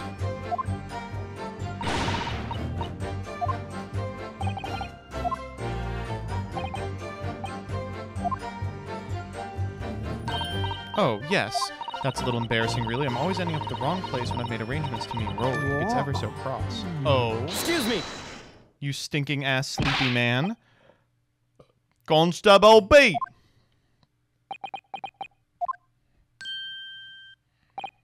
Huh? Uh, no, sir. No problem, sir. Oh, well, in a way, sir. I just remember the same thing happened to that evening, is all. Oh. Alright, we have resolved the issue.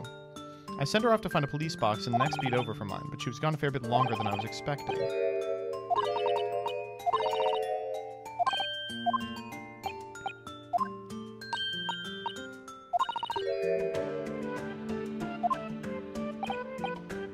How romantic.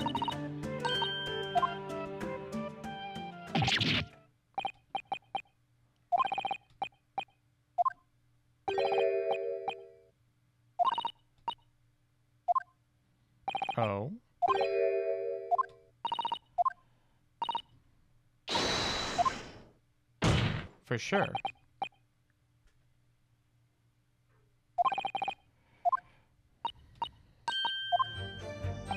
We are getting very far with this.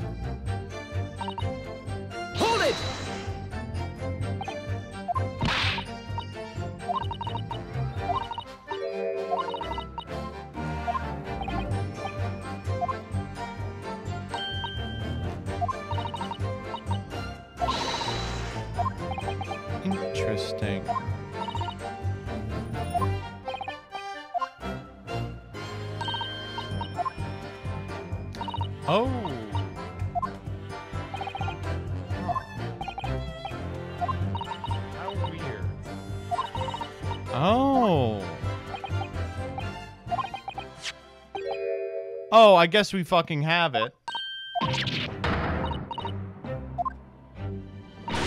That's a bouquet Rolly bought me for our anniversary. Maybe just call it a rose.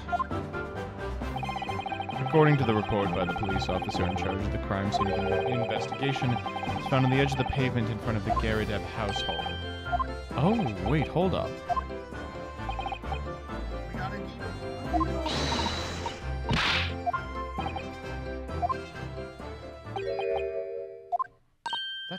Interesting.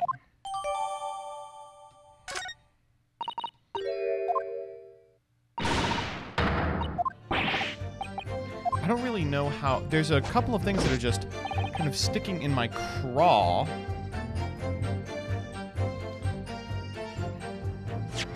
But I just don't know how to get them together. Just make sure there's nothing crazy on this fucking bouquet real quick. Uh, no, it looks pretty normal.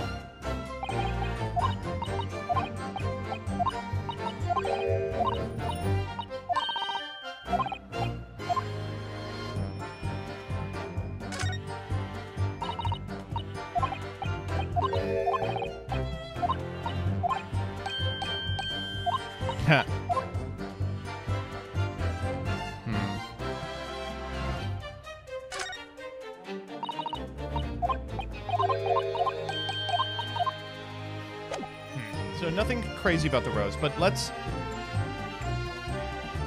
let's just go through this in our head again. This Beat has a pretty bad sense of direction. She dropped it on one side of the road and it magically went over to the other side of the road. But the side of the road that it went to is in Rolly's beat. Before it wasn't.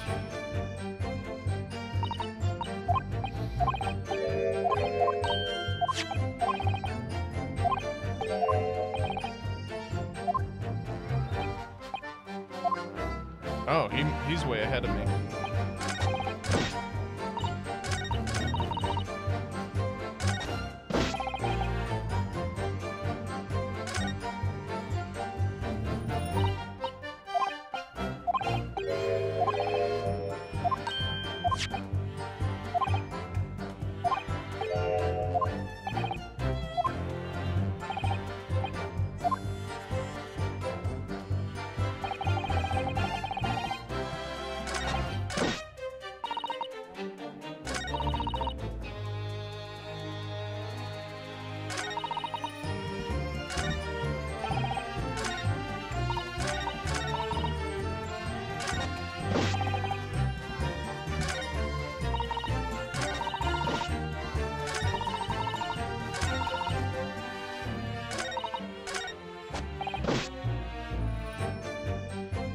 we've got some options for what we can uh, present, so I'm gonna I'm gonna do a little scumming.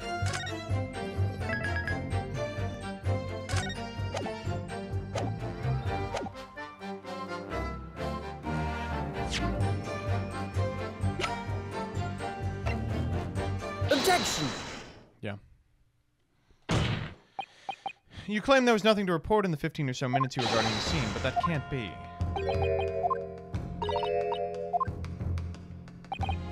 Testimony just now, Miss Beat, you explained to the court that when you arrived back at the scene of the crime with the policeman assigned to the beat, the bouquet you had dropped at the victim's side was no longer Objection! Objection! Yes, on the opposite side of Briar Road where the victim was attacked. Considering the size of that meager bouquet, if a single solitary bloom can be so described, no doubt it was blown in the wind across the street back into the gutter where it belongs. Objection! Van Zieks, you're kind of being a bitch here. If that were the case, why did Constable Beat not testify to that fact?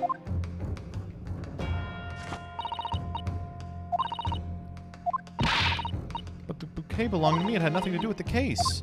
That's why he didn't mention it, I'm sure. No, because sadly, it's not only your bouquet we're talking about. More than one thing in this case is mysteriously the wrong way round. Think about it. Besides Miss Beat's bouquet, there's Mr. Garrideb's book. Mr. Garrideb's copy of The Lion's Pride ended up on the wrong side of the road.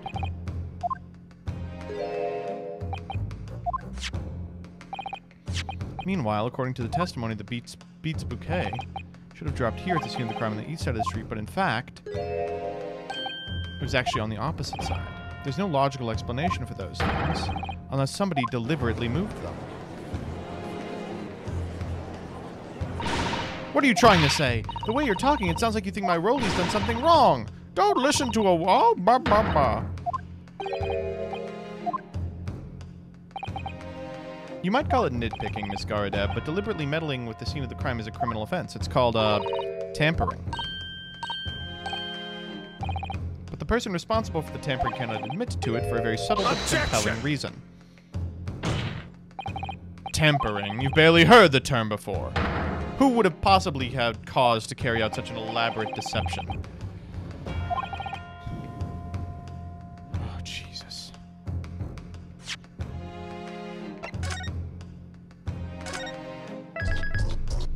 Closed circle! Thank you for the 20 gifties. Holy shit.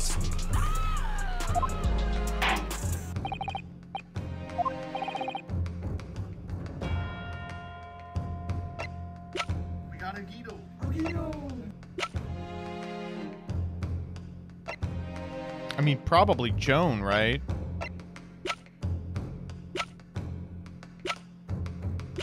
Baron Van Zieks. We got a Guido. Take that! No, no, no, no, no.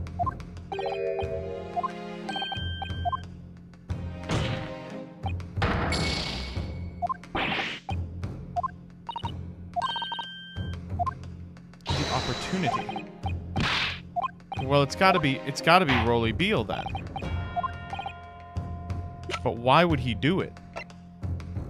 Take that! Obviously, there's only one person it could have been. Constable Rolly Beat. What? A policeman? A member of Scotland Yard? What nonsense. Why would my Rolly do something like that? There's no one straighter than my husband. Ah, damn it. No Bobby works more tirelessly for the people of London. Miss Beat, you said in your testimony that your husband asked you to go to a nearby police box to fetch the officer on duty. The 15 minutes you were absent from the scene is the only opportunity anyone had to tamper with it. Oh God! Did he tamper with it so that it was someone else's prerogative and he didn't have to investigate it because he's so tired? Objection! That's a fun motive.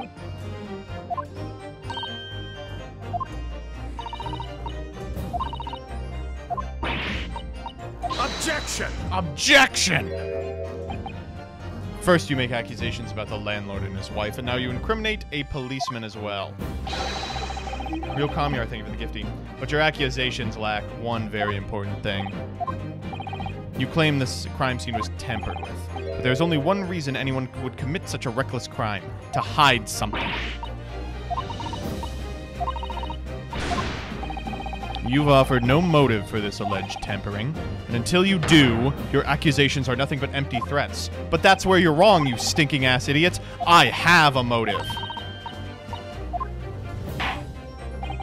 Counsel, you have made a very serious accusation. If you're mistaken, your reputation as a lawyer will be damaged. You will now explain to the court the motive for this tampering. Yes, my lord.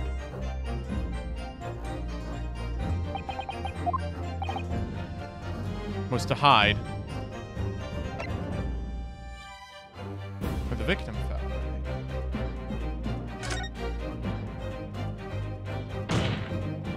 Where the victim fell to the ground. What? Where the victim fell? You mean where she was attacked? What are you talking about? We told you at the very start, didn't we? On the pavement of Briar Road, we saw it happen. Oh, well, the pavement of Briar Road could be anywhere. That's certainly what everybody has been led to believe. But in fact, that isn't where the victim was stabbed at all. What? Oh my god. Their scarf connects in the back. You can see from the back it connects to each other. If that's your assertion, the court is dying to know, my Nipponese friend. Where are you proposing the crime actually took place? Well, the only place it could have. Here! But, but that's on the opposite side of the road. I don't understand. On the evening in question, Mr. Garrideb's book fell directly from the open window above, and your bouquet never moved at all. What did move was the scene of the crime itself. Good gracious! Objection! Objection! Perhaps you haven't been listening to the ample testimony this court has heard. But these witnesses both saw the moment the attack took place. That's right, I saw it with my own eyes. It was 5 o'clock in the evening and already dark. There was the typical London fog on the ground. When you saw the incident unfold and ran to the victim to aid, that was actually the west side of Briar Road. No, that's not true. It can't have been. Constable Beat then arranged for you to be absent for a while by sending you to help. And during the 15 minutes you were away, he transplanted the crime scene. He moved all the things shown in this print the victim herself, the four books, to the pavement on the east side of Briar Road. That's why she's holding the book. He thought it was a book that had been dropped. But the constable overlooked one thing the bouquet. Exactly. The prosecution told the court just a few minutes ago about the discovery of the bouquet. Lord Van Zeek said it wasn't noticed until the morning as it lay where the street lamps cast no light. Couldn't be seen in the dark. Which is why it was only the bouquet that was found in its original position on the pavement on the west side of Briar Road. And that is the defense's theory about what really happened that evening. How do you respond, Constable Roly Beat?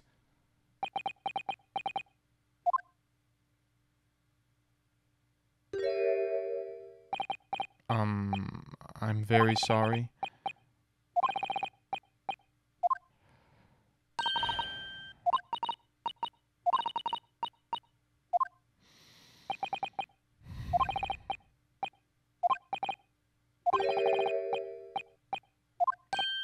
Oh no. Good golly! Order! What on earth is the meaning of all this? Oh, Roly, why? Moving a corpse is a criminal offense! Hmm. Constable, explain yourself. Why would you do this? She is still alive. I, I can't say, sir. We know why it is. I really am ever so sorry about all this. For damaging the Yard's reputation, for for everything. I have an explanation. For why, on that particular evening, Constable Beat felt compelled to move the scene of the crime. I can think of one reason. What? How could you possibly know? You, a foreigner, presuming to understand the mind of a Scotland Yard policeman. And yet, Lord Van Zieks, it is this foreigner who has uncovered the startling truth of the matter thus far. I believe it would be beneficial to the court to hear this extraordinary young lawyer's theory. Counsel for the defense, if you please. Uh, yes, my lord. Now, I think you had better show us some evidence. At once, my lord.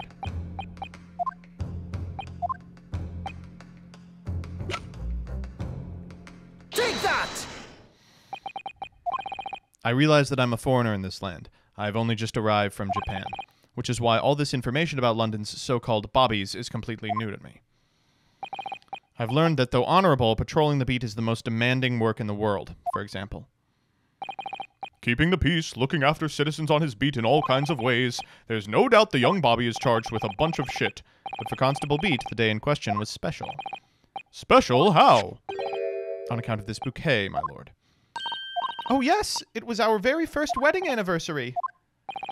Constable Beat had worked so hard to be able to afford this simple gift for his wife, and was so looking forward to taking her out for a celebratory meal. When he and Miss Beat stumbled upon a crime along Briar Road. When he saw that shadowy figure through the fog collapse on the pavement ahead of them, what must have gone through the man's mind? But, sir, I was looking forward to celebrating my anniversary.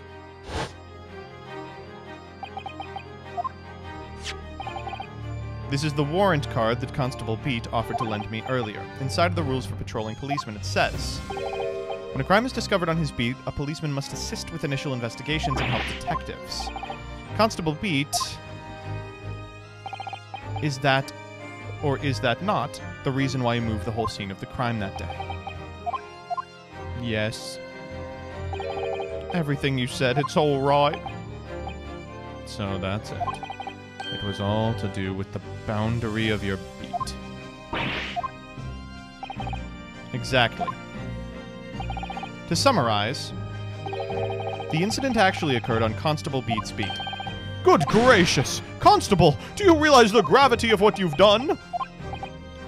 It was the first time since I became a copper that I'd ever cursed God. Holy shit!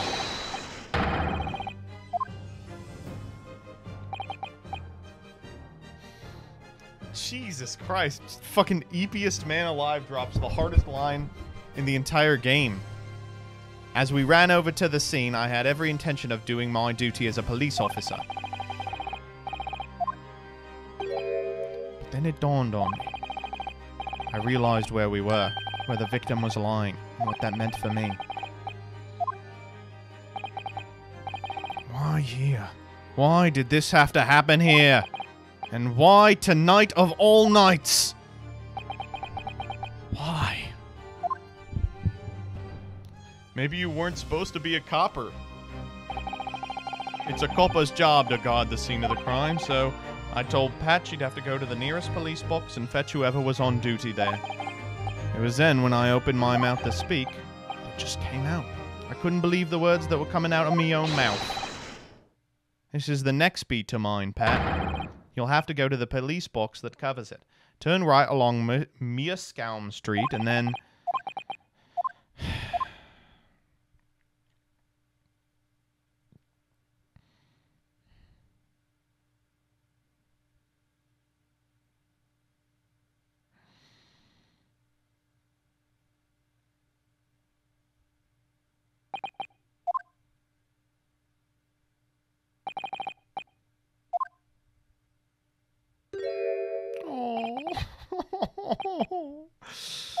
Let the man take a fucking rest.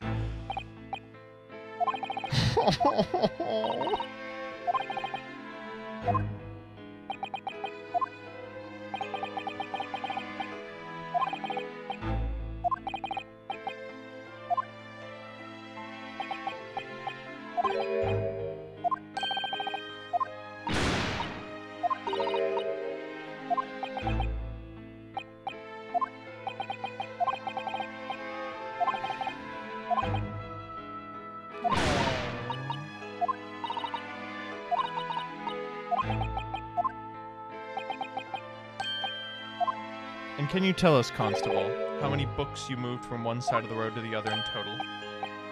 Um, four it was. Yes, sir. Definitely four. What made you place the book in the victim's hand? Oh, well, sir, it's because that's how I found it. How you found it? What do you mean? We first ran over to the scene. Oh, this actually makes sense. Book fell out. She bends down to pick it up. Knife goes directly down into her back.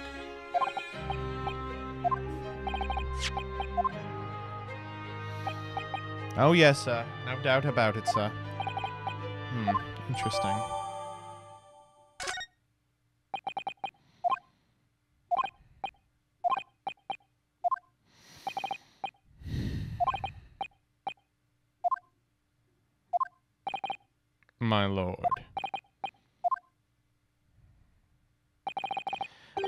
I believe that concludes the cross-examination of the witnesses. Constable, you may withdraw. Yes, sir. He will stand trial, probably.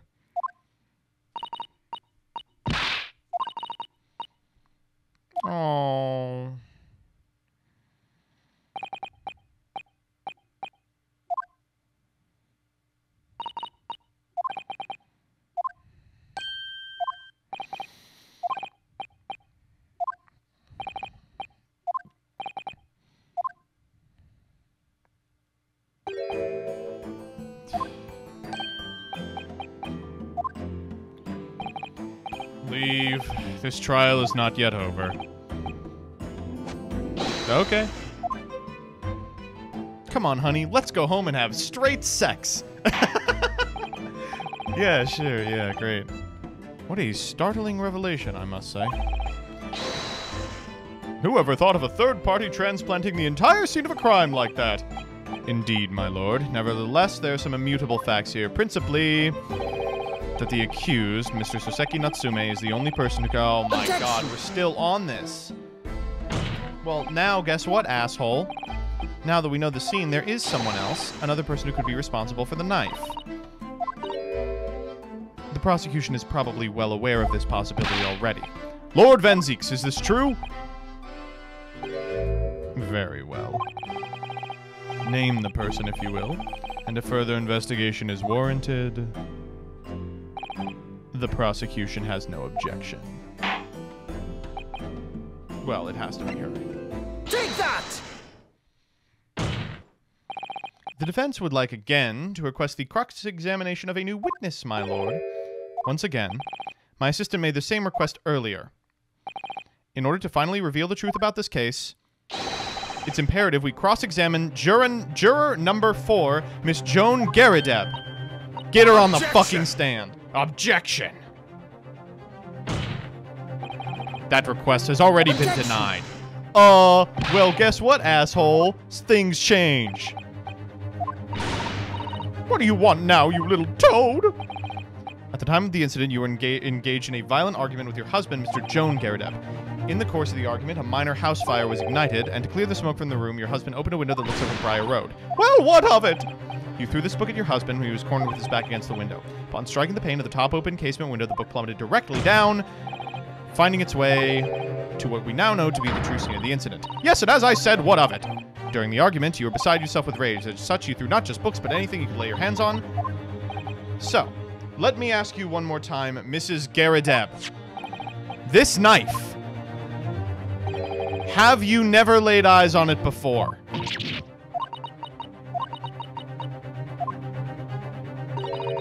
I don't recall it. seriously. Am I supposed to remember everything I picked up and threw at my husband? And anyway, the man over there in all that regalia said members of the jury needn't testify, didn't he? Conveniently, yes. Objection! No. I have no recollection of saying that at all. Juror number four. Oh. Make no mistake. You jurors are not special in any way. You are not immune to the judicial process. If you know something about this knife, madam, let the truth come out. Uh, but that's just a common or garden knife. It could have come from anywhere. We have several like that at home. If, if one went missing, how would you expect me to know? What's that? Are you joking?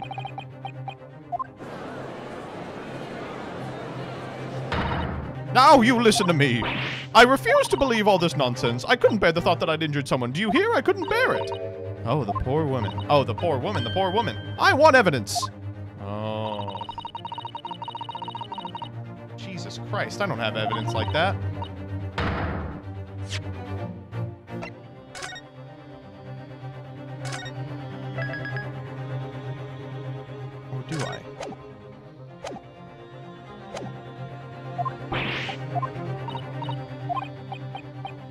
yeah. Then take the stand, juror. Oh! The prosecution does not object to the defense's request to cross-examine this woman. Thank you, Lord Van I'm going to have to testify? Get your ass up there. Whew. Oh, dearie me. this case is so good. Certainly, my lord. Oh, uh, that's what I'm hoping for, my lord.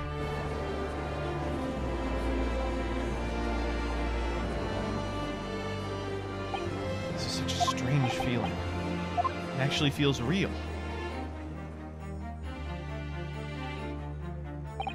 I'm here, in the Old Bailey, and I'm a lawyer.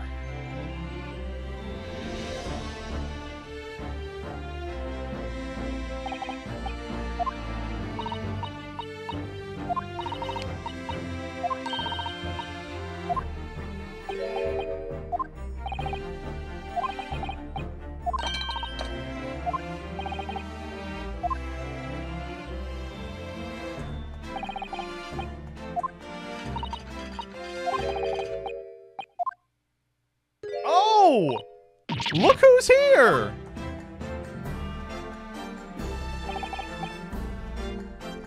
Alright.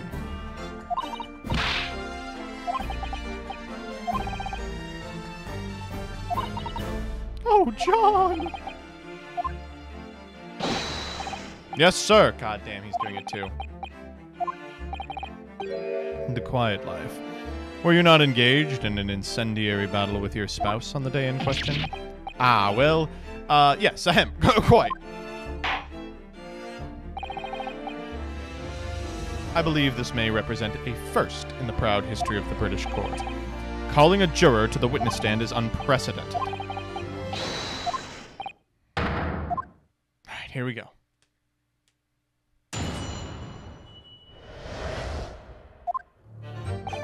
So if she's actually his wife, is the maid thing like a kink thing, or uh, it's a standing thing? You're expected, if you're a member of high society, to have at least one maid.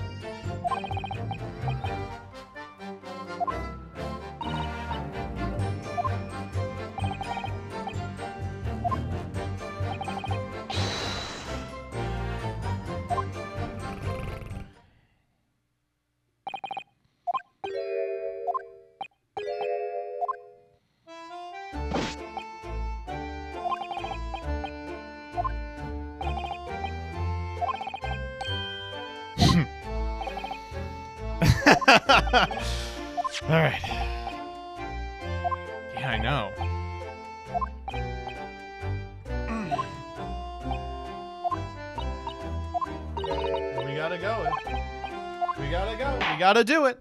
This cross X has to be good. We have no other options.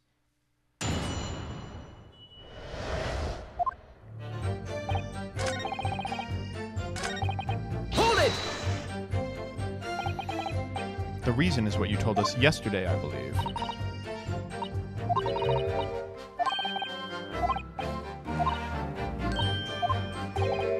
What a sordid state of affairs. Hell on earth. I say, when a chap says he can't recall such things, it's common decency to see not to drag it up. A likely story. These waters run very deep. He's a cheater? No! A book that he had purchased had a love note in it from its previous owner. It's not even addressed to him. It's so funny. She just saw the love note and she was like, I'm gonna kill you. Hold it! A likely story. Bookcase, my armchair, anything of mine, really. Just so happens there was some bathwater around this evening, so I sloshed it about to put it out. Ours is a three-story townhouse on the west side of the street, and the water main isn't connected yet. Have to draw water from a public water pump during the day if you need any, see. Interesting.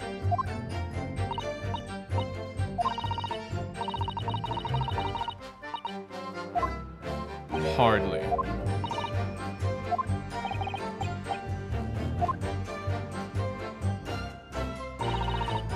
Hold it!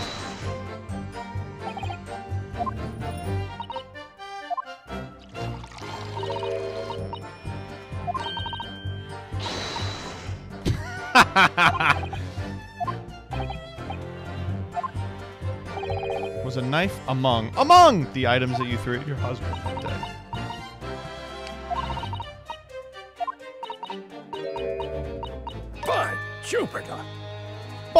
Jupiter! Excuse me. Hey, dude. Do you have something to add, sir? Mm. Mr. Garrideb. Hmm? Uh, don't shoot! Ah, sorry. I beg your pardon. Did your wife's remark bring something to your mind? Ah, nothing of any significance, no. Just that the barrage of projectiles was somewhat more uh, solid than she implies. Books, bricks, and the fire poker, I seem to recall. And the woman's aim is uncanny. Ah! Good grief, woman. We're not at home now. This is a court of law. Yeah, how'd you get the teapot in here? We'll take a look at this then. How do you suppose that happened? Hmm? Your pipe, sir. Oh, yes, it's tied up.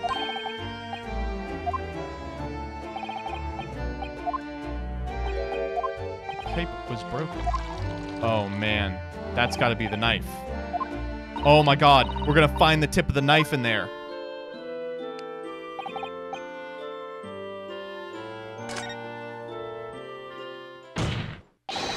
Objection! Objection! Fuck off. This war veteran's words only tell us one thing. Betray a fiery wife and pipes as well as hearts may be broken. Sentimental wisdom, perhaps, but hardly worthy of adding to the formal testimony. Would you at least permit us to examine the pipe, sir? Hmm? Well, well, I don't see why not.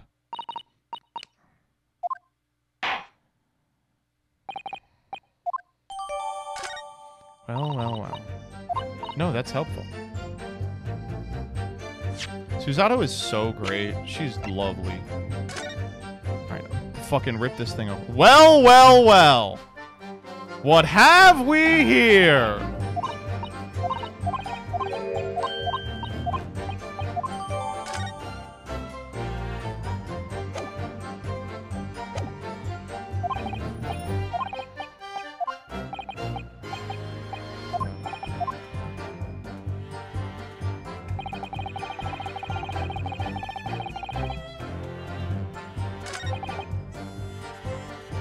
Think I would actually have a pretty easy job proving it. Hey, how, how much do you know about this fucking thing, idiot? Objection! Mr. Garrideb, could I ask you to take a good look at this, please? You can ask, but I can't see a bally thing. You can't? You used to call me Dead-Eye Deb back in the regiment, of course. That was some time ago now.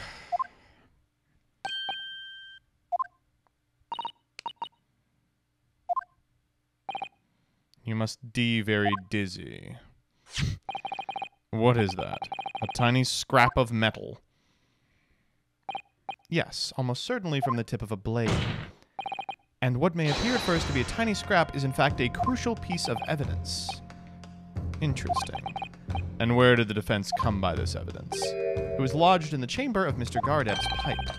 My pipe, you say? By Jove, I wonder how that got in there. And what does this metal signify? Are you suggesting it is some way related to the matter of the stabbing? Absolutely. What? When put together with another piece of evidence already in the court record, I believe this fragment of metal will unravel the whole truth of this case, my lord. Look at his fucking asshole! it's all ripped up.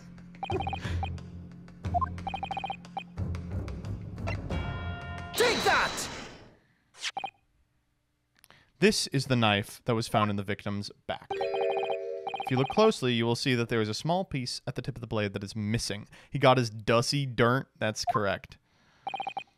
A common issue with inferior blades sold at unsavory street markets. Close! This is a British person. No doubt its tip has suffered a similar fate, now languishing somewhere near the spine of the victim. Oh, well, let's just see, dumbass. The tip of this particular knife's blade is the very fragment of metal we discovered in the chamber of Mr. Garrideb's pipe. Ugh. Good grief, Lord Van Zieks! I I don't believe it! The knife from the crime scene and this fragment of metal are a perfect match! Good golly gosh!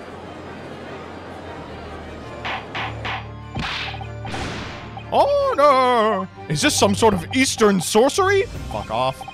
This is no magic, my lord. This is a miracle. Council, explain this extraordinary coincidence at once. Yes, my lord. The crucial point we have to ask ourselves here is when did the fragment of metal find its way inside Mr. Garrideb's pipe? Something that was clarified for us in the most recent witness testimony.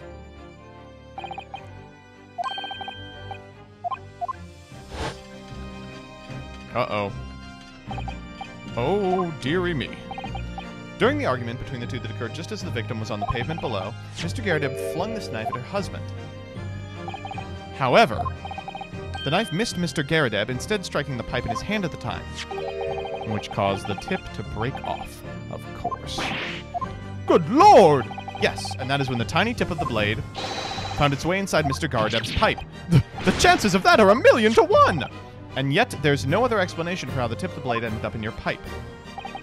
Then, after losing its tip, the knife ricocheted off the pipe and flew out the open window. Uh.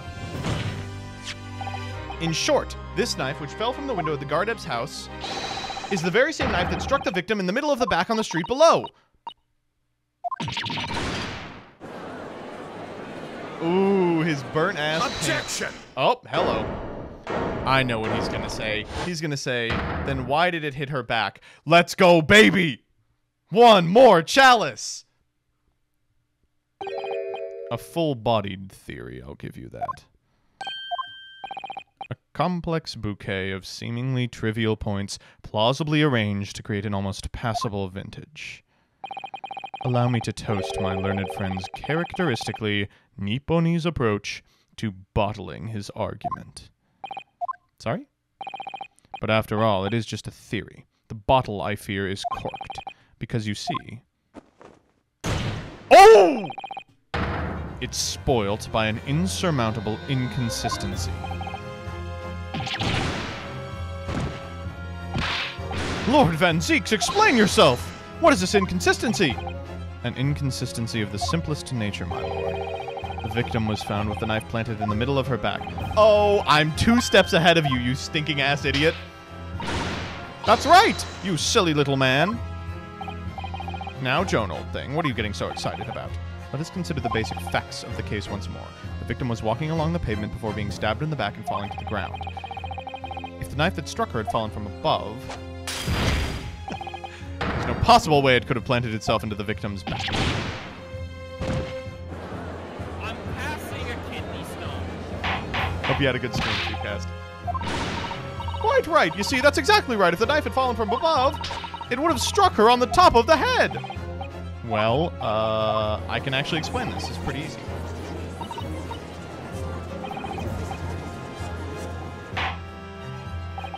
Hmm.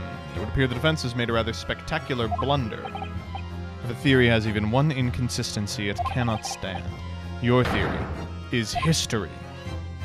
No, no, we know the answer. We know the answer, Ryunosuke. We can do it.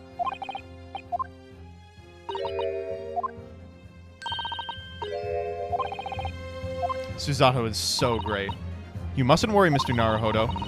You were just caught off guard, that's all, and your mind went blank. If the path you were on is indeed correct, then a way will present itself. The key is in the court record.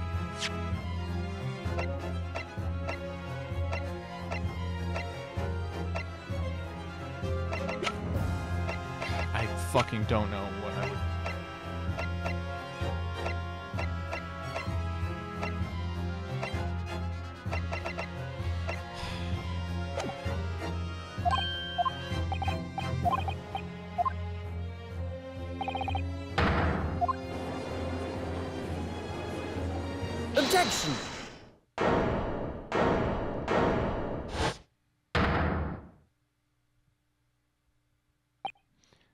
inconsistency doesn't mean I was on the wrong track. It means I need to sharpen my mind and dig deeper for the truth. It's a test. Yes. If the knife fell on the victim from above, there's no way it could have hit her in the middle of her back. Under normal circumstances. What are you implying? There is a piece of evidence in the court record that can explain this inconsistency. That can explain how the knife that fell from above could have pierced the victim's back. We already have the answer. God, gonna. I, I think I know what they want me to present, but. Oh, God.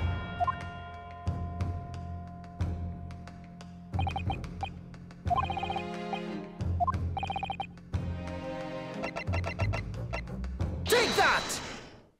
The fourth book found at the scene. This is the final piece of evidence the defense will present. Burnt book. Is that not Mr. Garrideb's book? Yes, and to understand its significance, we have to consider how it came to be at the scene in the first place. This photographic print clearly shows the book in question, and the victim holding it in her hand. But as we all now know, it was the police constable that put the book between her fingers. Quite so. That's true. However, as part of his testimony, Constable Beat made an extremely enlightening statement on that point.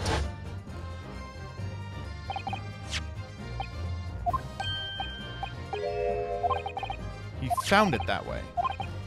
It's crazy that I figured out the entirety of this case 20 minutes ago. In other words, the victim had already picked the book up of her own volition, and clearly that must have been before she suffered the knife wound. Well, I should say so! It, it's great, because some of the old Ace Attorney games, it was like you would never have gotten it, the, the thing figured out. It was just, there was so much bullshit in it. It's a nice that they put something that normal people could figure out. By jingo! I think I'm beginning to see what may have happened now. Oh, dearie me. We know that the book fell from the top floor of the Garrideb household onto the pavement below, at precisely the moment that the victim was walking past. At exactly that moment, the young woman was walking along the street in a light fog when all of a sudden, a book fell in front of her. The book I threw. Yes, Miss Garrideb. And what do you think the woman did? What would you do if you were walking along and suddenly a book landed in front of you on the pavement? Uh, well, I, I really can't imagine it. But I suppose she might have reached down. Oh, she's cute. And picked the book up? Yes, that is exactly what the woman in fact did. She picked up the book. Oh, heavens! And when the woman reached down to pick up the fallen book, what position would her back have been in? That's right, facing the sky, completely and utterly defenseless. Then, in the very next moment, while the woman was still bent, picking over the book, the next object fell from the room above, the jackknife, straight into the middle of her back. And at the same time, walking by chance directly behind her, was the defendant, Mr. Soseki Natsume. Well, I never! It appeared to Mr. Natsume that the woman collapsed onto the floor. In the dark and in the fog, he didn't see the knife falling on her from above. Ah! And from the other direction, the constable and his wife saw no one but the victim and her apparent attacker. So there never was a real culprit to run from the scene in the first place. No, this was nothing more than a series of unlikely events that culminated in an unfortunate accident. And that is the real truth behind this case.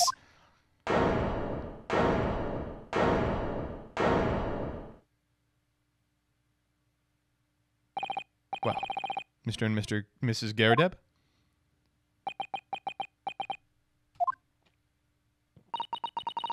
The very first time you showed me that knife, I, I had my suspicions. I wondered if perhaps it might have been something like that. There, there, old bean. Poor Mrs. Garrideb. Of course, I never meant for anything of the sort to happen, but it was all my fault, wasn't it? Well, I hope the woman recovers, because this is a case in which I really hope no one goes to prison. I take full responsibility. I let my anger get the better of me. I threw the book, and I threw the knife as well.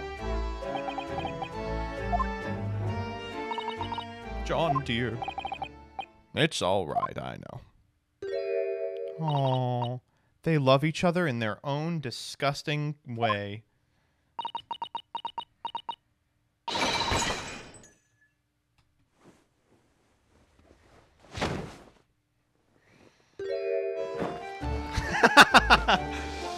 ah, I'm sorry, sir. Oh, not his knee!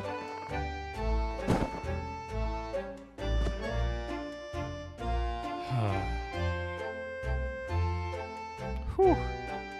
Being heterosexual in the Ace Attorney series is exhausting. She's been taken to the infirmary. It would appear that today's events have left her in an especially flustered state. However, I believe she will recover in due course. There's no cause for concern.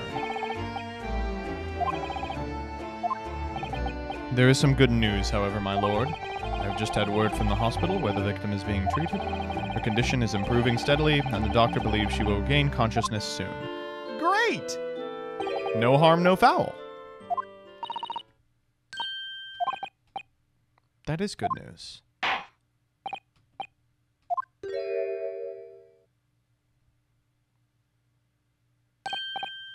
Mm, yes? On behalf of my fellow countrymen, I would like to take this opportunity to beg your pardon, sir. You came from your distant eastern homeland to study our great British culture and have been repaid with immeasurable unkindness. Please accept our heartfelt apologies.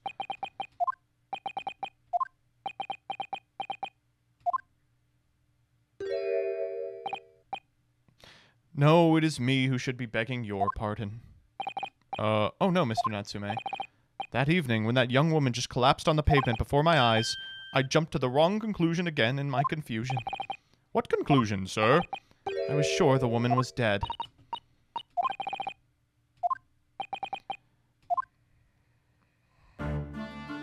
It's been about a year since I arrived in Great Britain now, but I still can't get used to life here. I can't relax. I'm sure there are evil spirits lurking in the fog, like they're haunting me. Poor Soseki-san. So when it happened, I thought the young woman had been taken by the fog spirits. I should have never dropped my books like that and run away. I should have called for help, for a doctor, for the police! Hmm. Instead, I've managed to create a rift in the relationship of trust between our two empires, and for that, I am truly sorry. What a nice young man. One could indeed say that there was some sort of mischievous spirit has been at work here, I think. One that created a chain of unfortunate mishaps. We were befooled by this spirit and led to false conclusions. But thanks to Lord Van Zieks and our young lawyer here from the east, that chain has now been broken, and the spirit exorcised. I heartily commend you both. Oh, thanks. This guy lost. Maybe commend him a little less. Now then, ladies and gentlemen of the jury. Yes, my lord. In concluding this trial, I must ask one last time for your decisions regarding the defendant's culpability. Are you ready to present your findings to the court? As the foreman of this jury, I can assure you we've reached a fair and just conclusion. I do declare the truth can be extremely cruel at times. I'm the hat guy. Oh. Uh, okay.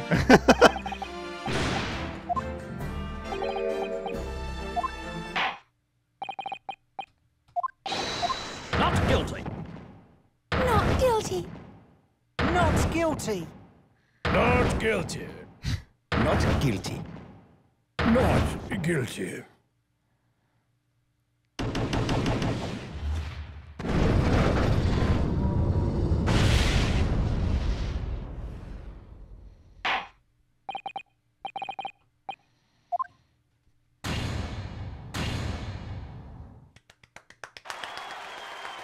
Let's get the fireworks going. Woo! Happy ending. Uh, well, we are still dealing with the Reaper of the Old Bailey, so Mr. Soseki Natsume might fucking die.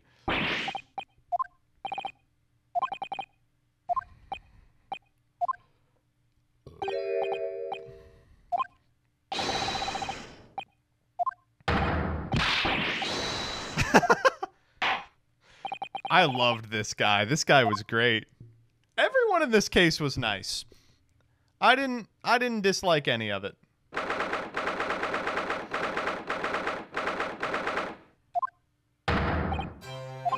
Oh, locum! Oh, wait, you you mean me? Of course! Is there another locum here? Is there even one? Compared to the original locum student, Mr. Naruhodo Esquire, your name has become rather short, hasn't it? With using my actual name? Oh, at last. Oh, no, this is him. I'm free, I'm free. Joyful, joyous, jubilant, jubilation. Heady, hearty happiness, hurrah! Oh, I am pleased. Mr. Natsume is delighted. Would it be so hard just to say that, then? Locum, you did it! You saved me from the brink! Well, what happened to the poor woman was in no way your fault, after all. I'm just glad everyone can see that now. No, no, no, not that! Lovely, loyal locum lawyer! Uh, yeah? I mean, as I said before, I have just never gotten used to life here in Great Britain. Every time I look over my shoulder, I see foreigners. I see towering brick buildings. And from high up windows, I see them looking down on me, laughing. Look at that little hunchback. Oh dear, I'm sure it's all in your head, Mr. Natsume. Uh, but today, you locum lawyer gave my gloom the boot. You stood firm behind that baronial bench before all those babbling British. You battled to the bitter end, laying bare the baffling truth. And when I beheld the blinding fireworks among the beams of the Bailey's roof, I bellowed, Behold the best barrister ever born! Well, that's very flattering, and we're very pleased for you. This has given me a wonderful anecdote to recount to my old friends back in Japan. Great. Fuck! Hey.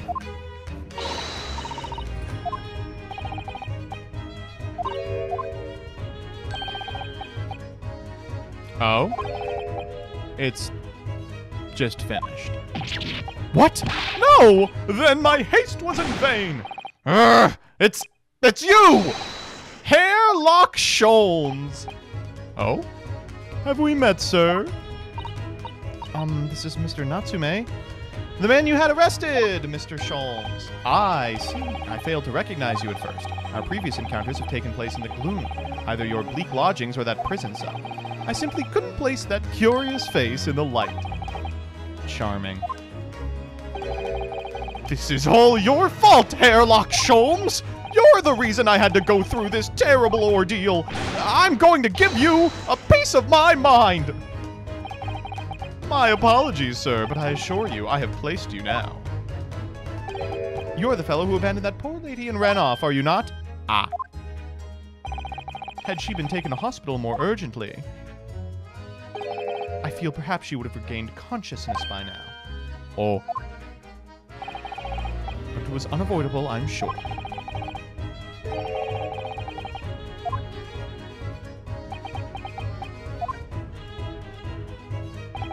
I do feel very, very badly about how I behaved.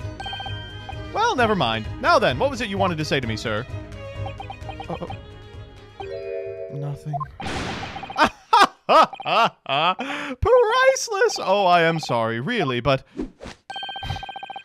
that was quite priceless. It's, it's, he's, he's so good.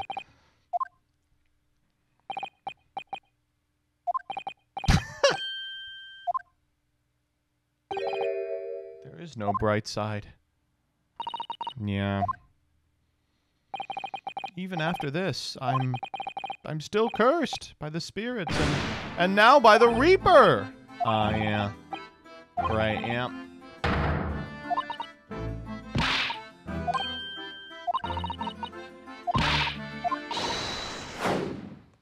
Why would she do it to me?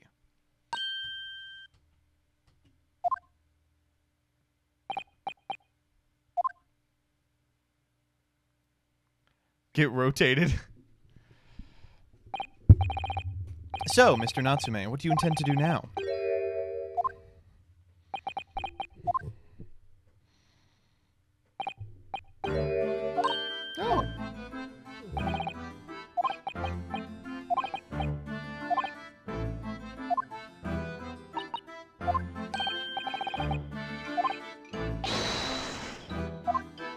Yes.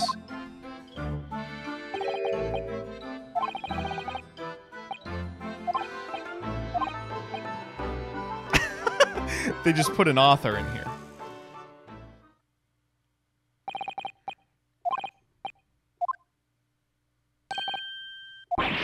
Why would we? It's been a week.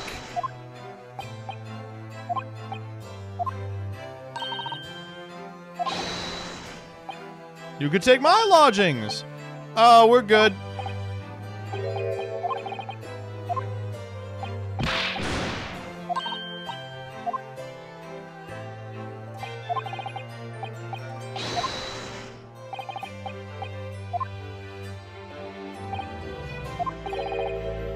Oh!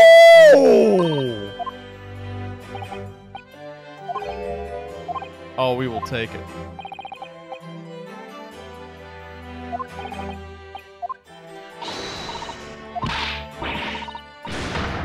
Say, Gex!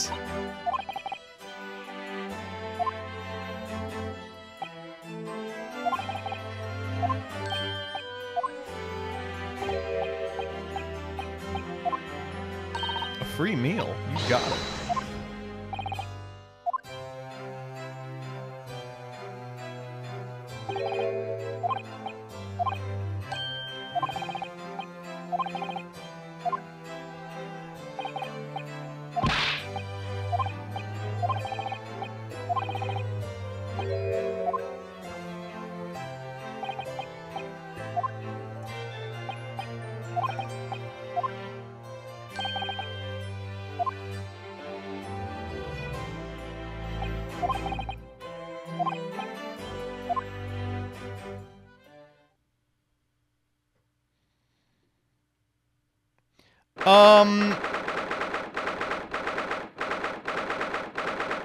It's not that bad.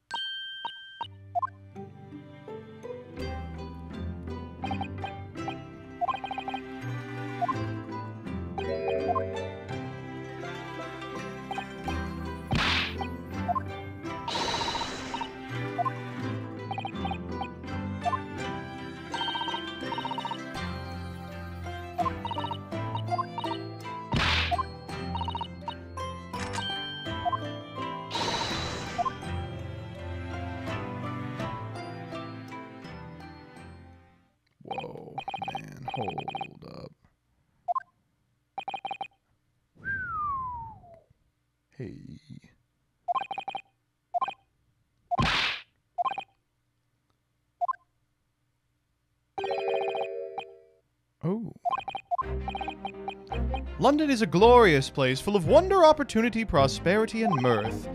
But the brightest of lights cast the darkest of shadows. Shadows? What do you mean? Well, I believe you're well aware of the murkiness that lies behind London's facade already. So once again, Mr. Naruhodo. Welcome to London.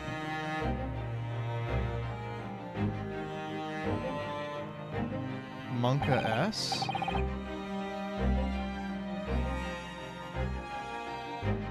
I figured it out.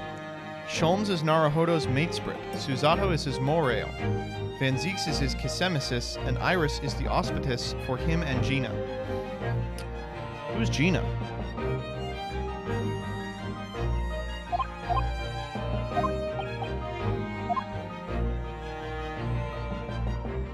Gina Lestrade? Uh, yeah, I guess. I don't like that last one, but the other three are spot on.